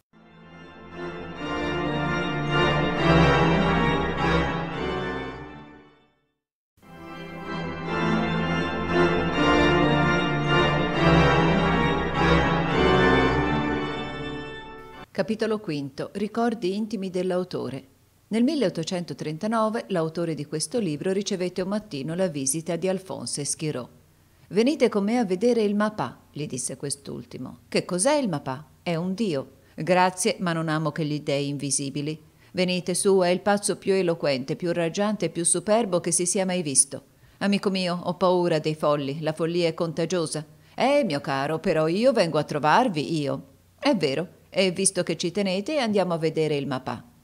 In una spaventosa stamberga c'era un uomo barbuto con una figura maestosa e profetica. Portava abitualmente sugli abiti una vecchia pelliccia da donna, il che gli dava l'aria di un povero derviscio. Era circondato da vari uomini barbuti ed estatici come lui e da una donna dai lineamenti immobili che sembrava una sonnambula addormentata. I suoi modi erano bruschi ma simpatici, la sua eloquenza trascinante, i suoi occhi allucinati. Parlava con enfasi, si animava e si scaldava fino a che una schiuma biancastra gli bordava le labbra. Qualcuno l'ha definito l'abate di Lamennais. Questa definizione si attagliava molto al misticismo di Mapà e lo si può giudicare da questo frammento sfuggito al suo entusiasmo lirico. L'umanità doveva fallire, così voleva il suo destino, affinché fosse essa stessa lo strumento della sua ricostituzione e che, nella grandezza della maestà del lavoro umano, attraversando tutte le luci e le ombre, apparisse manifestamente la grandezza e la maestà di Dio. E l'unità primitiva è stata spezzata dalla caduta. Il dolore si introdusse nel mondo sotto forma di serpente e l'albero della vita divenne albero della morte. E stando le cose così, Dio disse alla donna, tu partorirai con dolore. Poi soggiunse, è per te che la testa del serpente sarà schiacciata. E la donna è la prima schiava, ha compreso la sua missione divina e il penoso parto è cominciato. È per questo che dopo la caduta il compito dell'umanità non è stato che un compito di iniziazione, compito grande e terribile, è per questo che tutti i termini di questa iniziazione di cui la nostra madre comune Eva è l'alfa e la nostra madre comune libertà l'omega sono ugualmente sante e sacre agli occhi di Dio. Ho visto un immenso vascello sormontato da un masso gigantesco terminante in un alveare e uno dei fianchi del vascello guardava a occidente e l'altro a oriente e dal lato dell'occidente questo vascello si appoggiava sulle cime avvolte dalle nuvole di tre montagne, di cui la base si perdeva in un mare furioso, e ognuna di queste montagne portava il suo nome sanguinante scritto al fianco. La prima si chiamava Golgota, la seconda Monte San Giovanni, la terza Sant'Elena. E al centro del masso gigantesco, dal lato di occidente, era fissata una croce a cinque braccia, sulla quale moriva una donna. Sopra la testa di questa donna si leggeva Francia 18 giugno 1815, venerdì santo. E ognuna di queste cinque braccia della croce sulla quale era rappresentava una delle parti del mondo. La sua testa riposava sull'Europa e una nuvola la circondava e dal fianco del vascello che guardava a oriente le tenebre non esistevano e la carena era fermata sulla soglia della città di Dio, sulla sommità di un arco trionfale che il sole illuminava coi suoi raggi. E la stessa donna apparve di nuovo, ma trasfigurata e radiosa. Ella sollevò la pietra di un sepolcro. Su questa pietra c'era scritto Restaurazione giorno del sepolcro, 29 luglio 1830, Pasqua. Il Mapà era, come si vede, un continuatore di Catherine Théot e di Dom Gerle e pertanto, con la strana simpatia con cui le follie comunicano, ci dichiarò un giorno confidenzialmente che era Luigi XVII ritornato sulla terra per un'opera di rigenerazione e che questa donna che viveva con lui era stata Maria Antonietta di Francia. Spiegò allora le sue teorie rivoluzionarie fino alla stravaganza come le ultime parole delle pretese violente di Caino destinate a riportare per una reazione fatale il trionfo del giusto Abele. Eschirò ed io andammo a vedere il mapà per divertirci della sua demenza e la nostra immaginazione restò colpita dai suoi discorsi. Eravamo due amici di collegio come Louis Lambert e Balzac e abbiamo spesso sognato insieme delle devozioni impossibili e degli eroismi sconosciuti. Dopo aver udito Gannot, così si chiamava colui che si faceva chiamare Mapà, cominciamo a pensare che sarebbe stato bello far dire al mondo le ultime parole della rivoluzione e fermare l'abisso dell'anarchia gettandoci in esso come Curtius. Questo orgoglio da scolari fece nascere il Vangelo del popolo e la Bibbia della libertà, follie che Eschirò e il suo disgraziato amico hanno pagato a caro prezzo. Tale è il pericolo dei maniaci entusiasti, sono contagiosi e non ci si sporge impunemente sul bordo dell'abisso della demenza. Ma ecco qualche cosa di ben altrimenti terribile. Fra i discepoli del Mapà c'era un giovanotto nervoso e debole di nome Sobrier. Colui perse completamente la testa e si credette predestinato a salvare il mondo, provocando la crisi suprema di una rivoluzione universale. Arrivarono i giorni del febbraio 1848. Una sommossa aveva provocato un cambio di ministri. Tutto era finito, i parigini erano contenti e i boulevard erano illuminati. Un giovane apparve di colpo nelle strade popolose del quartiere Saint-Martin. Si faceva precedere da due monelli, uno che portava una torcia, l'altro che batteva il tamburo. Si formò un assembramento numeroso, il giovanotto montò su un pilastro e cominciò ad arringare la folla. Erano cose incoerenti, incendiarie, ma la conclusione fu che si doveva andare al boulevard de Capucines a portare al ministero la volontà del popolo. Ad ogni angolo di strada l'energumeno ripeteva la stessa arringa e marciava in testa alla folla con due pistole in mano e sempre preceduto dalla torcia e dal tamburo. La folla dei curiosi che ingombrava i boulevard si unì per curiosità al corteo. Presto non fu più un assembramento, ma una massa di popolo che marciava sul boulevard des Italiens. In mezzo a questa confusione il giovane e i due ragazzi erano scomparsi, ma davanti all'hotel de Capucines venne tirato sulle truppe un colpo di pistola. Questo colpo di pistola significava rivoluzione e venne sparato da un pazzo. Per tutta la notte due carrette cariche di cadaveri percorsero le strade al lume delle torce. L'indomani per tutta Parigi c'erano barricate e Sobrier, senza conoscenza, era riportato a casa sua. Era Sobrier che, senza sapere quello che faceva, veniva a dare una scossa al mondo. Garneau e Sobrier sono morti e oggi si può, senza pericolo per loro, rivelare alla storia questo terribile esempio di magnetismo degli entusiasti e delle fatalità che possono trascinare dietro a loro le malattie nervose di certi uomini. Ciò che raccontiamo lo abbiamo saputo da fonte certa e pensiamo che questa rivelazione possa portare un sollievo alla coscienza del Belisario della poesia, l'autore della storia dei Girondini. I fenomeni magnetici prodotti da Ganneau durarono anche dopo la sua morte. La sua vedova, donna senza istruzione e di un'intelligenza piuttosto negativa, figlia di un onesto alverniate, è rimasta nel sonnambulismo statico in cui suo marito l'aveva fatta cadere. Somigliante a certi bambini che subiscono la forma dell'immaginazione della loro madre, ella è diventata un'immagine vivente di Maria Antonietta prigioniera alla conciergerie. I suoi modi sono quelli di una regina per sempre vedova e desolata. A volte soltanto ella si lascia sfuggire qualche lamento, gridando che il suo sogno la affatica, ma si indigna altamente contro coloro che cercano di svegliarla.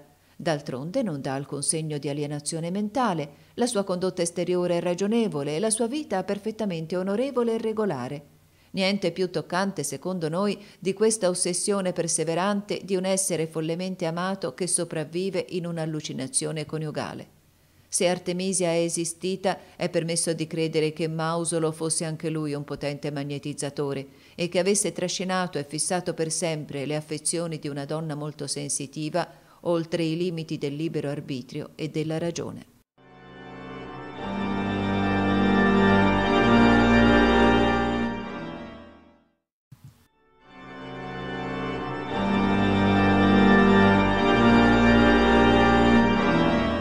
Capitolo VI. Le scienze occulte. Il segreto delle scienze occulte è quello della natura stessa, è il segreto della generazione degli angeli e dei mondi, è quello dell'onnipotenza di Dio. Voi sarete come gli Elohim, a conoscenza del bene e del male, aveva detto il serpente della Genesi, e l'albero della scienza è divenuto l'albero della morte. Dopo seimila anni i martiri della scienza lavorano e muoiono ai piedi di quest'albero perché ridiventi l'albero della vita. L'assoluto, cercato dagli insensati e trovato dai saggi, è la verità, la realtà e la ragione dell'equilibrio universale. L'equilibrio è l'armonia che risulta dall'analogia dei contrari. Fino ad oggi l'umanità ha cercato di reggersi su un solo piede, a volte su uno, a volte sull'altro. Le civiltà sono cresciute e morte sia per la demenza anarchica del despotismo, sia per l'anarchia dispotica della rivolta. Ora, sia gli entusiasmi superstiziosi sia i miserabili calcoli dell'istinto materialista hanno smarrito le nazioni e Dio spinge infine il mondo verso la ragione credente e le credenze ragionevoli. Abbiamo avuto abbastanza profeti senza filosofia e filosofi senza religione. I credenti ciechi e gli scettici si somigliano e sono lontani gli uni dagli altri quanto lo sono dalla salvezza eterna. Nel caos del dubbio universale e dei conflitti fra scienza e fede, i grandi uomini e i veggenti non sono stati che artisti malati che cercavano la bellezza ideale a rischio e pericolo della loro ragione e della loro vita. Così, guardateli ancora, questi sublimi fanciulli, sono nervosi e incostanti come delle donne, un niente li ferisce, la ragione li offende, sono ingiusti gli uni verso gli altri e quelli che vivono solo per essere incoronati sono i primi a fare, nel loro fantastico umore, quello che Pitagora proibisce in un modo così toccante nei suoi simboli ammirevoli. Essi lacerano e calpestano le corone. Sono gli alienati della gloria, ma Dio, per impedire loro di divenire pericolosi, li contiene con le catene dell'opinione. Il tribunale della mediocrità giudica il genio senza appello, perché essendo il genio la luce del mondo, è considerato come nullo e come morto se non illumina. L'entusiasmo del poeta è controllato dal sangue freddo della prosaica moltitudine. L'entusiasta che il buonsenso non accetta non è affatto un genio, è un folle. Non dite che i grandi artisti sono gli schiavi della folla ignorante, perché è da essa che il loro talento riceve l'equilibrio della ragione. La luce è l'equilibrio dell'ombra e del giorno. Il movimento è l'equilibrio dell'inerzia e dell'attività. L'autorità è l'equilibrio della libertà e del potere. La saggezza è l'equilibrio nei pensieri. La virtù è l'equilibrio negli affetti, la bellezza è l'equilibrio nelle forme. Le belle linee sono le linee giuste e le magnificenze della natura sono un'algebra di grazie e di splendori. Tutto quello che è giusto è bello, tutto quello che è bello deve essere giusto. Il cielo e l'inferno sono l'equilibrio della vita morale, il bene e il male sono l'equilibrio della libertà. La grande opera è la conquista del punto centrale in cui risiede la forza equilibrante. Ovunque, d'altronde, le reazioni della forza equilibrata conservano la vita universale attraverso il movimento perpetuo della nascita e della morte. È per questo che i filosofi ermetici paragonano il loro oro al sole. È per questo che questo oro guarisce tutte le malattie dell'anima e dona l'immortalità. Gli uomini arrivati a questo punto centrale sono i veri adepti, sono i taumaturghi della scienza e della ragione, sono maestri di tutte le ricchezze del mondo e dei mondi, sono i confidenti e gli amici dei principi del cielo. La natura obbedisce loro perché vogliono quello che vuole la legge che fa camminare la natura. Ecco quello che il Salvatore del mondo chiama il regno di Dio, è il santo regno della Santa Cabala. È la corona e l'anello di Salomone, è lo scettro di Giuseppe davanti a cui si inchinano le stelle del cielo e le messi della terra. Questa onnipotenza noi l'abbiamo ritrovata e non la vendiamo, ma se Dio ci avesse incaricato di venderla, allora troveremo che non sarebbe sufficiente a comprarla tutta la fortuna degli acquirenti. Noi domanderemo loro ancora, non per noi, ma per lei, tutta la loro anima e tutta la loro vita.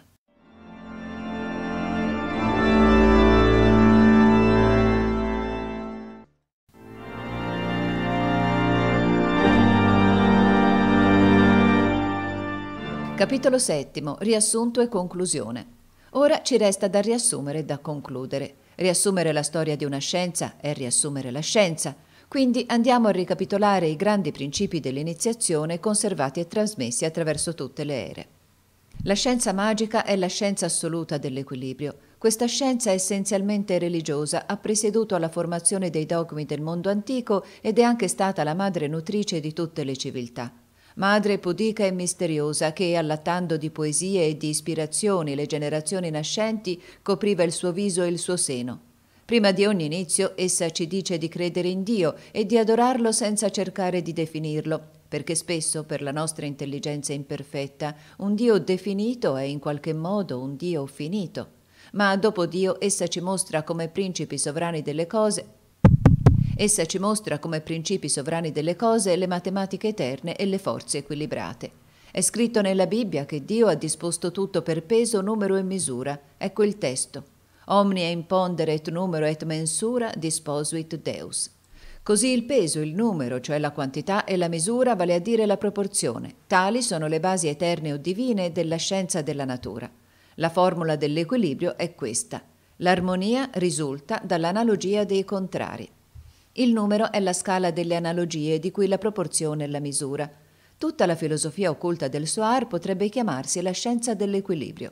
La chiave dei numeri si trova nel Sefer Gezirah. La generazione dei numeri è analoga alla filiazione delle idee e alla produzione delle forme. Di modo che, nel loro alfabeto sacro, i saggi ierofanti della Cabala hanno riunito i segni geroglifici dei numeri, delle idee e delle forme. Le combinazioni di questo alfabeto danno delle equazioni di idee e misurano indicandole tutte le combinazioni possibili nelle forme naturali. Dio, dice la Genesi, ha fatto l'uomo a sua immagine. Ora, essendo l'uomo il riassunto vivente della creazione, ne segue che anche la creazione è fatta a immagine di Dio. Nell'universo ci sono tre cose, lo spirito, il mediatore plastico e la materia. Gli antichi davano allo spirito come strumento immediato il fluido igneo al quale davano il nome generico di zolfo, al mediatore plastico il nome di mercurio a causa del simbolismo rappresentato dal caduceo e alla materia il nome di sale a causa del sale fisso che resta dopo la combustione e che resiste all'azione del fuoco. Paragonavano lo zolfo al padre a causa dell'attività generatrice del fuoco, il mercurio alla madre per il suo potere di attrazione e di riproduzione e il sale al figlio come sostanza sottomessa all'educazione della natura. La sostanza creata da loro era una e la chiamarono luce luce positiva o ignea lo zolfo volatile, luce negativa o resa visibile dalle vibrazioni del fuoco il mercurio fluido eterizzato e luce neutralizzata o ombra la miscela coagulata o fissata sotto forma di terra o di sale. È per questo che Ermete Trismegisto si esprime così nel suo simbolo noto sotto il nome di tavola di smeraldo. Ciò che sta in alto è come ciò che sta in basso, e ciò che sta in basso è come ciò che sta in alto, per formare le meraviglie della cosa unica. Vale a dire che il movimento universale è prodotto dalle analogie del fisso e del volatile, il volatile tendente a fissarsi e il fisso a volatilizzarsi, cosa che produce uno scambio continuo tra le forme della sostanza unica e, a causa di questo scambio, le combinazioni eternamente rinnovate delle forme universali. Il fuoco è Osiride o il sole, la luce è Iside o la luna, sono il padre e la madre del grande telesma, vale a dire della sostanza universale, non perché essi ne siano i creatori, ma rappresentano le due forze generatrici e il loro sforzo combinato produce il fisso o la terra, cosa che fa dire a Ermete che la loro forza è giunta a tutta la sua manifestazione quando la terra è stata formata. Osiride non è dunque Dio anche per i grandi ierofanti del santuario egiziano. Osiride non è che l'ombra luminosa o ignea del principio intellettuale della vita. È per questo che al momento dell'ultima iniziazione si passava di corsa gettando nell'orecchio dell'adepto questa rivelazione sconvolgente. Osiride è un dio nero. Sventura, in effetti, al recipiendario, la cui intelligenza non si sarà elevata per mezzo della fede al di sopra dei simboli puramente fisici della rivelazione egiziana. Queste parole divenivano per lui una formula di ateismo e il suo spirito ne veniva accecato. Queste parole erano, al contrario, per il credente di un genio più elevato, la porta delle più sublimi speranze. Figlio, sembrava dirgli l'iniziatore, tu prendi una lampada per il sole, ma la tua lampada non è che una stella della notte, esiste un vero sole, sorgi dalla notte e cerca il giorno. Quelli che gli antichi chiamavano i quattro elementi non erano per loro dei corpi semplici, ma bensì le quattro forme elementari della sostanza unica. Queste quattro forme erano raffigurate sulla Sfinge. L'aria con le ali, l'acqua col seno della donna, la terra con il corpo del toro, il fuoco con gli artigli del leone. La sostanza unica, tre volte tripla in modo di essenza e quadrupla in forma di esistenza, tale è il segreto delle tre piramidi triangolari di elevazione e quadrate alla base e custodite dalla Sfinge. L'Egitto, innalzando i suoi monumenti, aveva voluto porre le colonne d'Ercole della scienza universale. Così le sabbie sono salite, i secoli sono passati e le piramidi sempre grandi propongono alle nazioni il loro enigma, le cui parole sono andate perdute. Quanto alla Sfinge sembra essere stata sommersa dalla polvere degli anni. I grandi imperi profetizzati da Daniele hanno regnato volta a volta sulla terra e sono sprofondati con tutto il loro peso nella tomba. Conquiste della guerra, fondazioni del lavoro, opere delle passioni umane, tutto è stato inghiottito nel corpo simbolico della Sfinge. Ora la testa umana si erge soltanto sulle sabbie del deserto, come se aspettasse l'impero universale del pensiero. Indovina o muori. Tale era il terribile dilemma posto dalla Sfinge agli aspiranti alla regalità di Tebe. In effetti i segreti della scienza sono quelli della vita. Si tratta di regnare o di servire, di essere o di non essere. Le forze naturali ci stritoleranno se non ci serviranno a conquistare il mondo. Re o vittima non ci sono vie di mezzo tra questo abisso e la vetta, a meno che non ci si lasci cadere nella massa di coloro che non sono niente, perché non si chiedono mai perché vivono né chi sono. Le forme della Sfinge rappresentano anche per analogia geroglifica le quattro proprietà dell'agente magico universale, vale a dire della luce astrale. dissolvere, coagulare, riscaldare, raffreddare. Queste quattro proprietà dirette dalla volontà dell'uomo possono modificare tutte le forme della natura e produrre, secondo l'impulso dato, la vita o la morte, la salute o la malattia, l'amore o l'odio, la ricchezza o la povertà. Possono mettere al servizio dell'immaginazione tutti i riflessi della luce, sono la soluzione paradossale delle domande più temerarie che possano spingere all'alta magia.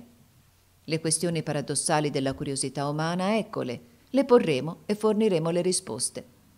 1. Si può sfuggire alla morte? 2. La pietra filosofale esiste e come fare per trovarla? 3. Ci si può far servire dagli spiriti? 4. Che cosa sono le clavicole, l'anello e il sigillo di Salomone? 5. Si può prevedere l'avvenire con dei calcoli certi? 6. Si può fare a proprio piacere del bene o del male con un'influenza magica? 7. Che fare per essere un vero mago? 8. In che consistono precisamente le forze della magia nera? Noi definiamo paradossali queste domande che sono al di fuori di qualsiasi scienza e che sembrano aver già avuto una risposta negativa dalla fede. Queste domande sono temerarie se vengono fatte da un profano e la loro soluzione completa, data da un adepto, sarebbe come un sacrilegio. Dio e la natura hanno chiuso il santuario intimo dell'alta scienza, di modo che, al di là di certi limiti, colui che sa parlerà inutilmente, non si farà più comprendere. La rivelazione del grande arcano magico è dunque fortunatamente impossibile. Le soluzioni che daremo saranno dunque l'ultima espressione del verbo magico. Noi le renderemo più chiare possibile, ma non ci prenderemo il compito di farle comprendere a tutti i nostri lettori. Domande 1 e 2. 1. Si può sfuggire alla morte? 2. La pietra filosofale esiste e come fare per trovarla? Risposte. Si può sfuggire alla morte in due modi, nel tempo e nell'eternità. Nel tempo, guarendo tutte le malattie e evitando le infermità della vecchiaia, e nell'eternità perpetuando col ricordo l'identità personale nelle trasformazioni dell'esistenza. Poniamo subito dei principi. Primo, che la vita risultante dal movimento non può conservarsi che per la successione e il perfezionamento delle forme. Secondo, che la scienza del movimento perpetuo è la scienza della vita. Terzo, che questa scienza ha per oggetto la giusta ponderazione delle influenze equilibrate. Quarto, che tutto il rinnovamento si opera attraverso la distruzione e anche ogni generazione è una morte e tutte le morti una generazione. Adesso stabiliamo con gli antichi saggi che il principio universale della vita è un movimento sostanziale o una sostanza eternamente e essenzialmente mossa e motrice, invisibile e impalpabile allo stato volatile, che si manifesta materialmente fissandosi attraverso i fenomeni della polarizzazione. Questa sostanza è indefettibile, incorruttibile e di conseguenza immortale. Ma le sue manifestazioni attraverso la forma vengono eternamente mutate attraverso la perpetuità del movimento. Dunque tutto muore perché tutto vive e se fosse possibile rendere eterna una forma si arresterebbe il movimento e si creerebbe la sola vera morte. Imprigionare per sempre un'anima in un corpo umano mummificato, tale sarebbe la soluzione orribile del paradosso magico dell'immortalità pretesa dello stesso corpo e sulla stessa terra. Tutto si rigenera attraverso il solvente universale, che è la sostanza primaria. Questo solvente concentra la sua forza nella quintessenza, vale a dire al centro equilibrante di una doppia polarità. I quattro elementi degli antichi sono le quattro forze polari del magnete universale rappresentato da una croce. Questa croce, che gira indefinitamente attorno al suo centro, propone anche l'enigma della quadratura del cerchio. Il verbo creatore si fa intendere dal centro della croce e grida tutto è consumato. È nella giusta proporzione delle quattro forme elementari che occorre cercare la medicina universale del corpo, come la medicina dell'anima ci viene presentata dalla religione in colui che si offre eternamente sulla croce per la salvezza del mondo. La magnetizzazione e la polarizzazione dei corpi celesti risultano dalla loro gravitazione equilibrata attorno ai soli, che sono le riserve comuni del loro elettromagnetismo. La vibrazione della quintessenza attorno alle riserve comuni si manifesta attraverso la luce e la luce rivela la sua polarizzazione attraverso i colori. Il bianco è il colore della quintessenza. Verso il polo negativo questo colore si condensa in blu e si fissa in nero, ma verso il suo polo positivo si condensa in giallo e si fissa in rosso.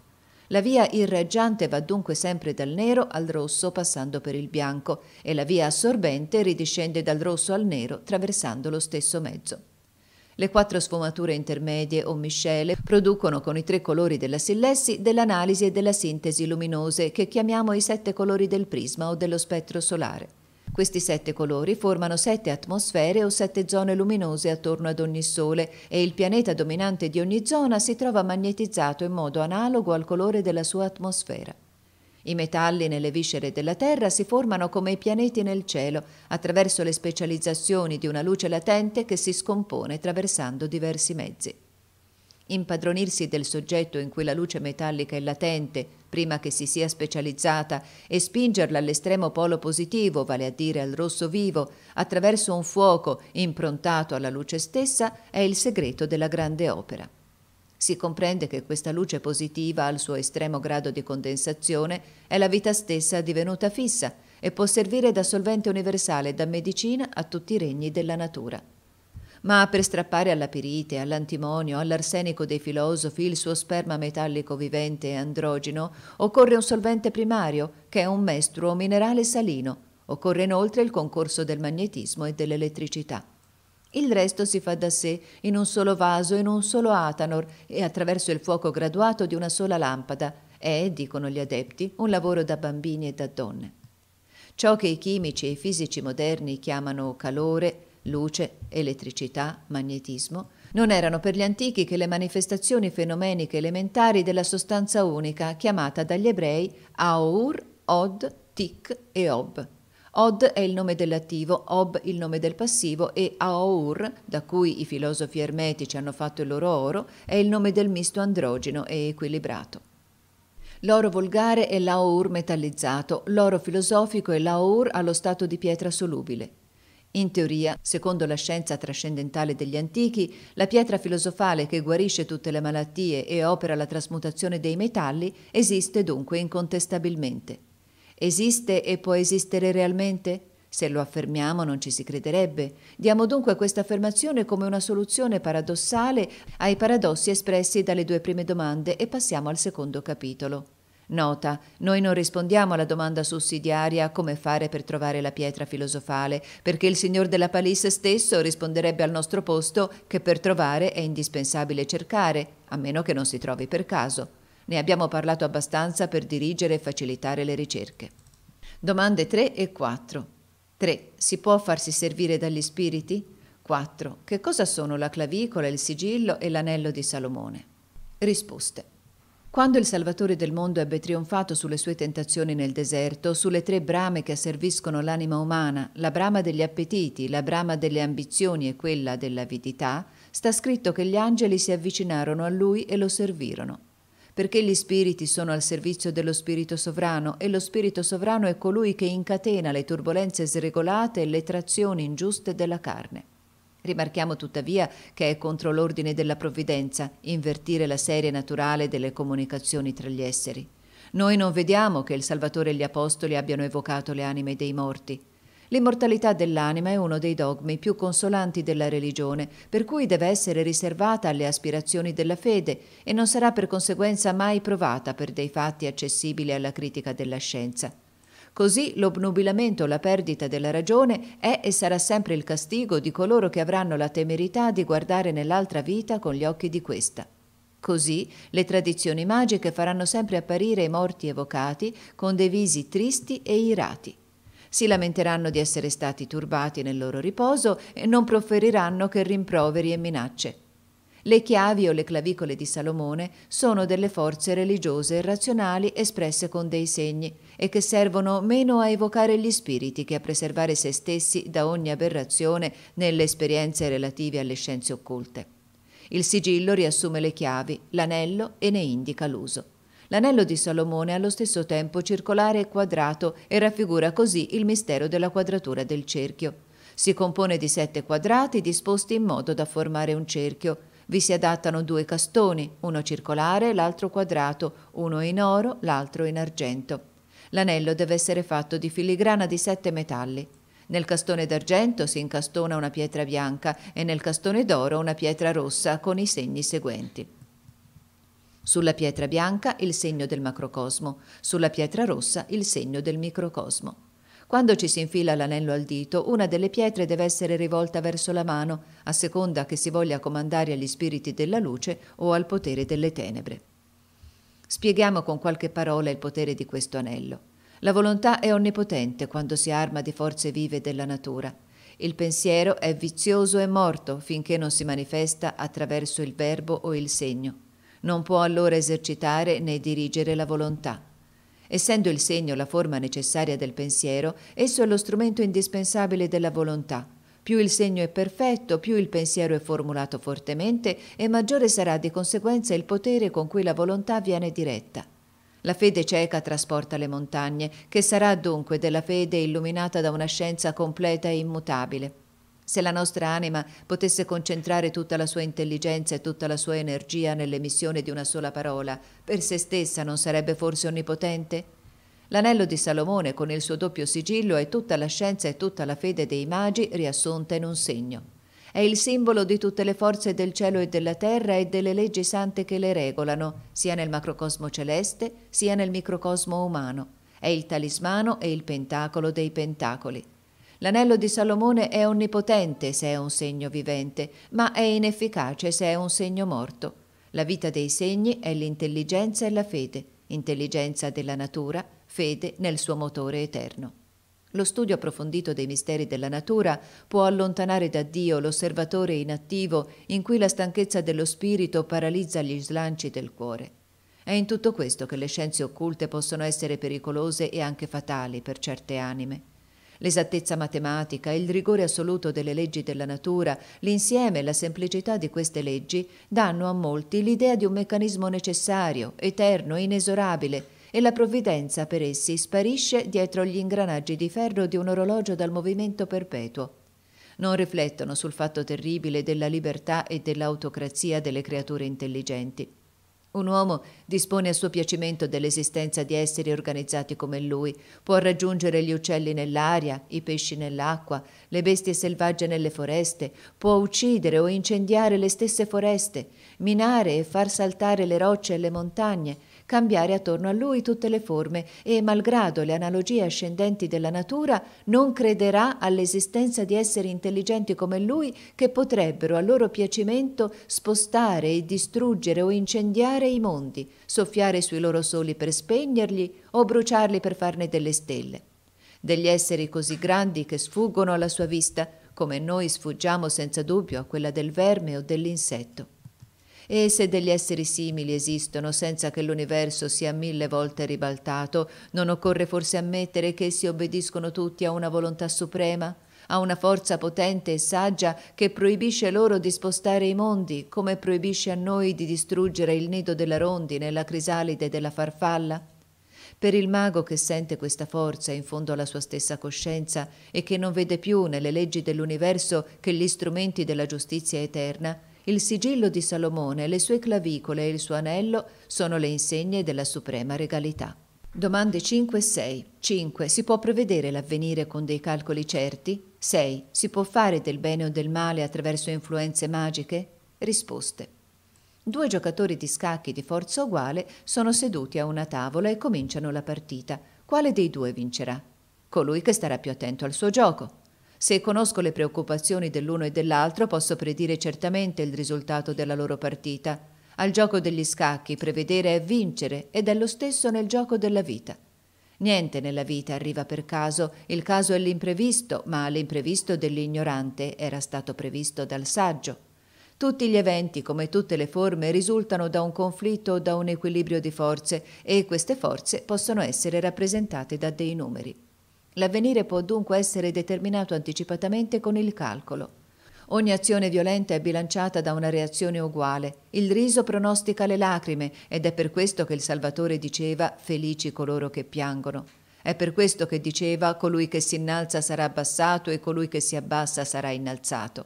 Oggi Nabucodonosor si fa Dio, domani sarà mutato in bestia. Oggi Alessandro fa il suo ingresso in Babilonia e si fa offrire dell'incenso su tutti gli altari, Domani morrà brutalmente ubriaco. L'avvenire è nel passato, il passato è nell'avvenire. Quando il genio prevede, si ricorda. Gli effetti si concatenano così necessariamente e esattamente alle cause e divengono in seguito essi stessi delle cause di nuovi effetti così conformi ai primi nel loro modo di prodursi, che un solo fatto può rivelare al veggente tutta una genealogia di misteri. Quando il Cristo è venuto, è certo che l'Anticristo verrà, ma la venuta dell'Anticristo precederà il trionfo dello Spirito Santo. Il secolo d'argento in cui viviamo è il precursore delle più abbondanti carità e delle opere buone più grandi che non si siano ancora viste nel mondo. Ma occorre sapere che la volontà dell'uomo modifica le cause fatali e che un solo impulso dato da un uomo può cambiare l'equilibrio di tutto un mondo. Se tale è il potere dell'uomo nel mondo che è il suo dominio, cosa devono dunque essere i geni dei soli? L'ultimo degli egregori potrebbe con un soffio, dilatando improvvisamente il calore latente della nostra terra, farla scoppiare e sparire in una nuvoletta di cenere. L'uomo così può con un soffio far svanire tutta la felicità di uno dei suoi simili. Gli uomini sono magnetizzati come i mondi, irradiano la loro luce speciale, come i soli. Alcuni sono più assorbenti, altri irradiano più volentieri. Nessuno è isolato al mondo, tutti sono una fatalità o una provvidenza per gli altri. Augusto e Cinna si incontrano, tutti e due sono orgogliosi e implacabili, ecco la fatalità. Cinna vuole fatalmente e liberamente uccidere Augusto. Augusto è trascinato fatalmente a punirlo, ma vuole perdonargli e liberamente gli perdona. Ecco la fatalità che si cambia in provvidenza e il secolo di Augusto, inaugurato da questa bontà sublime, diviene degno di veder nascere colui che dirà perdonate i vostri nemici. Augusto, graziando Cinna, ha espiato tutte le vendette di Ottavio. Fintanto che l'uomo è asservito alle esigenze della fatalità, è un profano, vale a dire un uomo che si deve respingere lontano dal santuario della scienza la scienza in effetti sarebbe tra le sue mani uno strumento terribile di distruzione. L'uomo libero, al contrario, vale a dire colui che domina con l'intelligenza i ciechi istinti della vita, è essenzialmente conservatore e riparatore, perché la natura è il dominio del suo potere, il tempio della sua immortalità. Quando il profano volesse fare bene, farebbe male. L'iniziato libero non può voler fare del male, se colpisce è per castigare e guarire. Il soffio del profano è mortale, quello dell'iniziato è vivificante. Il profano soffre per far soffrire gli altri, l'iniziato soffre perché gli altri non soffrano. Il profano intigge le sue frecce nel suo sangue e le avvelena. L'iniziato, libero con una goccia del suo sangue, guarisce le ferite più crudeli. Domande 7 e 8. 7. Che occorre fare per essere un vero mago? 8. In che consistono precisamente le forze della magia nera? Risposte. L'uomo che dispone delle forze occulte della natura senza esporsi a esserne schiacciato, colui è un vero mago. Lo si riconosce dalle sue opere e dalla sua fine, che è sempre un grande sacrificio. Zoroastro ha creato i dogmi e le civiltà primitive dell'Oriente ed è scomparso come Edipo in un nubifragio. Orfeo ha dato la poesia alla Grecia e con questa poesia la bellezza di tutte le grandezze ed è morto in un'orgia a cui si è rifiutato di mescolarsi. Giuliano, malgrado tutte le sue virtù, non è stato che un iniziato alla magia nera. È morto vittima e non martire. La sua morte è stata una distruzione e una sconfitta. Non comprendeva la sua epoca. Conosceva il dogma dell'alta magia, ma ne applicava male il rituale. Apollonio di Tiana e Sinesio non erano altro che filosofi meravigliosi, hanno coltivato la vera scienza, ma non hanno fatto niente per la posterità. I magi del Vangelo regnavano allora sulle tre parti del mondo conosciuto e gli oracoli tacevano, ascoltando i vagiti del bambino di Betlemme. Il re dei re, il mago dei maghi era venuto al mondo e i culti, le leggi, gli imperi, tutto era cambiato. Tra Gesù Cristo e Napoleone il mondo meraviglioso resta vuoto. Napoleone, questo verbo della guerra, questo messia armato, è venuto fatalmente, senza saperlo, a completare la parola cristiana la rivelazione cristiana non ci insegnava che a morire, la civiltà napoleonica ci doveva insegnare a vincere. Da questi due verbi contrari in apparenza, la devozione e la vittoria, soffrire, morire, combattere e vincere, si forma il grande arcano dell'onore. Croce del Salvatore, croce del coraggioso, non siete complete l'una senza l'altra, perché sa vincere solo colui che sa sacrificarsi e morire. E come si sacrifica e muore se non crede alla vita eterna? Napoleone, che era morto in apparenza, dovrà tornare nel mondo nella persona di un uomo realizzatore del suo spirito. Salomone e Carlomagno ritorneranno pure in un solo monarca e allora anche San Giovanni Evangelista, che secondo la tradizione dovrà rivivere alla fine dei tempi, risusciterà nella persona di un sovrano pontefice che sarà l'apostolo dell'intelligenza e della carità.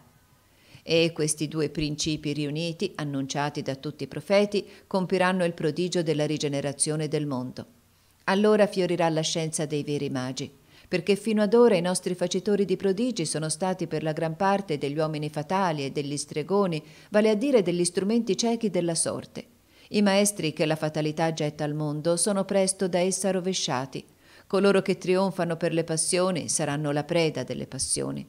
Quando Prometeo fu geloso di Giove e lo derubò della folgore, volle anche farsi un'aquila immortale, ma non creò che un avvoltoio immortale. La leggenda dice ancora che un re empio di nome Ixion volle fare violenza alla regina del cielo, ma non abbracciò che una nube menzognera e fu legato da dei serpenti di fuoco alla ruota inesorabile della fatalità. Queste profonde allegorie minacciano i falsi adepti, i profanatori della scienza, i settari fanatici della magia nera. La forza della magia nera è il contagio della vertigine, è l'epidemia dell'irragionevolezza. La fatalità delle passioni è come un serpente di fuoco che gira e si attorciglia attorno al mondo divorando le anime. Ma l'intelligenza pacifica, sorridente e piena di amore, raffigurata dalla Madre di Dio, gli pone il piede sulla testa. La fatalità si divora da sola, è l'antico serpente di Cronos che si rode eternamente la coda. O piuttosto sono due serpenti nemici che si battono e si lacerano a morsi fino a che l'armonia li incanta e li fa slanciare pacificamente attorno al caduceo di Ermete. Conclusione. Credere che non esista nell'etere un principio intelligente, universale e assoluto è la più temeraria e assurda di tutte le credenze. Credenza perché è la negazione dell'indefinito e dell'indefinibile. Credenza temeraria perché è isolante e desolante. Credenza assurda perché suppone il niente più completo al posto della più intera perfezione. Nella natura tutto si conserva per mezzo dell'equilibrio e si rinnova per mezzo del movimento. L'equilibrio è l'ordine e il movimento è il progresso. La scienza dell'equilibrio e del movimento è la scienza assoluta della natura. L'uomo, per mezzo di questa scienza, può produrre e dirigere dei fenomeni naturali, elevandosi sempre verso un'intelligenza più alta e più perfetta della sua. L'equilibrio morale è il concorso della scienza e della fede, distinte nelle loro forze e riunite nella loro azione per fare allo spirito e al cuore dell'uomo una regola che è la ragione perché la scienza che nega la fede è altrettanto irragionevole della fede che nega la scienza. L'oggetto della fede non saprebbe essere né definito né soprattutto negato dalla scienza, ma la scienza è chiamata essa stessa a constatare la base razionale delle ipotesi della fede. Una credenza isolata non costituisce la fede perché manca di autorità e per conseguenza di garanzia morale e non può dar vita che al fanatismo o alla superstizione. La fede è la fiducia che dà una religione, vale a dire una comunione di credenze. La vera religione si costituisce per suffragio universale. Essa è dunque essenzialmente sempre cattolica, vale a dire universale. È una dittatura ideale acclamata generalmente nel regno rivoluzionario dell'ignoto. La legge d'equilibrio, quando sarà meglio compresa, farà cessare tutte le guerre e tutte le rivoluzioni del vecchio mondo. Vi è stato conflitto tra i poteri come tra le forze morali. Attualmente si biasimano i papi perché si aggrappano al potere temporale senza pensare alla tendenza protestante dei principi per l'usurpazione del potere spirituale. Fintanto che i principi avranno la pretesa di essere papi, il papa sarà costretto per la stessa legge di equilibrio alla pretesa di essere re. Il mondo intero sogna ancora l'unità del potere e non comprende il potere del dualismo equilibrato. Davanti ai re usurpatori, se il papa non fosse re non sarebbe più niente, il Papa, nell'ordine temporale, subisce come un altro i pregiudizi del suo secolo. Non potrebbe dunque abdicare al suo potere temporale, quando questa abdicazione sarebbe uno scandalo per la metà del mondo. Quando l'opinione sovrana dell'universo avrà proclamato altamente che un principe temporale non può essere papa, quando lo zar di tutte le Russie e il sovrano della Gran Bretagna avranno rinunciato al loro sacerdozio derisorio, il papa saprà quello che gli resta da fare. Fino a quel momento dovrà lottare e morire, se occorre, per difendere l'integrità del patrimonio di San Pietro. La scienza dell'equilibrio morale farà cessare le dispute religiose e le bestemmie filosofiche. Tutti gli uomini intelligenti saranno religiosi, quando sarà ben riconosciuto che la religione non attenta alla libertà d'esame, e tutti gli uomini veramente religiosi rispetteranno una scienza che riconoscerà l'esistenza e la necessità di una religione universale. Questa scienza spanderà un nuovo giorno sulla filosofia della storia e darà un piano sintetico di tutte le scienze naturali. La legge delle forze equilibrate e delle compensazioni organiche rivelerà una fisica e una chimica nuove, allora, di scoperta in scoperta, si ritornerà alla filosofia ermetica e si ammireranno dei prodigi di semplicità e di chiarezza dimenticati da lungo tempo. La filosofia allora sarà esatta come le matematiche, perché le vere idee, vale a dire identiche all'essere, costituiscono la scienza della realtà e forniscono con la ragione e la giustizia delle proporzioni esatte e delle equazioni rigorose come i numeri. L'errore dunque non sarà più possibile che all'ignoranza. Il vero sapere non si sbaglierà più. L'estetica cesserà di essere subordinata ai capricci del gusto che cambia come la moda. Se il bello è lo splendore del vero, si dovrà sottomettere a calcoli infallibili l'irraggiamento di una luce il cui focolare sarà incontestabilmente conosciuto e determinato con una rigorosa precisione. La poesia non avrà più tendenze folli e sovversive, i poeti non saranno più questi incantatori pericolosi che Platone bandiva dalla sua Repubblica incoronandoli di fiori saranno i musici della ragione e i graziosi matematici dell'armonia. È forse dire che la terra diventerà un Eldorado?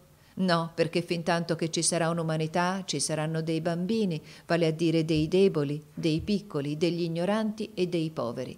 Ma la società sarà governata dai suoi veri maestri e non ci sarà più del male senza rimedio nella vita umana. Si riconoscerà che i miracoli divini sono quelli dell'ordine eterno e non si adoreranno più i fantasmi dell'immaginazione sulla fede dei prodigi inspiegati. La stranezza dei fenomeni non prova che la nostra ignoranza davanti alle leggi della natura. Quando Dio vuole farsi conoscere da noi, illumina la nostra ragione e non cerca di confonderla o di stupirla.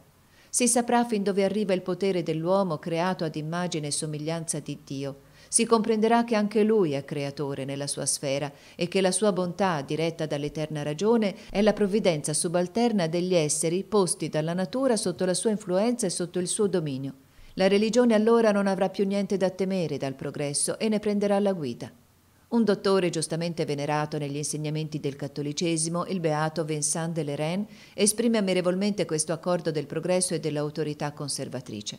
Secondo lui, la vera fede non è degna della nostra fiducia che per questa autorità invariabile che ne rende i dogmi inaccessibili ai capricci dell'ignoranza umana. E pertanto, aggiunge Vincent de Leren, questa immobilità non è la morte, noi conserviamo al contrario per l'avvenire un germe di vita. Quello che crediamo oggi senza comprenderlo, l'avvenire lo comprenderà e si feliciterà di averne conoscenza posteritas intellectum gratuletur, quodante vetustas non intellectum venerabatur. Se dunque ci si domanda forse che ogni progresso è escluso dalla religione di Gesù Cristo, no, senza dubbio, e noi ne speriamo uno grandissimo. Quale uomo in effetti sarebbe così geloso degli uomini, così nemico di Dio, da voler impedire il progresso? Ma occorre che sia realmente un progresso e non un cambiamento di credenza. Il progresso è l'accrescimento e lo sviluppo di ogni cosa nel suo ordine e nella sua natura. Il disordine è la confusione e la miscela delle cose e della loro natura. Senza alcun dubbio devono esistere, tanto per gli uomini in generale che per ognuno in particolare, secondo il cammino naturale delle ere della Chiesa, differenti gradi di intelligenza, di scienza e di saggezza, ma in tal modo che tutto sia conservato e che il dogma conservi sempre lo stesso spirito e la stessa definizione. La religione deve sviluppare successivamente le anime, come la vita sviluppa il corpo che ingrandisce e che rimane però sempre lo stesso. Che differenza tra il fiore infantile della prima età e la maturità della vecchiaia. I vecchi sono tuttavia gli stessi, in quanto alla persona che erano nell'adolescenza, cambia solo l'aspetto esteriore. Le membra del bambino in culla sono molto fragili e pur hanno gli stessi principi rudimentali e gli stessi organi degli uomini. Crescono senza che il loro numero aumenti e il vecchio non ha niente di più di quello che aveva da bambino e deve essere così sotto pena della difformità e della morte. È così anche per la religione di Gesù Cristo e il progresso per essa si compie nelle stesse condizioni e seguendo le stesse leggi. Gli anni la rendono più forte e la fanno crescere, ma non aggiungono niente a tutto quello che compone il suo essere. Essa è nata completa e perfetta nelle sue proporzioni, che possono crescere ed estendersi senza cambiare I nostri padri hanno seminato del frumento, i nostri nipoti non devono raccogliere il l'olio. I raccolti intermedi non cambiano niente nella natura del grano, dobbiamo prenderlo e lasciarlo sempre lo stesso. Il cattolicesimo ha piantato delle rose, dobbiamo forse sostituirvi dei rovi? No, di certo, o oh, sventura a noi. Il balsamo e il cinnamomo di questo paradiso spirituale non devono cambiare sotto le nostre mani in aconito e in veleno. Tutto quello che nella Chiesa, questa bella campagna di Dio, è stato seminato dai padri, deve essere coltivato e nutrito dai figli. È questo che deve sempre crescere e fiorire, ma può crescere e deve svilupparsi. Dio permette in effetti che i dogmi di questa filosofia celeste siano, per il progresso del tempo, studiati, elaborati, puliti in qualche modo.